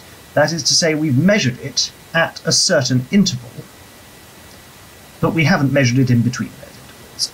The signal, as far as we're concerned, is the array, for those of you who are programmers, uh, a collection of readings as you go along the signal. It is not a continuous function. Uh, but we can treat it uh, in much that light, and we're going to, uh, to the extent we worry about the distinction in this lecture at all. I promised there would be some maths, and I wasn't lying, uh, so hold on tight. First of all, uh, a sum. This is a fairly straightforward concept, hopefully. It is exactly what it sounds like adding up. Uh, it's slightly more nuanced because we introduce this very, very common and fairly simple notation. This is a Greek sigma, and at the bottom of the sigma we define something, a variable, n in this case. We say n equals 0, this is the lower limit, 0, and at the top m here is the upper limit. And what this means, once again for programmers, it's a for loop. We set n equals 0, we evaluate the function, whatever it is that we've, we're summing, at n equals 0, and then n equals 1, and n equals 2, all the way up to n equals m, and then we add all of those together. Um, so that's, that's a sum. The second essential concept is that of an integral, and this is what we draw here. Uh, this sign is a sort of elongated S.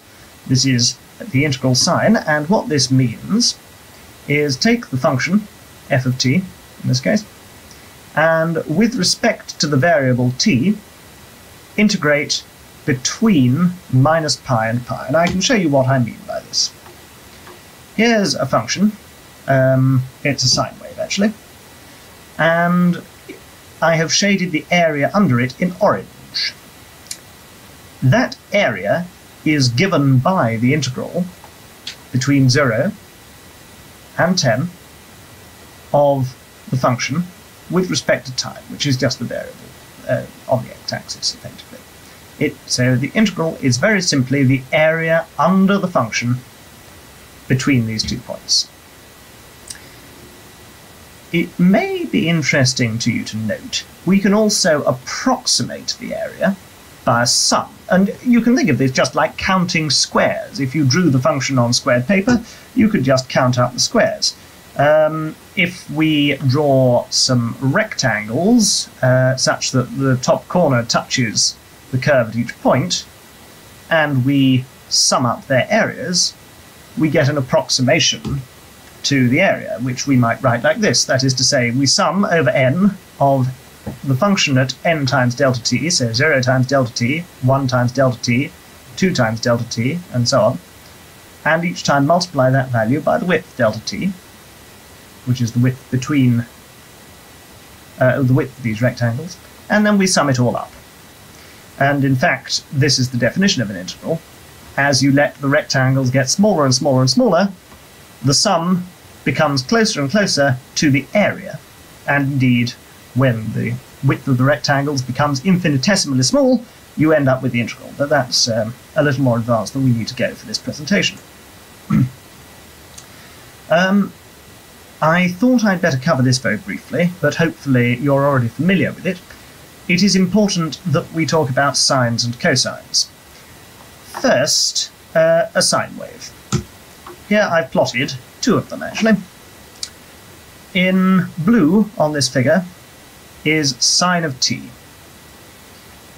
This is what you might see on your oscilloscope if you hook it up to a single pitch, say a, CW oscillator. It is just a, a pure tone. And the first thing to note is that it's periodic, it repeats.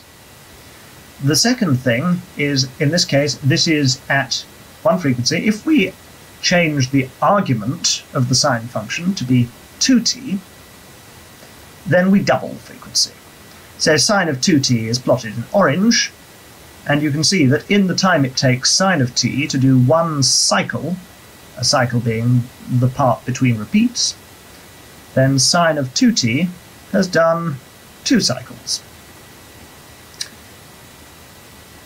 There is also uh, another function, cos t, which is much like sine t, except uh, shifted a bit. Uh, we're not going to talk much about that, but uh, it, it plays a very important role. Now, I will say that uh, another point which hopefully some of, many of you anyway, will have thought of or will have seen before, but it's not crucial if not. That's why I'm saying it now. Uh, a sine wave has a sine wave at frequency, a unit frequency, sine t, has a period of 2 pi. So if I take sine t, t is in seconds, the period is 2 pi seconds. That is to say, it repeats every 2 pi seconds, which is about 6.28.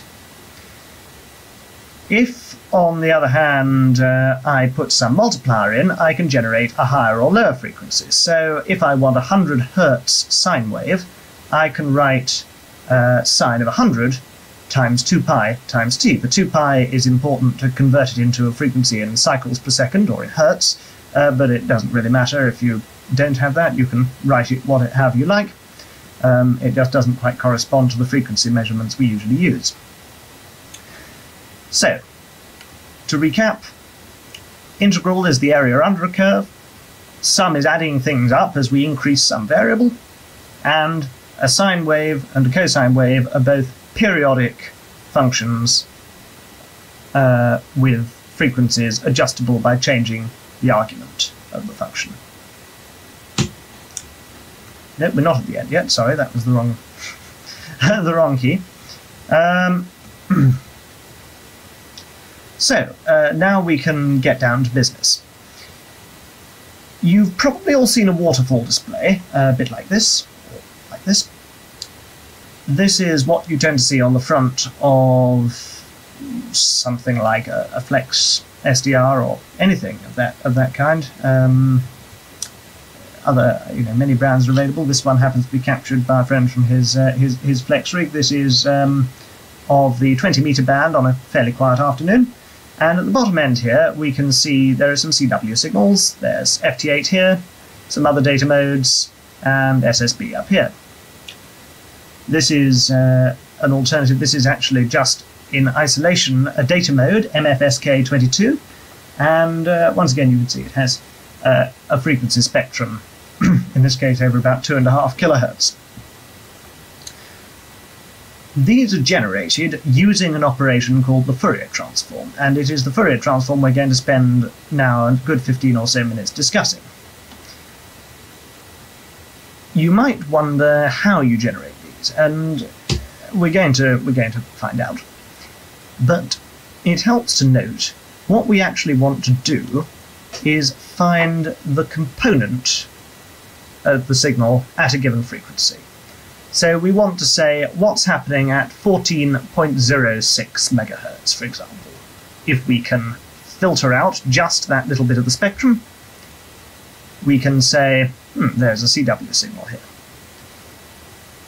And finding how much signal is at a given frequency is behind everything we're going to do in this next couple of slides. So, uh, as I say, A-level maths uh, will make things uh, more pleasant uh, from here on in, but you can probably hang on if not. Uh, you might have seen a Maclaurin series or a Taylor series before. It's a way of approximating a function by summing a polynomial, effectively.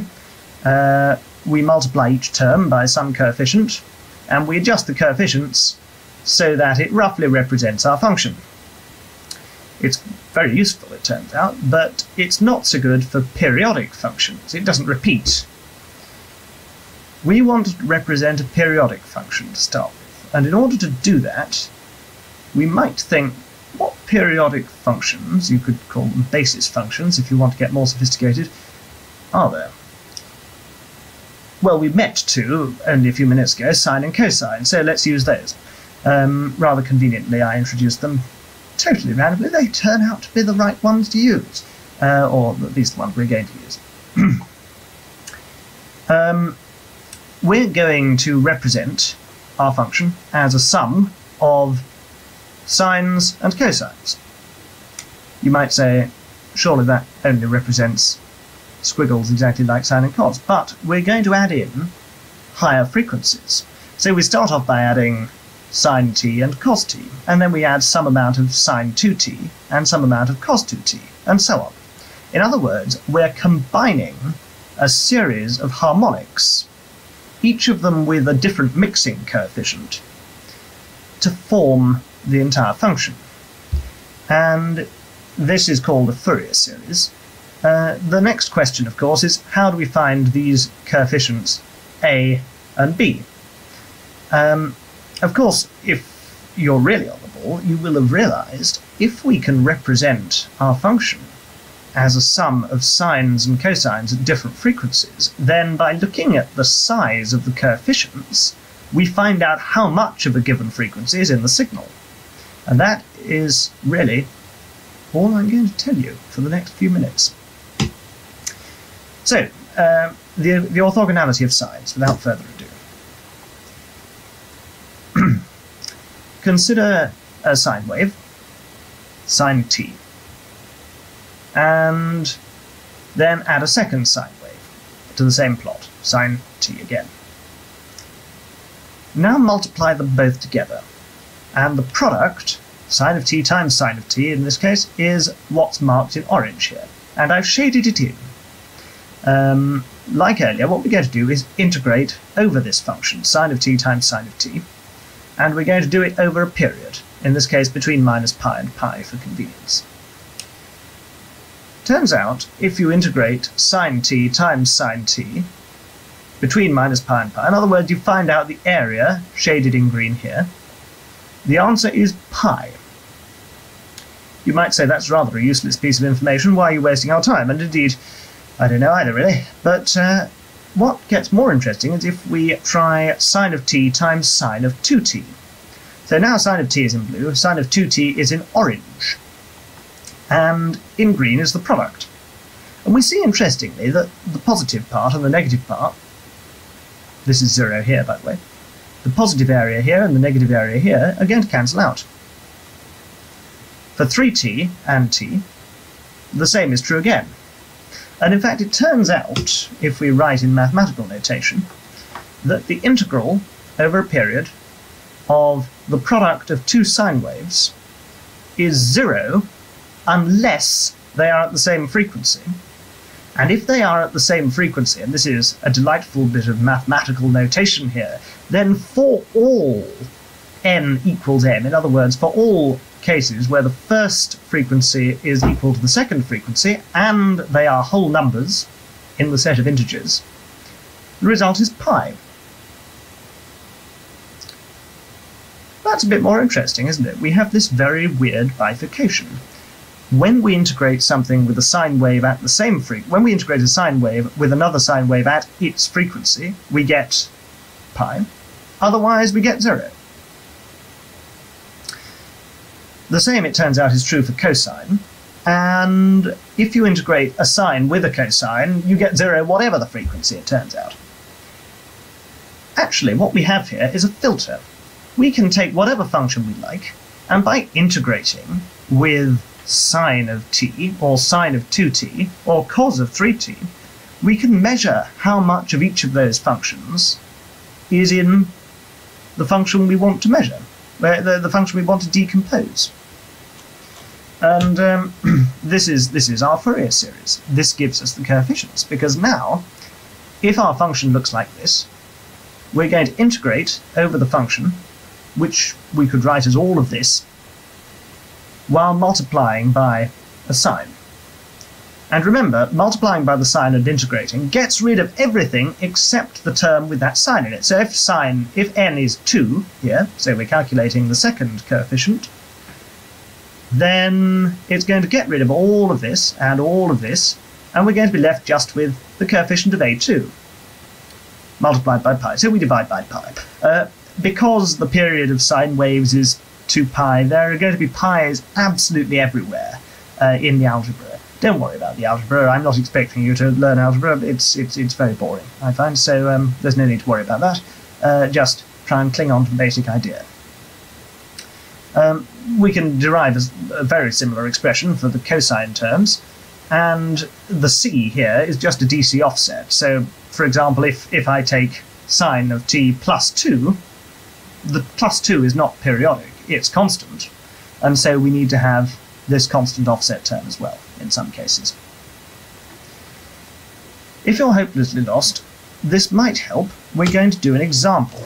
And the example is going to be a square wave. Uh, here it is.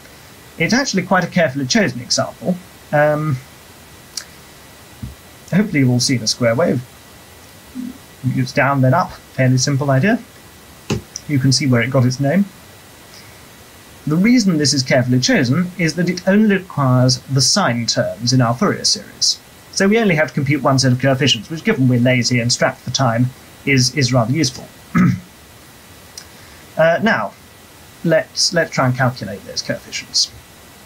Uh, first, uh, we'll set n equals 1, and we'll integrate over the function multiplied by sine of t. And we're going to measure how much of sine t there is in our signal. And it turns out there is 4 over pi. Horrible number, isn't it? I mean, is, that, what even is that? 1.1 or something? Nasty. I, am going to draw a picture rather than do lots of maths, because it's often more fun. Um, here in orange is the sine wave, and in blue is the function. It's our square wave, remember. This is m equals 1, and we're t- I'm telling you that the area under the green shaded bits, which is, remember, what we're measuring, so we integrate over a period and measure the area under the orange signal times the blue signal. So here, the, the blue signal is negative 1, so we flip the sign of this, which is why you have two positive humps instead of the reversing shape of the sine wave, the result is 4 over pi. If we set m equals 2, it turns out that the positive area and the negative area cancels completely. m equals 3? Hmm, it doesn't. 4 cancels again. Well, I'm not going to keep waving my hands about and doing that. Uh, we could work through the maths if you like but I don't really like doing that either. It takes an awfully long time. Um, of course, we have to do this for an infinite number of terms, so this is going to take quite a while. Uh, hope you've brought refreshments. Or we could take a shortcut and try and find out a general way of doing it. Uh, you could do this with some algebra. It turns out that for all even values, all the even harmonics, sine of 2t, sine of 4t, sine of 6t, the coefficient is zero a square wave has no even harmonic content, which is quite an interesting result, but not all that surprising, because if you've ever been involved with uh, spectrum policing, um, many amateurs seem to be in an informal capacity, uh, you might have noticed that badly modulated signals or overdriven amplifiers, which tend to chop things up into a sort of square wave, often tend to emit third harmonics and fifth harmonics and seventh harmonics. This explains to, to an extent why that is. So what we're saying is that our square wave can be represented by a sum of odd harmonics, sine waves only, with a coefficient of 4 over n pi. That's not very instructive, really, so let's draw another picture. um, this is, in orange, that sum all the odd coefficients up to some number times their respective harmonics. With just the first harmonic, just the fundamental sine of t, it doesn't look very interesting. It's not really anything like a square wave. If we add some amount of sine 2t, well, remember there's no even harmonics, so we don't change it. Sine of 3t, we get a, a sort of squiggle here and here. It's looking slightly more promising. 4t, of course, no even harmonics. 5t, 7t. We keep going it gets closer and closer to being a square wave. And indeed, of course, if we keep adding an infinite number of terms, it gets infinitely close. Uh, but I don't have time to do that in this lecture, so we'll stop at 31. A note uh, for the wise, the ringing here, by which I mean way in which we develop some oscillation around the sharp transitions, is called the Gibbs phenomenon. And uh, if you care to look this up um, or find out more about the field in general, you'll probably come across it. Right. Uh, so to recap, by integrating over a limited range, we can determine for a periodic signal how much energy or how much signal is in that is in that uh, function at a wide range of frequencies. Um, and we just have to integrate with some sines and some cosines. In practice, uh, people don't use sines and cosines, they use complex exponentials, which look like this. Uh, it's actually just a mixture of sines and cosines in a more convenient package, and it makes the maths easier, unless you don't understand complex numbers, in which case it makes the maths impossible, and that's why I've elected to avoid using them here. Um, but uh, this is what you'll probably see if you look it up elsewhere. Uh, secondly, for signals that are not repetitive, so for example, my voice speaking to you now, I know it sounds repetitive, I promise it's not periodic, or at least not perfectly periodic. Um, the thing is, it's a sampled sequence, a sampled signal, so we could compute some sort of frequency transform, uh, but it's not periodic. What we do in order to compute the Fourier transform, to find the spectrum of that signal, is we basically pretend it's periodic and hope for the best. It's not perfect, but it's, it's surprisingly good, and that's called the discrete Fourier transform, give or take. Of course, for a sampled signal, you can't integrate because it's not continuous, but it's okay because you can sum instead. Um, and remember, I said that you can sum up the rectangles under the curve and you get towards an integral. So it is with the discrete Fourier transform. Um, next, uh, what about continuous signals? We're not going to talk about them in detail, but what I will say is that the sum, you remember we were summing up sine t and sine 2t and sine 3t and so on, that now becomes an integral. In other words, instead of having discrete coefficients for the amount of the signal at 1 Hz and 2 Hz and 3 Hz or whatever, you have a function which is continuous in frequency, which defines how much energy is at a given frequency. That's a bit of a second order thing to worry about. I don't want you to think about it too much now, but I will just introduce two more bits of notation for you to think on and recognize if you see them elsewhere. The first one is this script f. This means take the Fourier transform of this thing, and the result will be a spectrum, which we usually write as something like f tilde of k, say, where k is the frequency. You can go the other way. This is the result of doing this. If you take the inverse Fourier transform, f script inverse, then you go back to the time domain.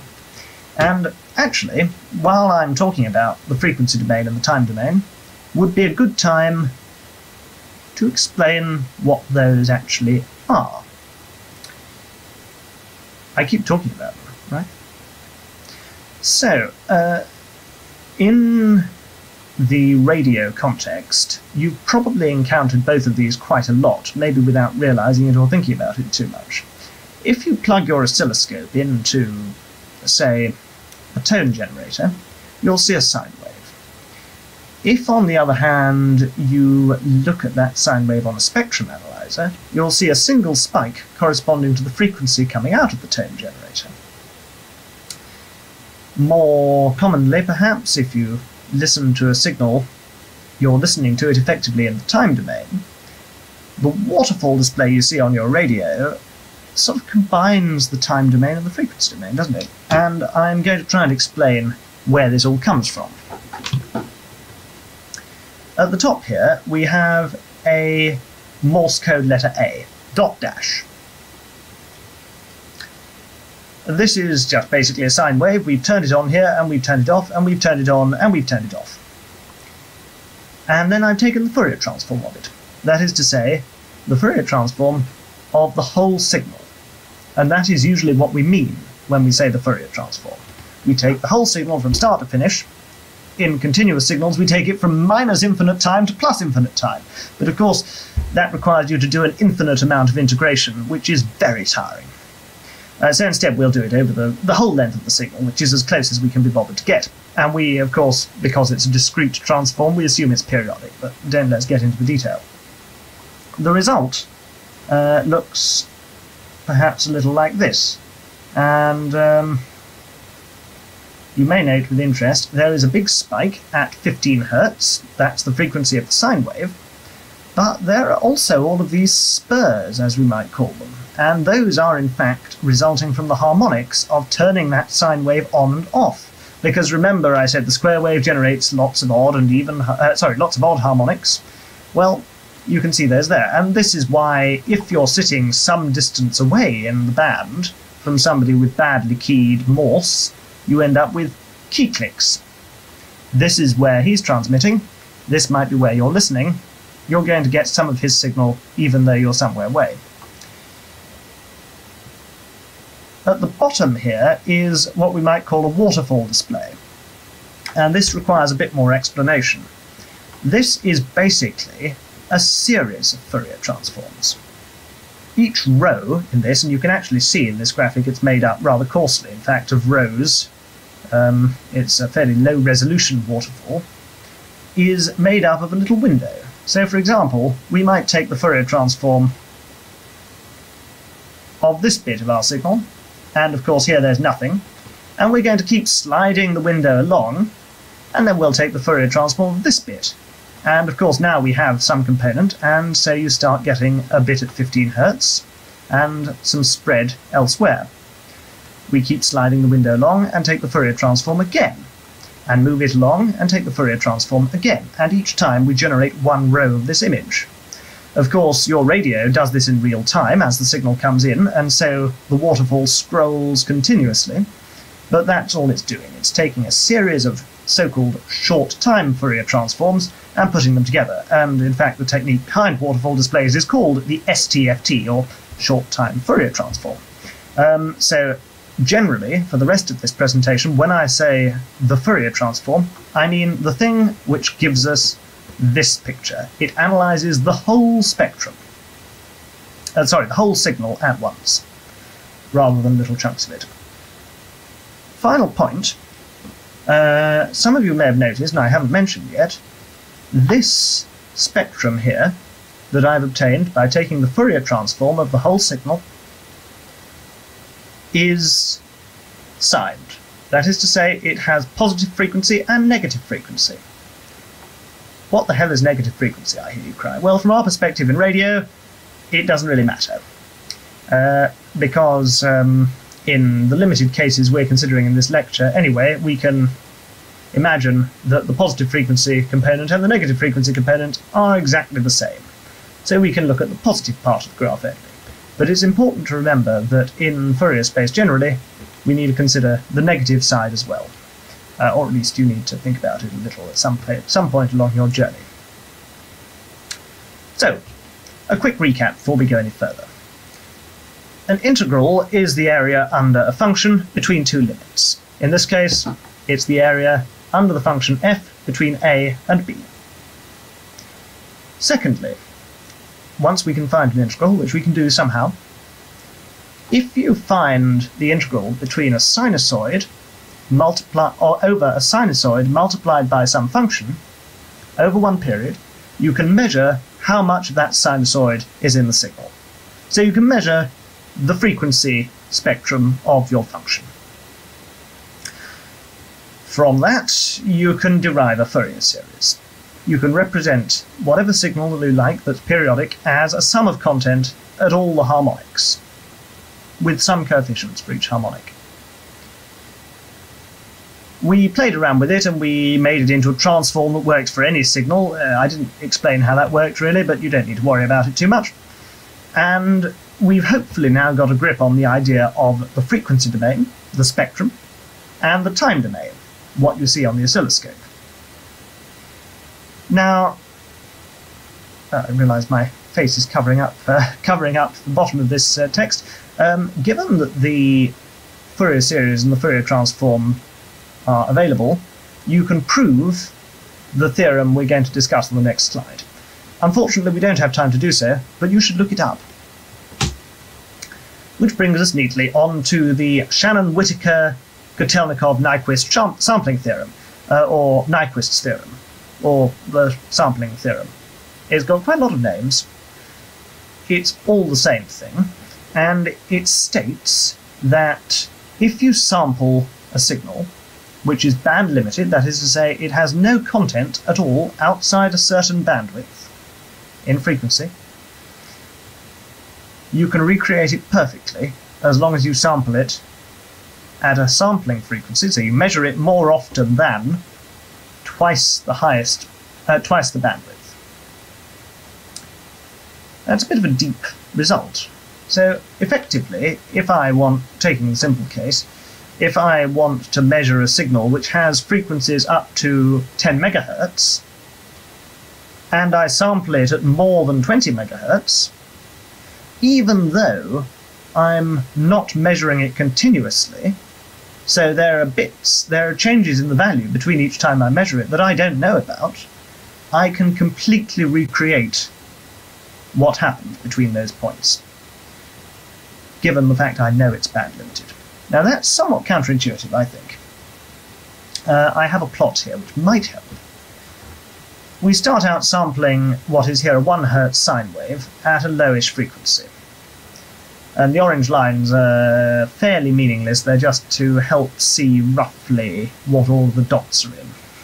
Uh, they don't represent the optimal way of reconstructing the signal, so bear that in mind in a moment. Um, we're sampling at 0.7 hertz here, and it's 1 hertz sine wave. In fact, it looks, if you drew a line through the samples or something, you would imagine that it was a much lower frequency sine wave, rather than 1 hertz. What does that tell us? Hmm. This is actually aliasing, uh, or beating, and you will see it in all sorts of places, uh, but uh, we don't have much time to discuss it now. If we increase the sampling frequency, when it's half the output frequency, we get nothing at all. And we see more aliases, different frequencies that seem to appear, as we continue to change the sampling frequency. Until we get to the signal frequency. This is the limit. As soon as we sample at more than that, we now have more than two samples per cycle. And when I say per cycle, here of course I've plotted a sine wave. I thought I said I hear you cry, that this was for any signal, not just for sine waves. Remember, we've already found out we can represent any signal we like as a sum of sine waves. So if we can prove this, or if you can be satisfied with this for a sine wave graphically, it works for whatever you like. And indeed, you can now see that if you reconstructed through these points to some extent, yes, you know, you, you're going to get a sine wave that looks plausible, but I, I would, of course, if I were, um, if I were wimpish, I would increase the number of points massively, way beyond what's actually required. And now, look, even by drawing a straight line, I can reconstruct it. This is a really unsatisfying proof, and if you're satisfied with this, well, you shouldn't be. Um, look it up. There is a proof using the mathematics of Fourier series, which we've already covered, and a little bit of the Fourier transform, which we've skimmed over. It's quite nice and simple. And uh, hopefully I may make some notes available.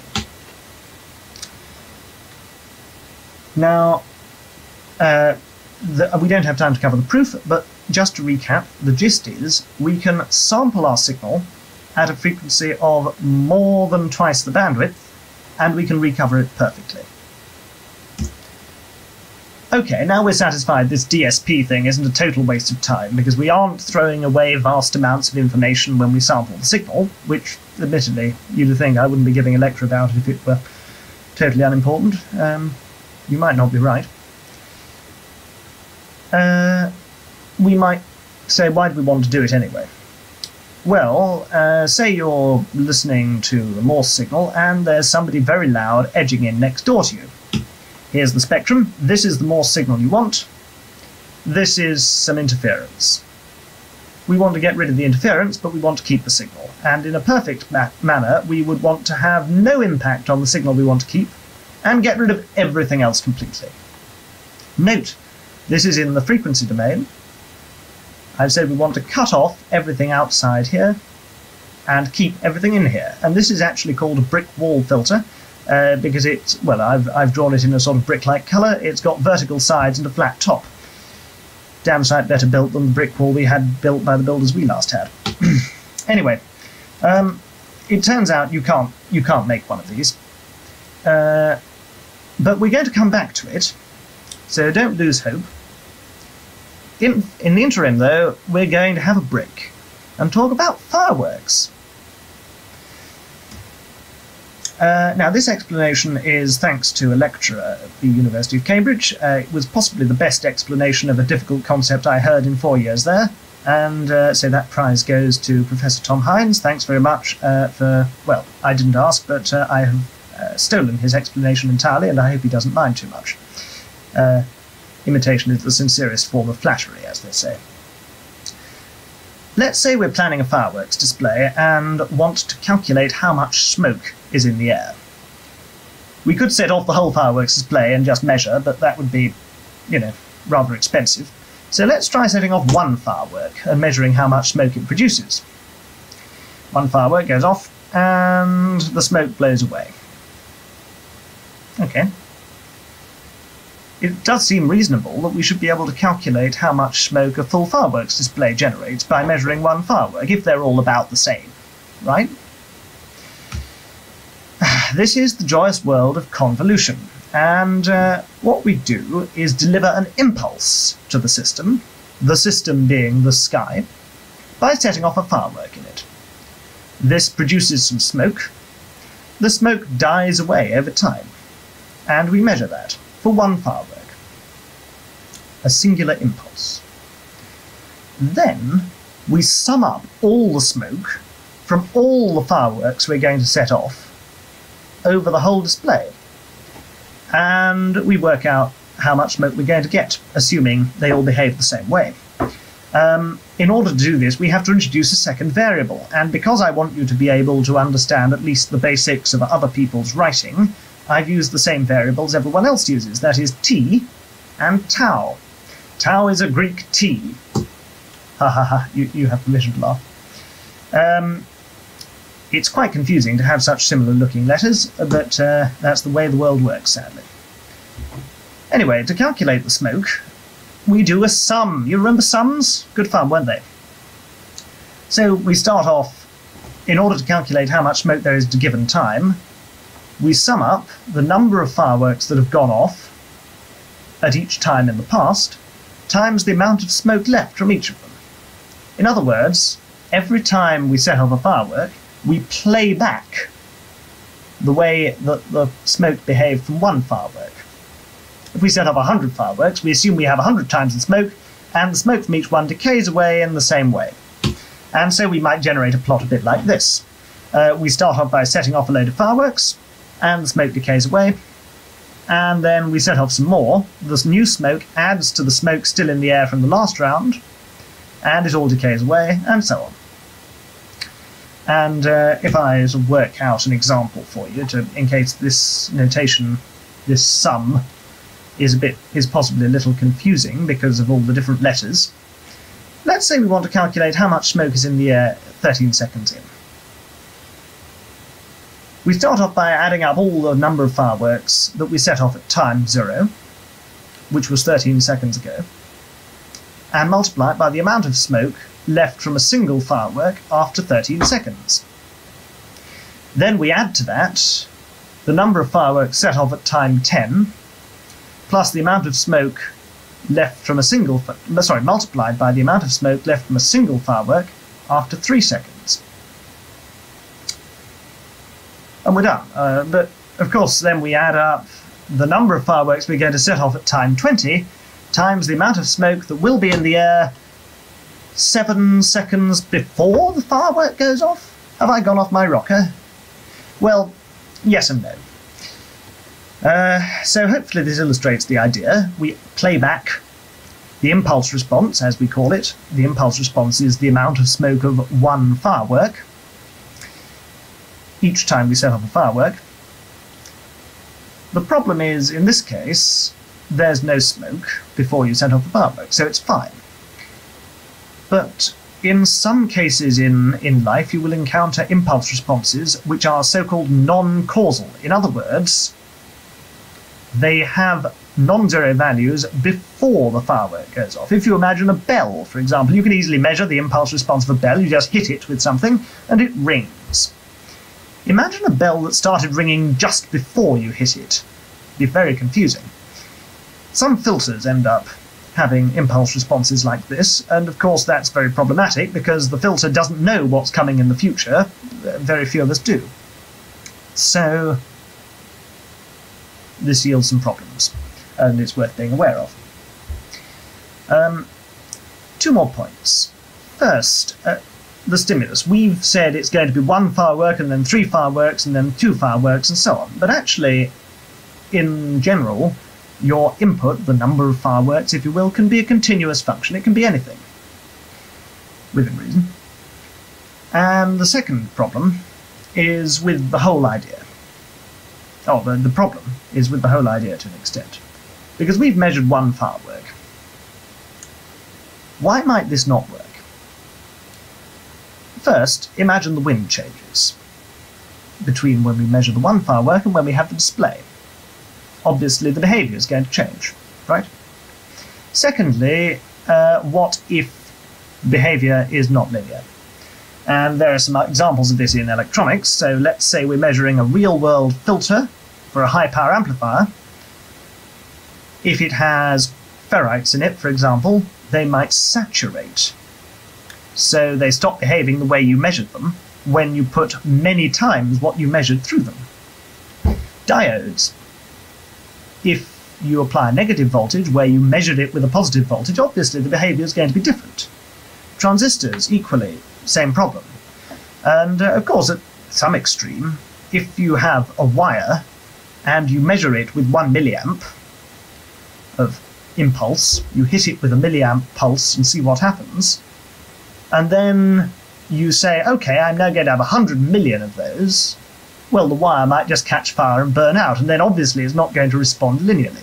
In short, the system has to respond linearly within the area of interest, so you can add up, you can play back and add up the smoke.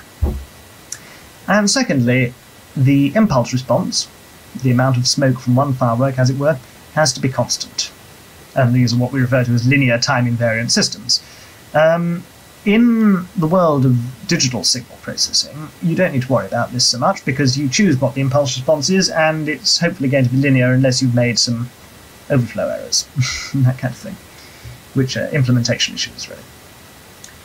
Um, finally, uh, the convolution theorem, as it's known. I'm not going to go into this in depth because it's a bit complex, but it's incredibly useful. What it states is that multiplying the Fourier transform of two functions, in other words, multiplying functions in the frequency domain, is the same as taking the Fourier transform of the convolution of those two functions. In other words, convolution in the time domain is multiplication in the frequency domain. It turns out it works the other way around too. And we're about to see exactly why that's so helpful. Because I know I've been talking to you about fireworks and you think I'm a pyromaniac and you think I'm, I'm babbling incoherently. Perhaps I am. Uh, but there is method in the madness because we're coming back to digital filtering. You'll be excited to hear. I hope. Um, so, we wanted to filter a signal digitally, what feels like a few hours ago. And uh, what we said by that is we want to remove all frequencies outside a certain band. Uh, we said we wanted to build this brick wall, brick wall filter. And we said, unfortunately, it wasn't possible. You might say, why can't we just take the Fourier transform of the signal and chop off everything, and then take the inverse Fourier transform? Fair question. First of all, taking the Fourier transform can be rather expensive. Secondly, you tend to have to do that for the whole signal, like I said, so that's going to be even worse because you're going to have to wait till it all comes in and then take the Fourier transform, do the processing, transform back, and rather a lot of work. There is a better way. Because what we want to do effectively is multiply in the frequency domain the spectrum of our signal, which is in green, by the spectrum of our filter, which is in orange. But what if instead we convolved in the time domain the impulse response of the filter with the signal coming in from the antenna? You can take the inverse Fourier transform of a box like that, the brick wall, and it looks like this actually. Um, this is uh, a function called a sinc function uh, for its sins. It's um, sine x over x basically. And uh, You might say, well, that's all we need to know then. Great. So we just convolve our function with this and we're on our way. Ah, but uh, you see, there's a problem. The first issue is, is non-causal.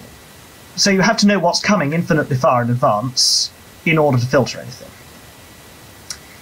Second is it runs on for infinity, so you have to do an infinite amount of computation and have an infinite amount of signal, both of which limit the application to everyday circumstances, to say the least. But it's okay because you can you can bodge it, like everything in radio. You can you know you can give the box a thump. Um, that is to say, we shift the impulse response a bit, so the peak is if you if you look at this uh, at the moment, uh, if we cut off everything before time zero, so we make it causal, as it were, then we lose the biggest bit, which is going to be problematic. So we shift it off to one side, and we chop off everything we don't have room for.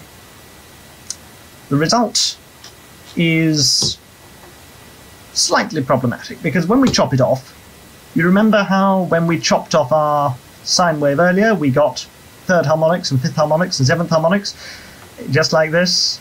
Mm, the same thing's going to happen again. We get some problems, but you know, you can overcome them to an extent and live with them to an extent. This isn't a practical talk, and I'm not going to lecture how filters work. I don't work in signal processing. There are those who are far more qualified to do so. Uh, but I will explain briefly the simplest kind of digital filter, probably a finite impulse response filter. You've heard impulse response before. This is what one tends to look like. Uh, effectively, you have your signal coming through in a sampled sense. Remember, we're now in a digital signal processing system. So we have a large sequence of samples, and they're coming in one by one. We buffer the last few, and in this case, this is what we would call a actually, I think this is a slight error here. We might call this a, a six tap uh, FIR filter. A slight error in my graphic there. Now I look at it. Um, from we take the current sample and the five previous samples, and we multiply them all by some weight. In other words, this is how many fireworks went off five samples ago, how many went off four samples ago, three samples ago, two samples ago and how much smoke is left after 5 seconds, after 4 seconds, after 3 seconds, and so on. And we multiply them through, we add up the results, and we're left with the current output. And I do I can do this for you right now, live. Isn't that exciting? Here, in blue, is a square wave. It's at 25 hertz, and let's say I want to filter out everything except the fundamental. The result of the filtering is shown in orange, what the fundamental should look like is shown here in green. This is a 25 Hz sine wave. Doesn't look anything like that, does it? This is a one-tap filter. In other words, it's doing nothing. As we make the impulse response longer, we make the filter quite a lot better. So now you can see it's, it's sort of more like a sine wave. It's obviously no longer square, but equally it's got a lot of higher frequency components. If we keep bringing the number of taps up, lengthening the impulse response. Now look, you can see the peaks and the troughs are in the same place and at the same frequency as the fundamental. So this is based on the fundamental.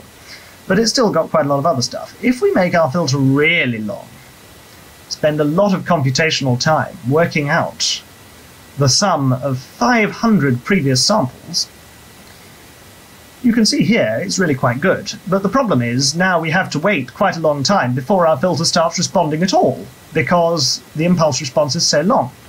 Uh, these are some of the trade-offs you have to face. And um, as a final demonstration, uh, this is the same filter, except now I've taken the Fourier transform of it again.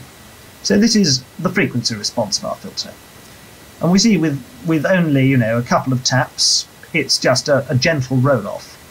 But as we start increasing the number of taps further and further, you see a shoulder developing, and in time, you get a nice, almost ideal behavior. But note, like the last builders we had, it's not quite flat at the top, it's not quite flat at the bottom, and the edge still isn't vertical. So really, nothing in the real world is ever perfect. Why I stick to theory. That's all we've got time for. Uh, to recap very, very quickly, we found out that if you sample a signal at more than twice the bandwidth of the signal, you can reproduce it. That means the whole DSP thing is kind of worth working on. Secondly, if we take a signal, we find that you can measure how much of each frequency is in it by doing some operations with sines and cosines, and using the same mathematics, we can filter a signal digitally in a way that is much more adjustable than if we had built an electronic filter. I'm not taking questions today uh, for various reasons, but please feel free, if you can't find an answer on Google uh, or elsewhere, to email me at the address here, and when I have time, I'll try and sort out a response. Thank you very much, and enjoy the rest of the program. Good afternoon. Amazing. William Eustace, M0WJE.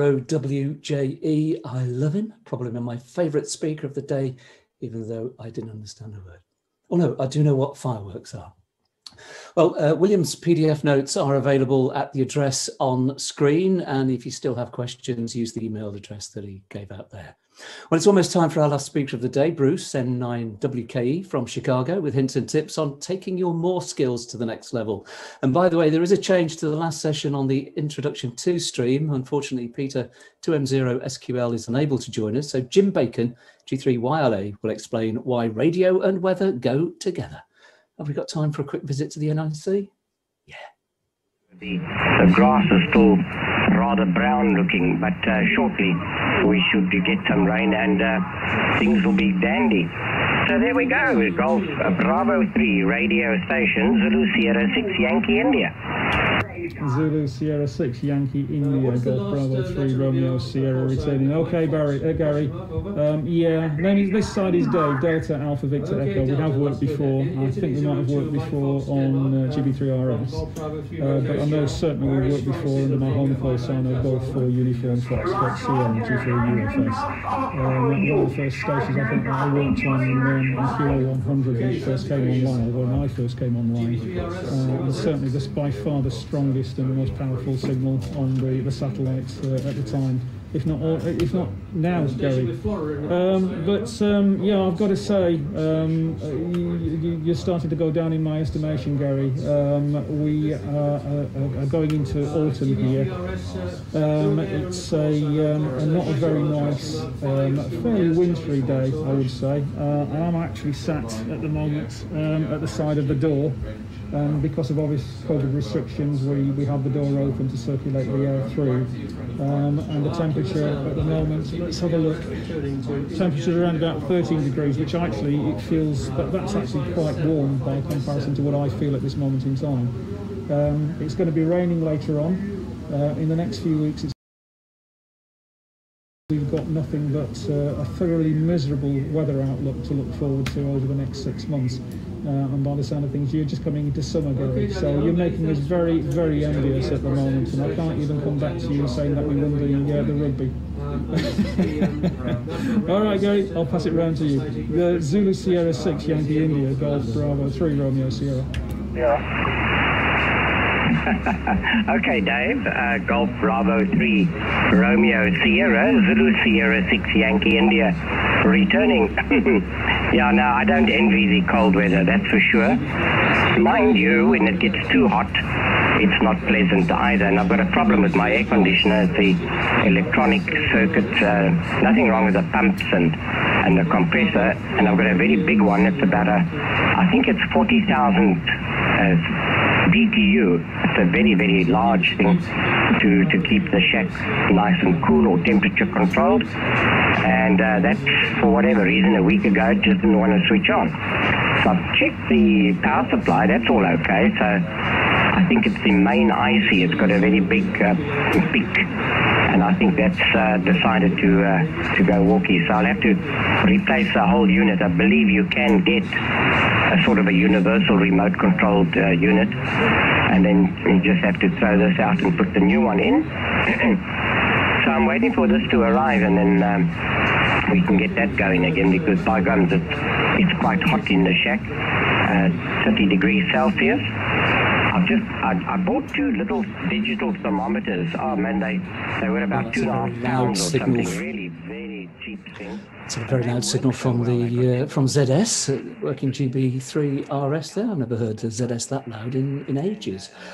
Um, we're having a few problems contacting our uh, next guest, Bruce N9WKE, E, to talk about uh, CW operating. Um, but while we're waiting for that to uh, um, that link to be established, uh, let me tell you about the the DXpedition Fund, because one thing that we haven't been able to replicate at this online convention is the traditional convention raffle, which every year raises funds for the RSGB HF DXpedition Fund. Obviously, that's not going to happen this year, of course, but there is still a way to help a very worthwhile cause.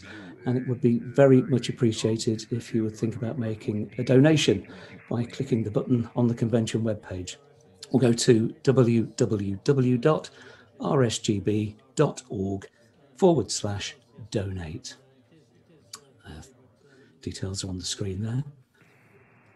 And while we're at it, uh, while we're still waiting for Bruce, um, we are hoping, of course, next year we'll be back in normal convention mode. So the RSGB would like your feedback on the whole idea of online events. There may be more of this kind of thing. Of course, uh, we already have the Tonight at 8 events. How do you feel about the level of content in today's streams? Any comments about that, about uh, the whole idea of online events? Are very welcome at www.rsgb.org forward slash feedback. And you'll see that address appear on screen from time to time throughout the day. And it's basically on the RSGB website.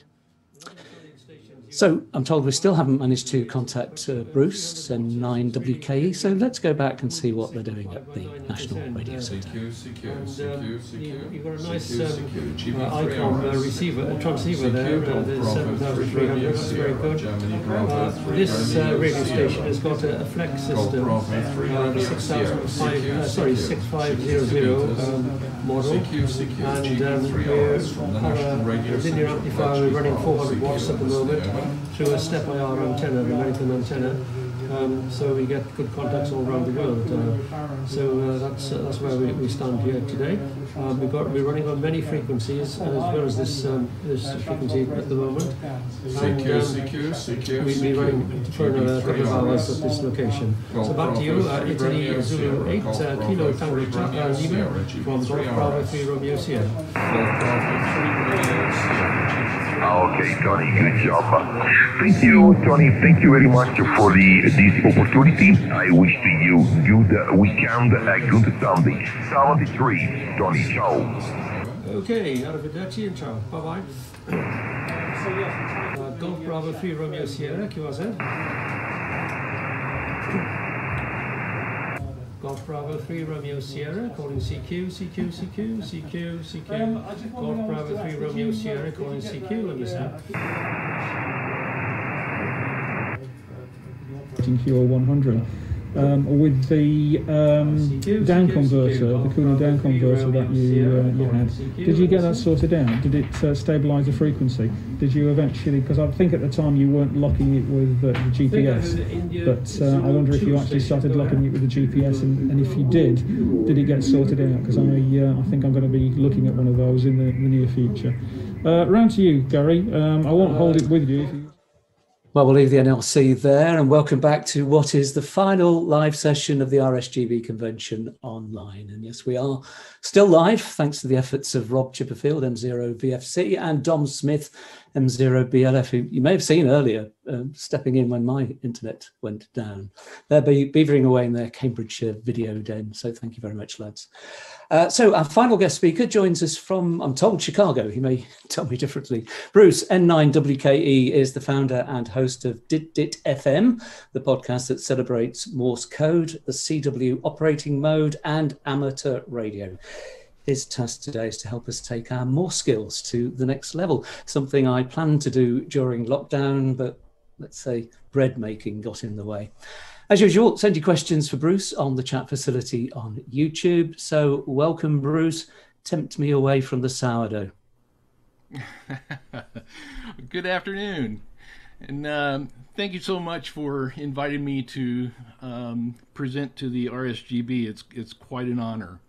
So I was invited to talk about taking your CW to the next level. And what I talked to a lot of people um, over the years, and there are a lot of people, myself included, who get started in amateur radio, um, take the time to learn the code, um, get on get on the air, make maybe make a few contacts or something, and then for whatever reason, life gets in the way, and um, they sort of put amateur radio aside for a while to, you know, working their job, raise a family, put their kids through school and stuff. And then after things calm down uh, in a few years, they decide to come back and get back and get involved again in um, amateur radio. And so that's what I want to talk about is people who those operators who may have prior experience, um, who who got licensed um, previously, but took a big took a break and now they're ready to come back in and get involved again.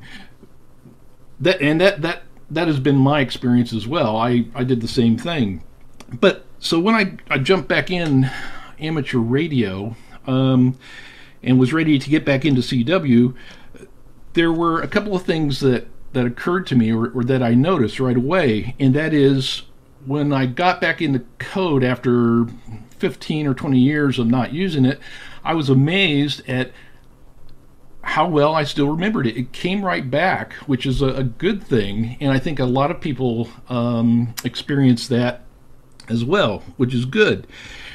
But even better than remembering the code, of course, I couldn't copy worth a darn. Um, I had to work on that, but the basics of, of knowing the the letters, the alphabets and stuff, came back almost instantly, which was a, a great delight.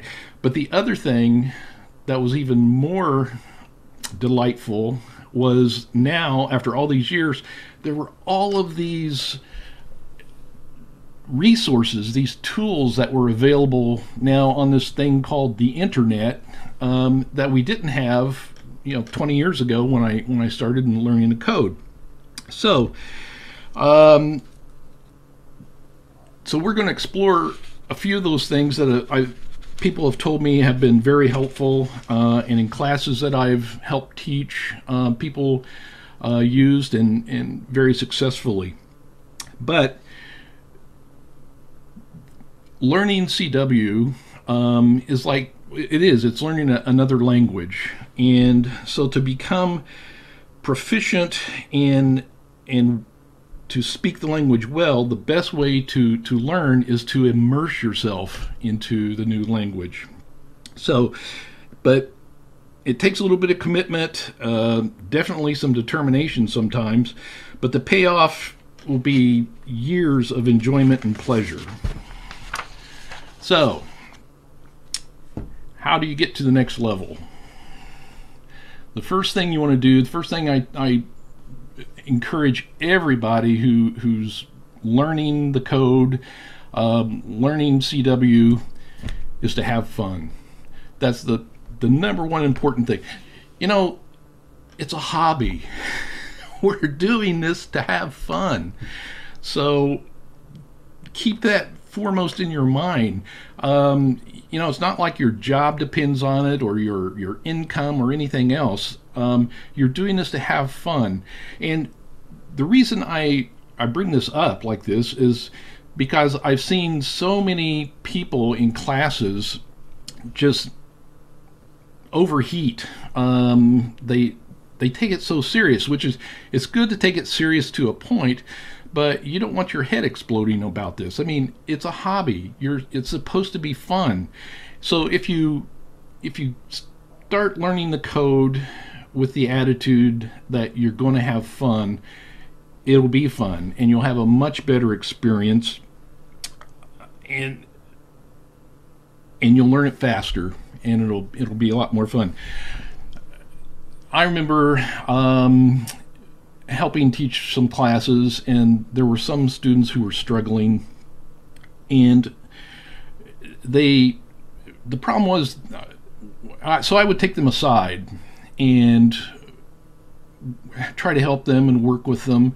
And the problem was, is they were just taking it so so serious and I, and you know once I got them to relax which is another important thing relax um, and you know show them how to have more fun more more more enjoyment in in learning the code um, then you know it seemed to work a lot better for them so have fun is number one so after you've got that the right attitude, then the next thing is that you'll discover is you don't have to do it all by yourself. Now, back in the back in the day, um, before the internet and stuff, I mean, a lot of us got mentored. Um, there was an older operator um, or an operator with, with more experience who would sort of take us under their wing and you know help us learn the code,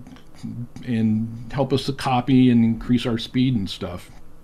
Well, that's great if you had a mentor, but if you if you live somewhere where you were the only ham operator for a, a great distance, then you know it, it, was all up to you by yourself.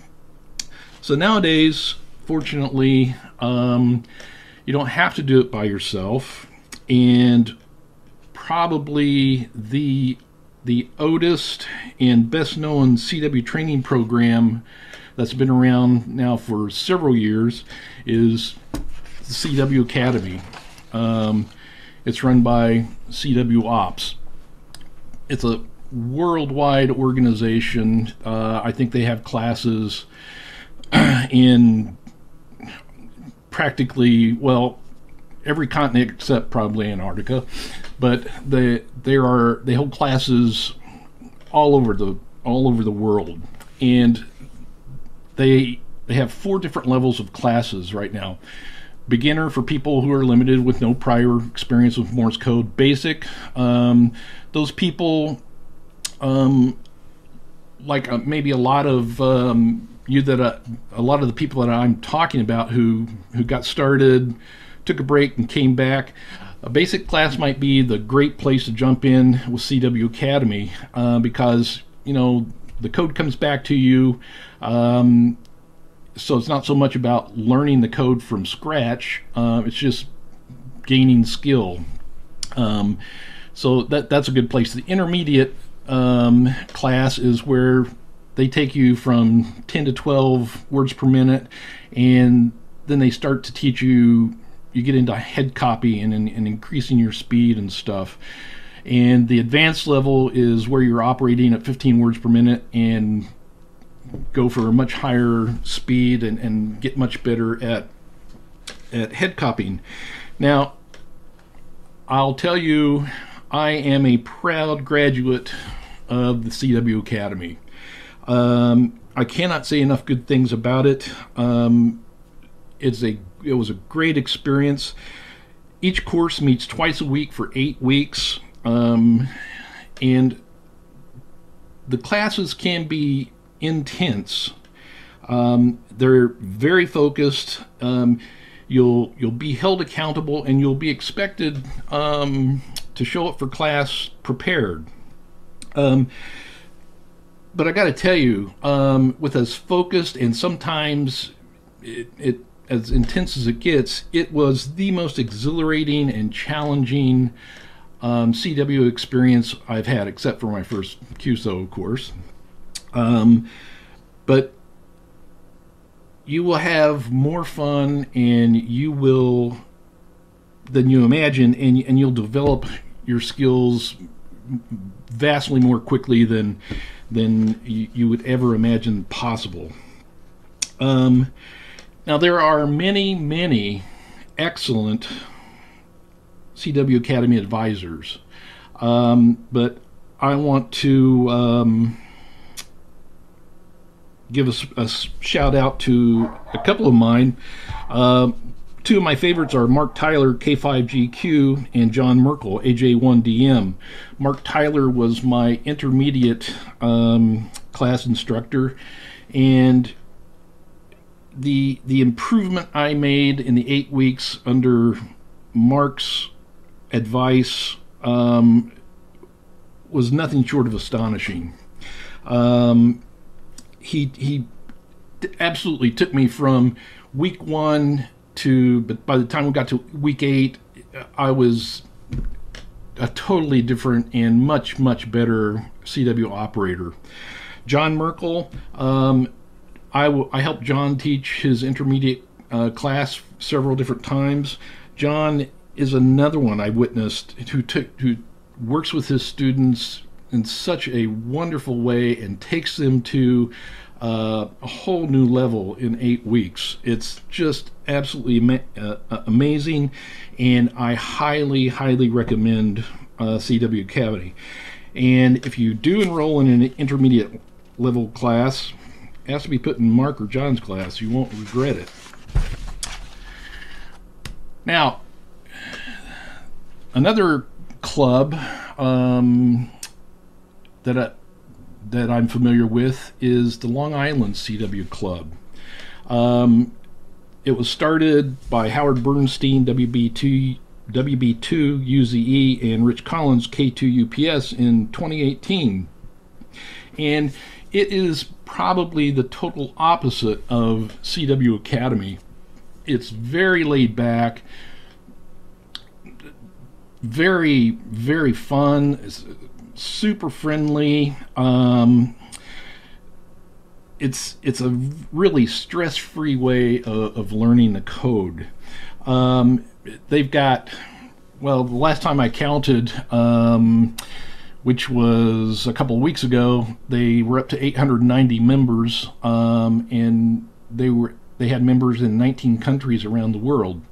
Um, what really sets off the, the Long Island CW Club is their, their classes. When I made this slide, they had 48 different CW classes from beginners to advanced, and it included some really unique classes that you won't find anyplace else. Classes just for women, classes for for children. Um, they've they have um, a class for Morserino, um, which we'll talk about in a little bit, um, where they set up a, a private network of, of, people using Morserinos to have uh, QSOs on their own private network. Um, right now, they're they're working on a big project to do CW over two meters. Um, they just started teaching electronics courses. Uh, they have weekly presentations, uh, just all kinds of activities, um, and it's a really fun group. You'll you'll make I made a lot of friends there. Um, it's it's really driven by the members about what they what they want to do. There's another um, big program they're working on right now to um, come up with a program for blind CW operators. Um, they're just doing all kinds of amazing and unique things that you won't find anyplace else. Their classes are are offered all year long. You can join anytime. Um, LongIslandCWClub.org. Um, really, uh, check it out if if that's something that's that sounds interesting to you. It's a great group of, of folks. You'll have a lot of fun. Okay. So now what if what if you not interested in joining a club or or going to classes and you want to learn on your own? Um, there's oh yeah um, so there's there's good news for that. Now there are lots of ways to learn on your own. Um, and i've probably been through every wrong or bad way to learn on your own that that ever existed out there. But um, there's there's a program that uh, was started uh, a couple years ago um, by uh, a guy, and Kurt Zoglmann, AD0WE, um, created Morse Code Ninja. Now, I've I used to could say that I I have looked at and I've tried every self-learning program out there in the world, but I can't say that anymore because they're they're coming. People are creating these things, you know, faster and faster all the time, and and I can't keep up with it. But one of of, of all of them that I've been through, this is the best one um, that I, I have ever experienced. Um, Kurt created this program. It's not so typically somebody will record some code, you'll listen to it, and you know they'll tell you what it is and and move on and stuff. That has proven not to be a very effective way to learn. Kurt has used some science um, in in educational um, methods in his instruction in these videos that he's set up and it has proven to be much more effective learning on your own than virtually all of the other ways that you can do that. Um, he's got more than nine well this is the last count. I'm sure there's more now but more than 979 youtube videos over 2000 hours of instruction and advice now i know that sounds like a whole lot and it is but and and if you just jump into it and stuff, it'll be really easy to get overwhelmed. But he's got it broken down very logically from beginning to advanced. Um, and there's a lot of, of unique things. He's got books that he has converted to Morse for you. Um, he's got a lot of good advice on that website. Um, I highly, highly recommend Kurt's um, Morse Code Ninja course.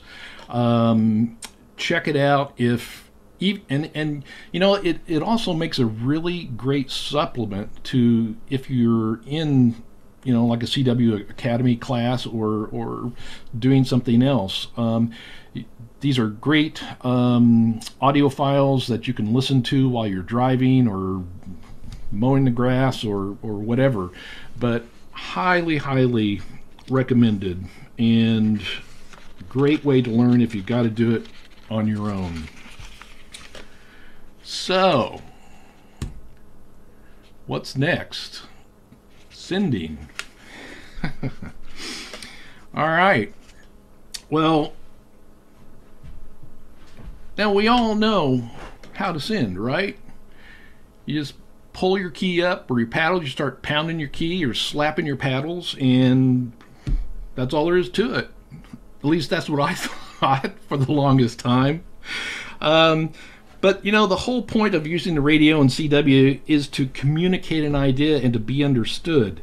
And if the person you're trying to communicate with is unable to copy your code, then you're failing to communicate. You know, I can't tell you how many times um, I would be dialing across the band looking for somebody to have a QSO with. Um, and I'd hear something and I'd stop and I'd listen for a few minutes and it would I was wondering what in the world am I hearing because you know the code being sent is just an unending un, un, indecipherable stream of dots and dishes. It, it, it was gibberish. And I thought wow you know I sure am glad that uh, my sending isn't that awful. But the problem is you know, I know what I'm trying to say, and it, when I'm sending, it sounds perfectly well. It sounds like perfect code when I'm sending it, you know, because I I know what I'm trying to send, and and sounds like it's going out great and everything, but maybe it isn't so clear to the operator on the other end. So, the best piece of advice I ever got was to record myself. Now, and I got to tell you, the first time somebody told me that, I thought it was the craziest idea I've ever heard. It recording myself just didn't make a lot of sense. Um, you know, because like I said, when I'm sending, you know, sounds perfectly fine to me. In fact, it sounds like perfect code to me. Um, but it, it, I, it was a big surprise. So when I finally got around to to actually recording myself one day. I was absolutely shocked at how atrocious my sending was.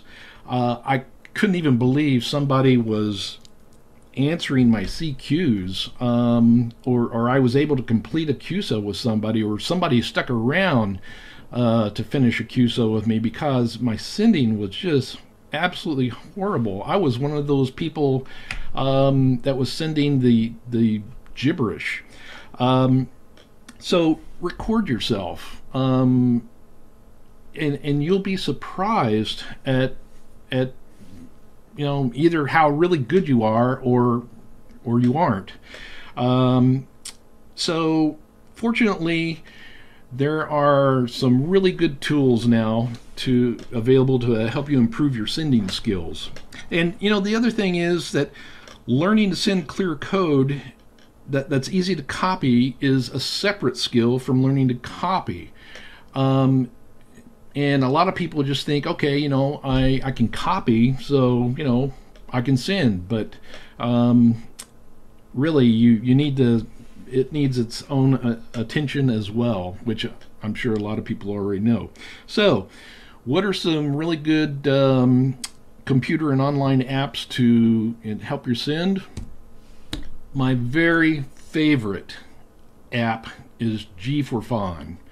Um, Ray has recently done um, some upgrading on the application and stuff, and now there's a whole separate sending module uh, in G4Fon, G4FON, um, that allows you to send and, and see what you're sending and how well you're sending it and stuff. It works beautifully. Um, you know that's my first recommendation is get Ray's program and uh, use it.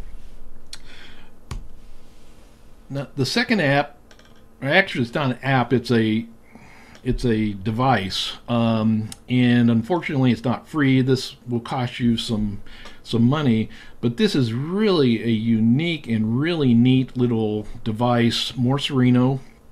Um, uh, it's a kit you can put together, um, and you can you can do sending training with it. Uh, it'll help you, you know, train, uh, learn the code as well. Um, really, really slick. And this is the device that um, the Long Island CW Club, a lot of their users, um, a lot of their members uh, are using this device, and they're having so much fun with it, and it's been such a, a huge help in getting in helping people learn the code and, and improve their sending that as i mentioned earlier they've now set up a their own little private network uh, for people to have QSOs with using their Morserino.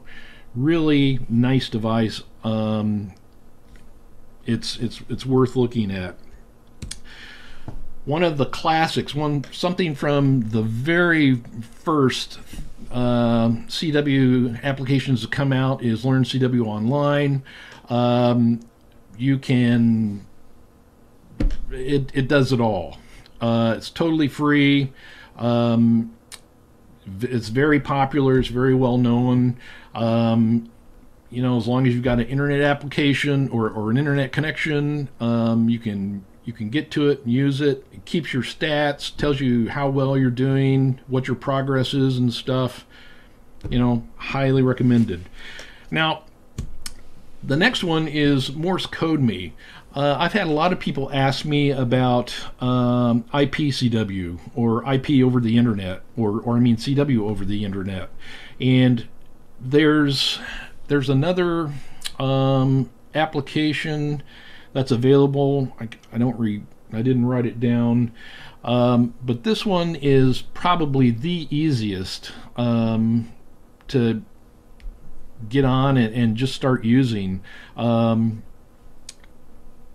so if if you're interested in if if or you know if you don't have an antenna or don't have a radio, uh, this is another way to um, have a QSO with somebody um, anywhere in the world uh, over the internet. Um, and a lot of people enjoy it. A lot of people use it. They have, you can see there where it says room one at the end of the URL.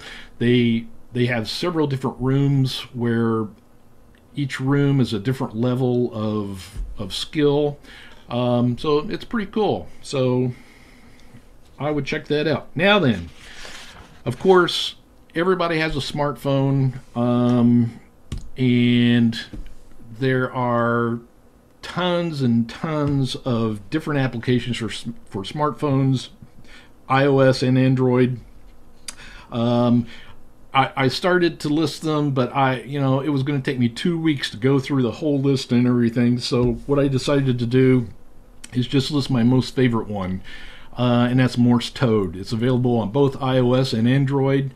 Um, it's a lot of fun. Um, keeps you interested. It, it's kind of challenging. There, there's uh, kind of a contest thing about it. So anyway, it's it's nice to have if you're uh, out commuting or you've got a few minutes somewhere. You can pull your phone out and uh, have a go with Morse Toad and have a little bit of fun and, and stuff. So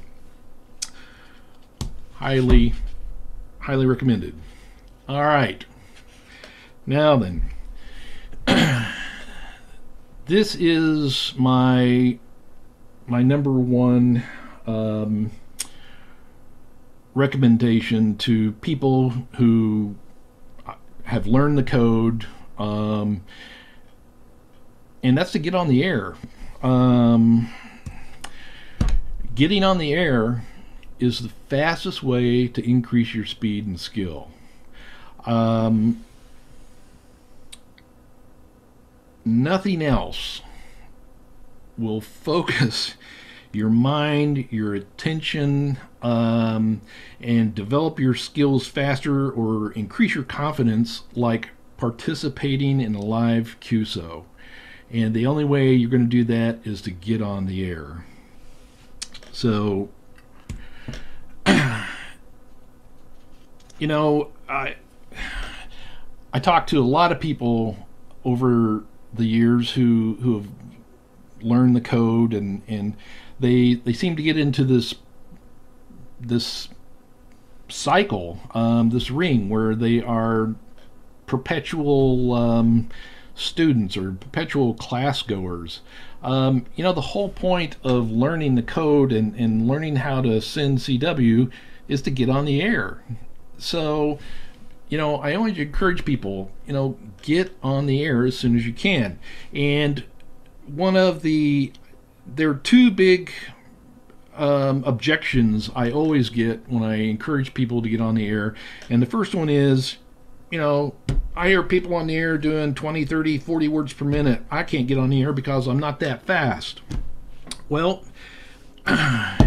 it doesn't matter how fast you are or slow you are.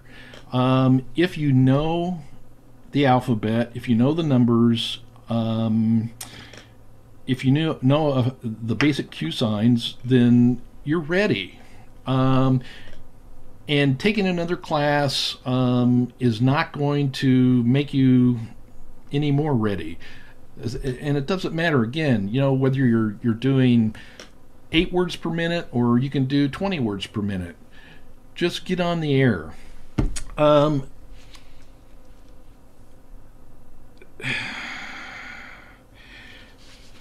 one of their the other thing is i always point out to people there are other organizations out there that monitor certain frequencies for for slower ops so for example the skcc um, um, organization uh, you can go on their website and they have a, a, list of frequencies that they monitor and there are some frequencies on the upper end of the band that monitored all the time um, for slow people who are, are slower operators to get on there and, and have a QSO. The same way with FISTS um, is another great organization. They've got um, volunteers, people on, who monitor certain frequencies all the time. And again, you can go on the FISTS website and find those what those frequencies are. Um, and they are more than happy to have a QSO with a slower operator. Um, when I get on, half the time when I get on, you know, I'm, I'm I don't want to break any speed records or anything. You know, I just want to have a nice uh, QSO with somebody, and I'll go up on the upper end of the band and and I'll be looking for slower operators. Uh, because you know we all remember um, what it was like when we first got started and we weren't fast and you know you didn't have a very high confidence level and you, we never forget those people who were there to answer our slow CQs or or when we answered theirs who slowed down or whatever. You know, there are I'll probably um, I'll probably get get some notes for this, but I got to tell you, I think the nicest um, people in amateur radio, um, a lot of them are in the CW portions of the bands. Um, they're just really, really nice. And I say that from my own personal experience because there have been times when I've just been a horrible operator and people have stuck with me um, to get through the the the QSO. Um, you know, the other thing is don't ever be afraid to ask somebody to slow down. I've asked it I've asked operators to slow down a thousand times, and 99.9% of the times they will. And if they don't slow down enough the first time, ask them again, and they'll slow down more. I do, and all, of the other operators I know do the same. Um, there's there aren't enough CW operators on on the bands, so you know it doesn't matter how fast or slow you are we want you there. So come in and, and join us. Now then, the second objection I always get, and this is the big one. Um, I get it from the students I've helped teach. I, I've, I've, I hear it. I even hear it from people who have some experience and who have made some QSOs I've got some QSOs under their belt and stuff. The biggest the biggest concern I hear is, oh my gosh, you know, I'm afraid to make a mistake. Well, or or you know, what if I mess up? Well, what if you do? Um, you know, nobody has the intention of going on the air and making mistakes. Nobody wants to do that, but it happens. It's happened to me thousands of times, you know, um, and especially when you're new, um, when you're or just getting back into it. Um, until you, you reach that level of comfort and confidence, you know, the, the odds of making a mistake or messing up are high. And, you know, you, you pretty much probably will. Um, I've been a CW operator for a long time now and I still make mistakes. So the you know, and and the way you handle that, um, you don't have. It, you don't have to get all upset or anything. Um, you know, there are a couple of ways to do it. If you make a mistake, you know, you you send a series of dots and then you start over again. Or you know, half the time people don't even send dots; they just start over again. Um, so, you know, it's not, the point is, it's not that big a deal. Um, you'll make mistakes. Um, that's that's part of the game. Uh, just get on the air, make your mistakes, and have fun. So now I I produce a, a podcast ditdit.fm. Uh, it's a podcast for CW operators. And one, I think my very, my most popular episode was one I did. It was episode number 22. It was about jitters, anxiety, and your first QSO. It was great. Um, there were um, four different operators I think I talked to from a couple from Europe, one from South Africa, a couple from the U.S. Um, I had a uh, psychologist who was a, a, guest on the that episode as well, um, and it. I think the the thing it did is it affirmed everybody's notion that you know yeah, first time uh, you get back into CW, the first time you you get on the air, everybody's a little nervous. Um, everybody's a little concerned about making mistakes, but you know, you just have to get on there and make your mistakes if you're going to make a mistake, but get through it. I guarantee you, the the operator on the other end knows you you know you're a new operator. Uh, we all recognize new operators. Uh, it's not a secret, and we all want to help you.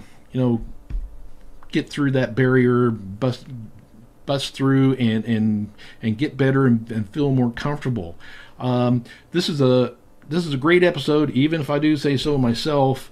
Um, a lot of good stuff, a lot of epiphanies about, you know, doing your first um, QSO or, or not even your first one, but you know, after you've done your first one, the next two or three, um, people are still jittery and, and have a lot of anxiety and stuff. And, you know, it is worth it. It is worth it. So, you know, learning is good. Um, keep learning, but don't make learning um, your your primary goal or objective. The whole point in learning the code and learning how to, to send CW is to get on the air. Um, so do that because getting on the air seriously, nothing focuses your attention like getting on the air. So, um, and I've said it before, you know, you can you can become a, a permanent student, but you know we don't want you to be a permanent student. We want you to get on the air, um, and you'll become a better CW operator by getting on the air before you even realize it, before you even know it. I absolutely guarantee it. So, so take your CW to the next level. Get on the air and have some fun. There are hundreds, if not thousands, of us out here listening for your signal. Turn your gear on, grab your key, come out and join us. So, um, I want to thank you again for having this opportunity. I hope I, I gave you a couple of ideas or, or some suggestions that you didn't know about. Um, but it's been my pleasure, and thank you very much for letting me give a presentation today. Well, Bruce, thank you very much. Uh, Johnny uh, Housley, 2E0HSY, has just come up on the chat saying, just subscribe to your podcast. So ah, thank uh, you. One there. And David M0JCO says, I've enjoyed your podcast since uh, he found it, uh, he found it a few weeks ago great guests and ah. content. And uh, he says he's, he's working his way backwards through them. Uh, does that matter? He says, uh, should he start working his way forwards? doesn't matter. You can start in the middle and work out towards each end. Yeah. Okay. And he also says he's now using, you mentioned Kurt's Morse code ninja files. Uh, yeah. he wishes he'd found it earlier in lockdown. Yeah, uh, that that's really a really excellent program. I'm glad he found it. Okay. And you mentioned Ray, G4FON, who, of course, uh, two years ago, was it? Uh, anyway, he, he gave uh, a talk, um, a presentation about his uh, his app uh, at this uh, convention um, when we all used to meet together in rooms and not have to wear masks. So interesting. And, and on the strength of that, I did download it and I've got it on my on my laptop here. Um, I must start listening to it one day. Yeah, he I that is that is such a classic um, application, and I was really absolutely thrilled um, to see that he um, up, updated it recently and included the sending module in it. He really, it, I mean, it was already a top-notch application um, since he since he wrote the thing years ago, but now he's just really raised the bar on it, and it is a wonderful, wonderful tool for anyone wanting to learn the code. Uh, Tristan, G0KAY has been on. He wonders what speed you are comfortable with. Well, um, I am a member of CW Ops, which meant um, I had to be able to send and copy um, at 25 words per minute or above. Uh, and occasionally I do operate at that speed, but I, but you know my my favorite speed um, that I, I I really enjoy operating at is probably somewhere 18 to, to 22 words per minute. Um, it's not so fast that I have to really, really focus down and, and pay attention to what I'm doing. Um, I can I can rag chew at that speed and, and be relaxed and just really enjoy the QSO. So 18, 20, 21, 22, somewhere in there uh, is usually where I'm at. Uh, CW or, or Morse boot camps were becoming popular here before the uh, uh, coronavirus hit. Norfolk uh, Club and Essex Ham possibly, and and others were uh, were doing that. What do you think of the idea of boot camps? Oh, I, I think they're great. Um, we've had them um, here. Different organizations have put them on here um, before we were all wearing masks. Um, but yeah, they're great. Um, they're, I, I, think the the ones I've been to, especially for people who are brand new and, and just wanting to learn the code, uh, they're really great for for getting people in and getting them started. Um, and, and showing them that you know they can learn the code it's not that difficult to learn um, and and increasing their in, um, uh, interest in in enjoyment um, and giving them the tools and the contacts to you know take it forward after the boot camp is, is over um, and to keep going so yeah they they're great and, and you were saying that uh, Morse is you know it's it's for fun basically um, but these days, of course, um, for most of the world, it's not a requirement anymore. Most of us, a lot of people of my age, I've had my license 50 years next year somehow. Um, we, we were we were forced into Morse code because if we didn't take the Morse test, then we didn't get the license we we wanted. It, so, it, indeed, yeah. And and when um, I was the same way when I first got my license. Um, years ago, uh, there was a Morse requirement, and you know that's basically how I got started in it. Um, and once I, I got started in it, then you know I really got interested in it. And then when I got back into radio uh, years later, um, I just went straight to it and uh, never looked back. Um, but you know, and that's an interesting point that you made because um, I remember when they did away with the requirement here in the States, you know, everybody thought, oh, you know, that's it. Morse code is dead. You know, if you're not compelled to learn it, then, you know, who's going to learn it? And, you know, it's just going to go away and we're going to deal with other modes and stuff. Um, I think it's. I think right now is the golden age of Morse code. Uh, there, there's more interest in it now, and there are more people learning it now than I think there have been in a long, long time, and that is really exciting. That is that is really great stuff. Um, and so one one important distinction is before you know we had to learn it to get a license. Now people are learning it because they want to, um, and I think that makes all the difference in the world. And I'm really happy that you know I can I can help uh, people by encouraging them through the podcast and stuff to um, get involved and, and find it. I, I, think I think now is a great time for Morse code. Yeah, you're, you're, you're right. I mean, people are finding it fun. That's why they're going to it now because they don't have to. So uh, that's that's quite interesting. What do you think about machine generated code? Um, I, I hear it sometimes and I think that's the devil's work. I can't. Just, just yeah, that that is can be controversial. Um, you know, I just had a, an interesting email exchange with a gentleman who sent me an email and he said, you know, I've been I've listened to all your podcasts and, and stuff.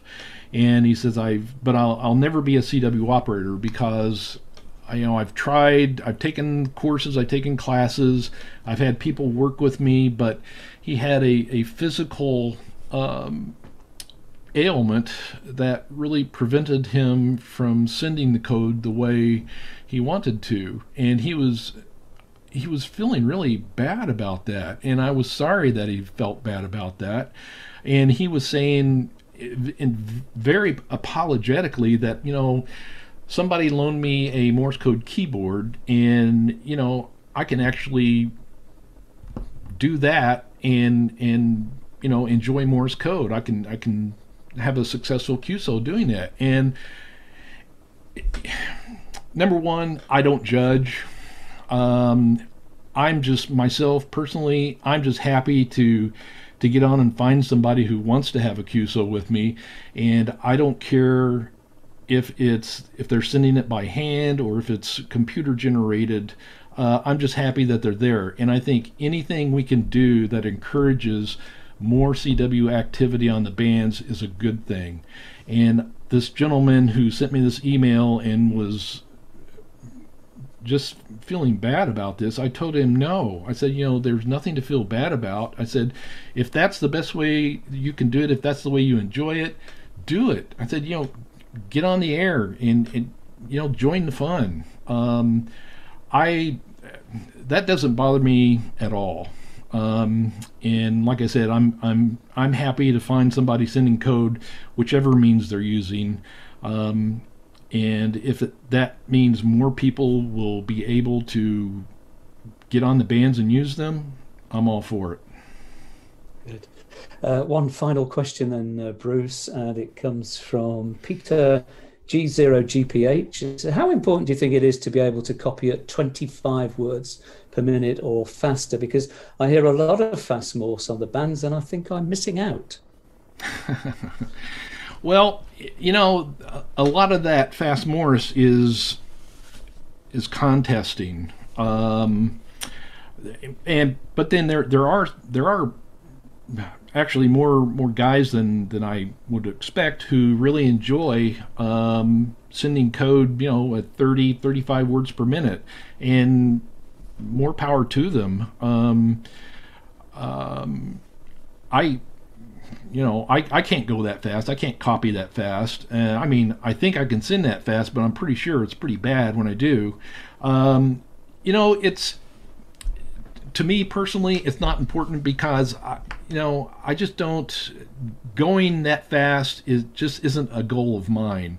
And I think it's it's you know do what makes you happy with with Morse code and CW. Um, there are so many activities for CW out there. Um, um, networks, um, being you know being part of a network, uh, traffic um, handling is a lot of fun. I've I've been involved in that in the past year.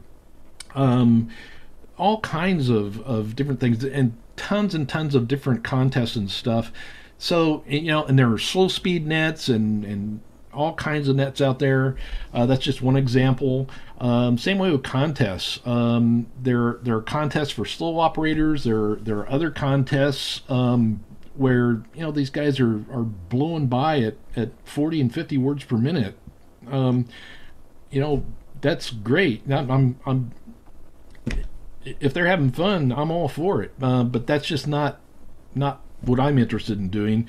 And for me, it's just, that's not important at all. So, you know, it, it's sort of a personal thing. Um,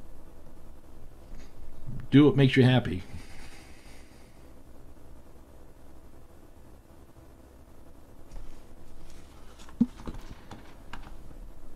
Uh, okay, Bruce. Um, it looks like we have lost our link to Jim uh, once again, I'm afraid. So, uh, uh anyway, thank you very much for a very interesting talk. Um, sure, uh, very much appreciated by everybody looking at the uh, at the comments on the stream.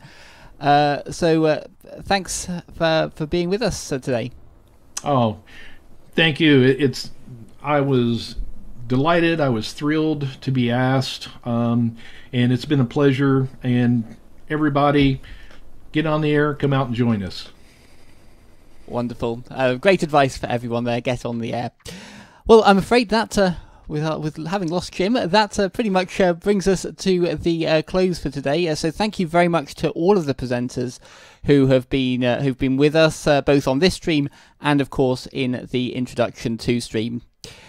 We've uh, mentioned it already, but I'm going to mention this again that uh, because we can't have the usual uh, raffle this year, we've not been able to collect money for the RSGB's HF DXpedition Fund, which of course does fund a lot of uh, the expeditions to some of the rarer places. So uh, if you're able to, then uh, please do uh, jump onto the website rsgb.org/donate to to give a whatever you can afford, whatever you might have spent on raffle tickets, perhaps. Also, of course, uh, don't forget that uh, we'd really appreciate any feedback that you've got on the sessions that you've heard today, how you think the whole day has gone, and uh, uh whether or not we're uh, we're together in person next year, or was it, or whether we're um, or whether we're back online. Hopefully, uh, hopefully we will, will be in person. But it'd be great to hear how you think today has gone. You can get to that at rsgb.org slash feedback. We'd really appreciate hearing from you. Uh, so I think it looks like we might be about to get Jim back. So uh, I will uh, hopefully be able to uh, to let him uh, have the final word before we before we go to the RSGB president, who will actually be be giving out some awards. So some of the awards and trophies that would normally have been given out at the convention will hopefully be be taking. we're hearing what those awards were in in just a moment. So, uh, Jim, hopefully, uh, we can't see you yet, but I think we might be able to hear you. No, apparently we can't. Okay, so uh, in that case, uh, Plan B. In that case, Plan B. We will uh, we'll go to the RSG president. So thank you very much again for watching, and um, it's uh, it's been uh, great to have your company today. And I'll leave you with the RSGB president and uh, the introdu- and the announcement of the uh, construction competition results, and also the G5 RP trophy results.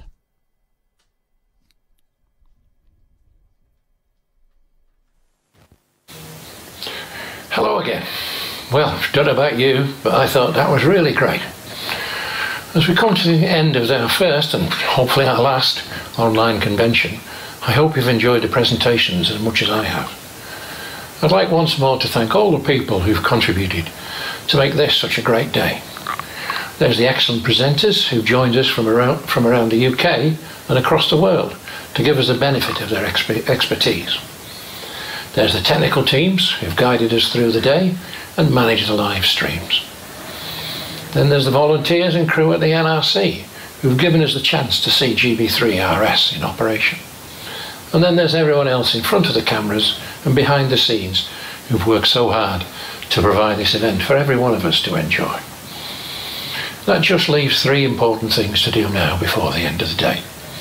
So get yourselves ready uh, to raise a virtual cheer for the winners of two of Society's prestigious trophies and this year's 2020 RSGB uh, construction competition. Firstly, I'm delighted to announce that this year's winner of the Rotax Shield, which is awarded for outstanding and consistent DX work, is Peter Baker. Golf 3 Zulu Sierra Sierra. Congratulations to Peter. Secondly, it's the G5RP Trophy, which is awarded for the greatest progress in the DX field made by an RSGB member who's resident in the UK. And this year it goes to 16 year old David Kay, Mike Mike 7 Delta Whiskey Kilo. Again, congratulations to David. Now we come to the results of the RSGB 2020 construction competition, which has been sponsored by Martin Lynch and Sons. Many thanks to them. The entrants were of a very high standard, which made choosing the winners very difficult so with that in mind, all the entrants will receive a £10 RSGB voucher, in addition to any other prizes they're awarded. There were five categories uh, with one overall winner. So firstly, there's the beginners section. The winning entry here was a set of satellite antennas built by Eric Stammers, M7 Echo Juliet Sierra, who, by the way, only got his license in June this year. The next category is Construction Excellence. And here the winner is Nick Brooks, Golf 4 Bravo Mike Hotel, for his CW transmitter, which he built during lockdown. Innovation is the next category, and the winning entry here was Ancanis. What's Ancanis, I hear you saying? It's an adaptive noise cancellation and information system, and this was entered by Gwyn Griffiths, Golf 3 Zulu India Lima. In the software category, the winner here is Heather Lomond, M0HMO for her mapping system. And finally, there's a category called Lockdown. The winning entry here was the beautifully engineered Virus Perplex bug key, built by Roy Bailey, Golf Zero Victor Foxtrot Sierra. Congratulations to each of those winners, who will each receive a voucher from Martin Lynch and Sons and a copy of the new RSGB handbook.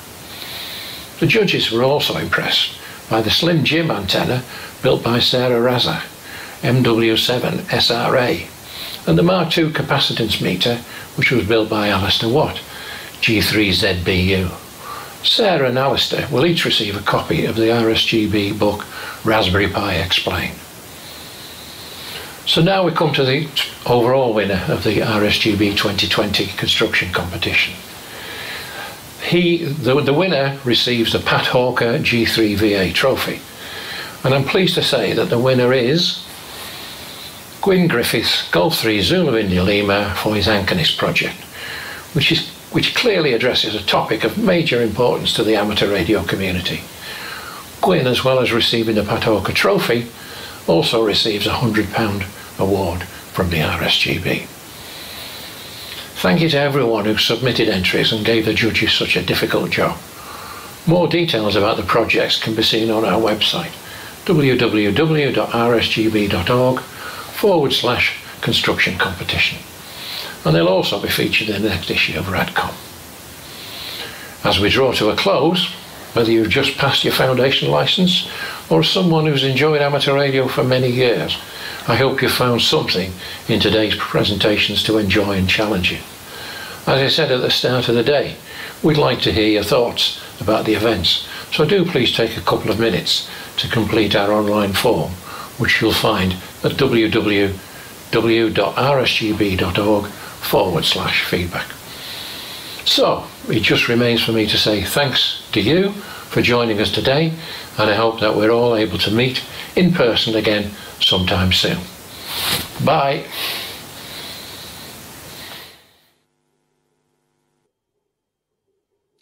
And indeed, we all echo Dave's thoughts there. Let's hope we are all back together and things are back to normalish by this time next year.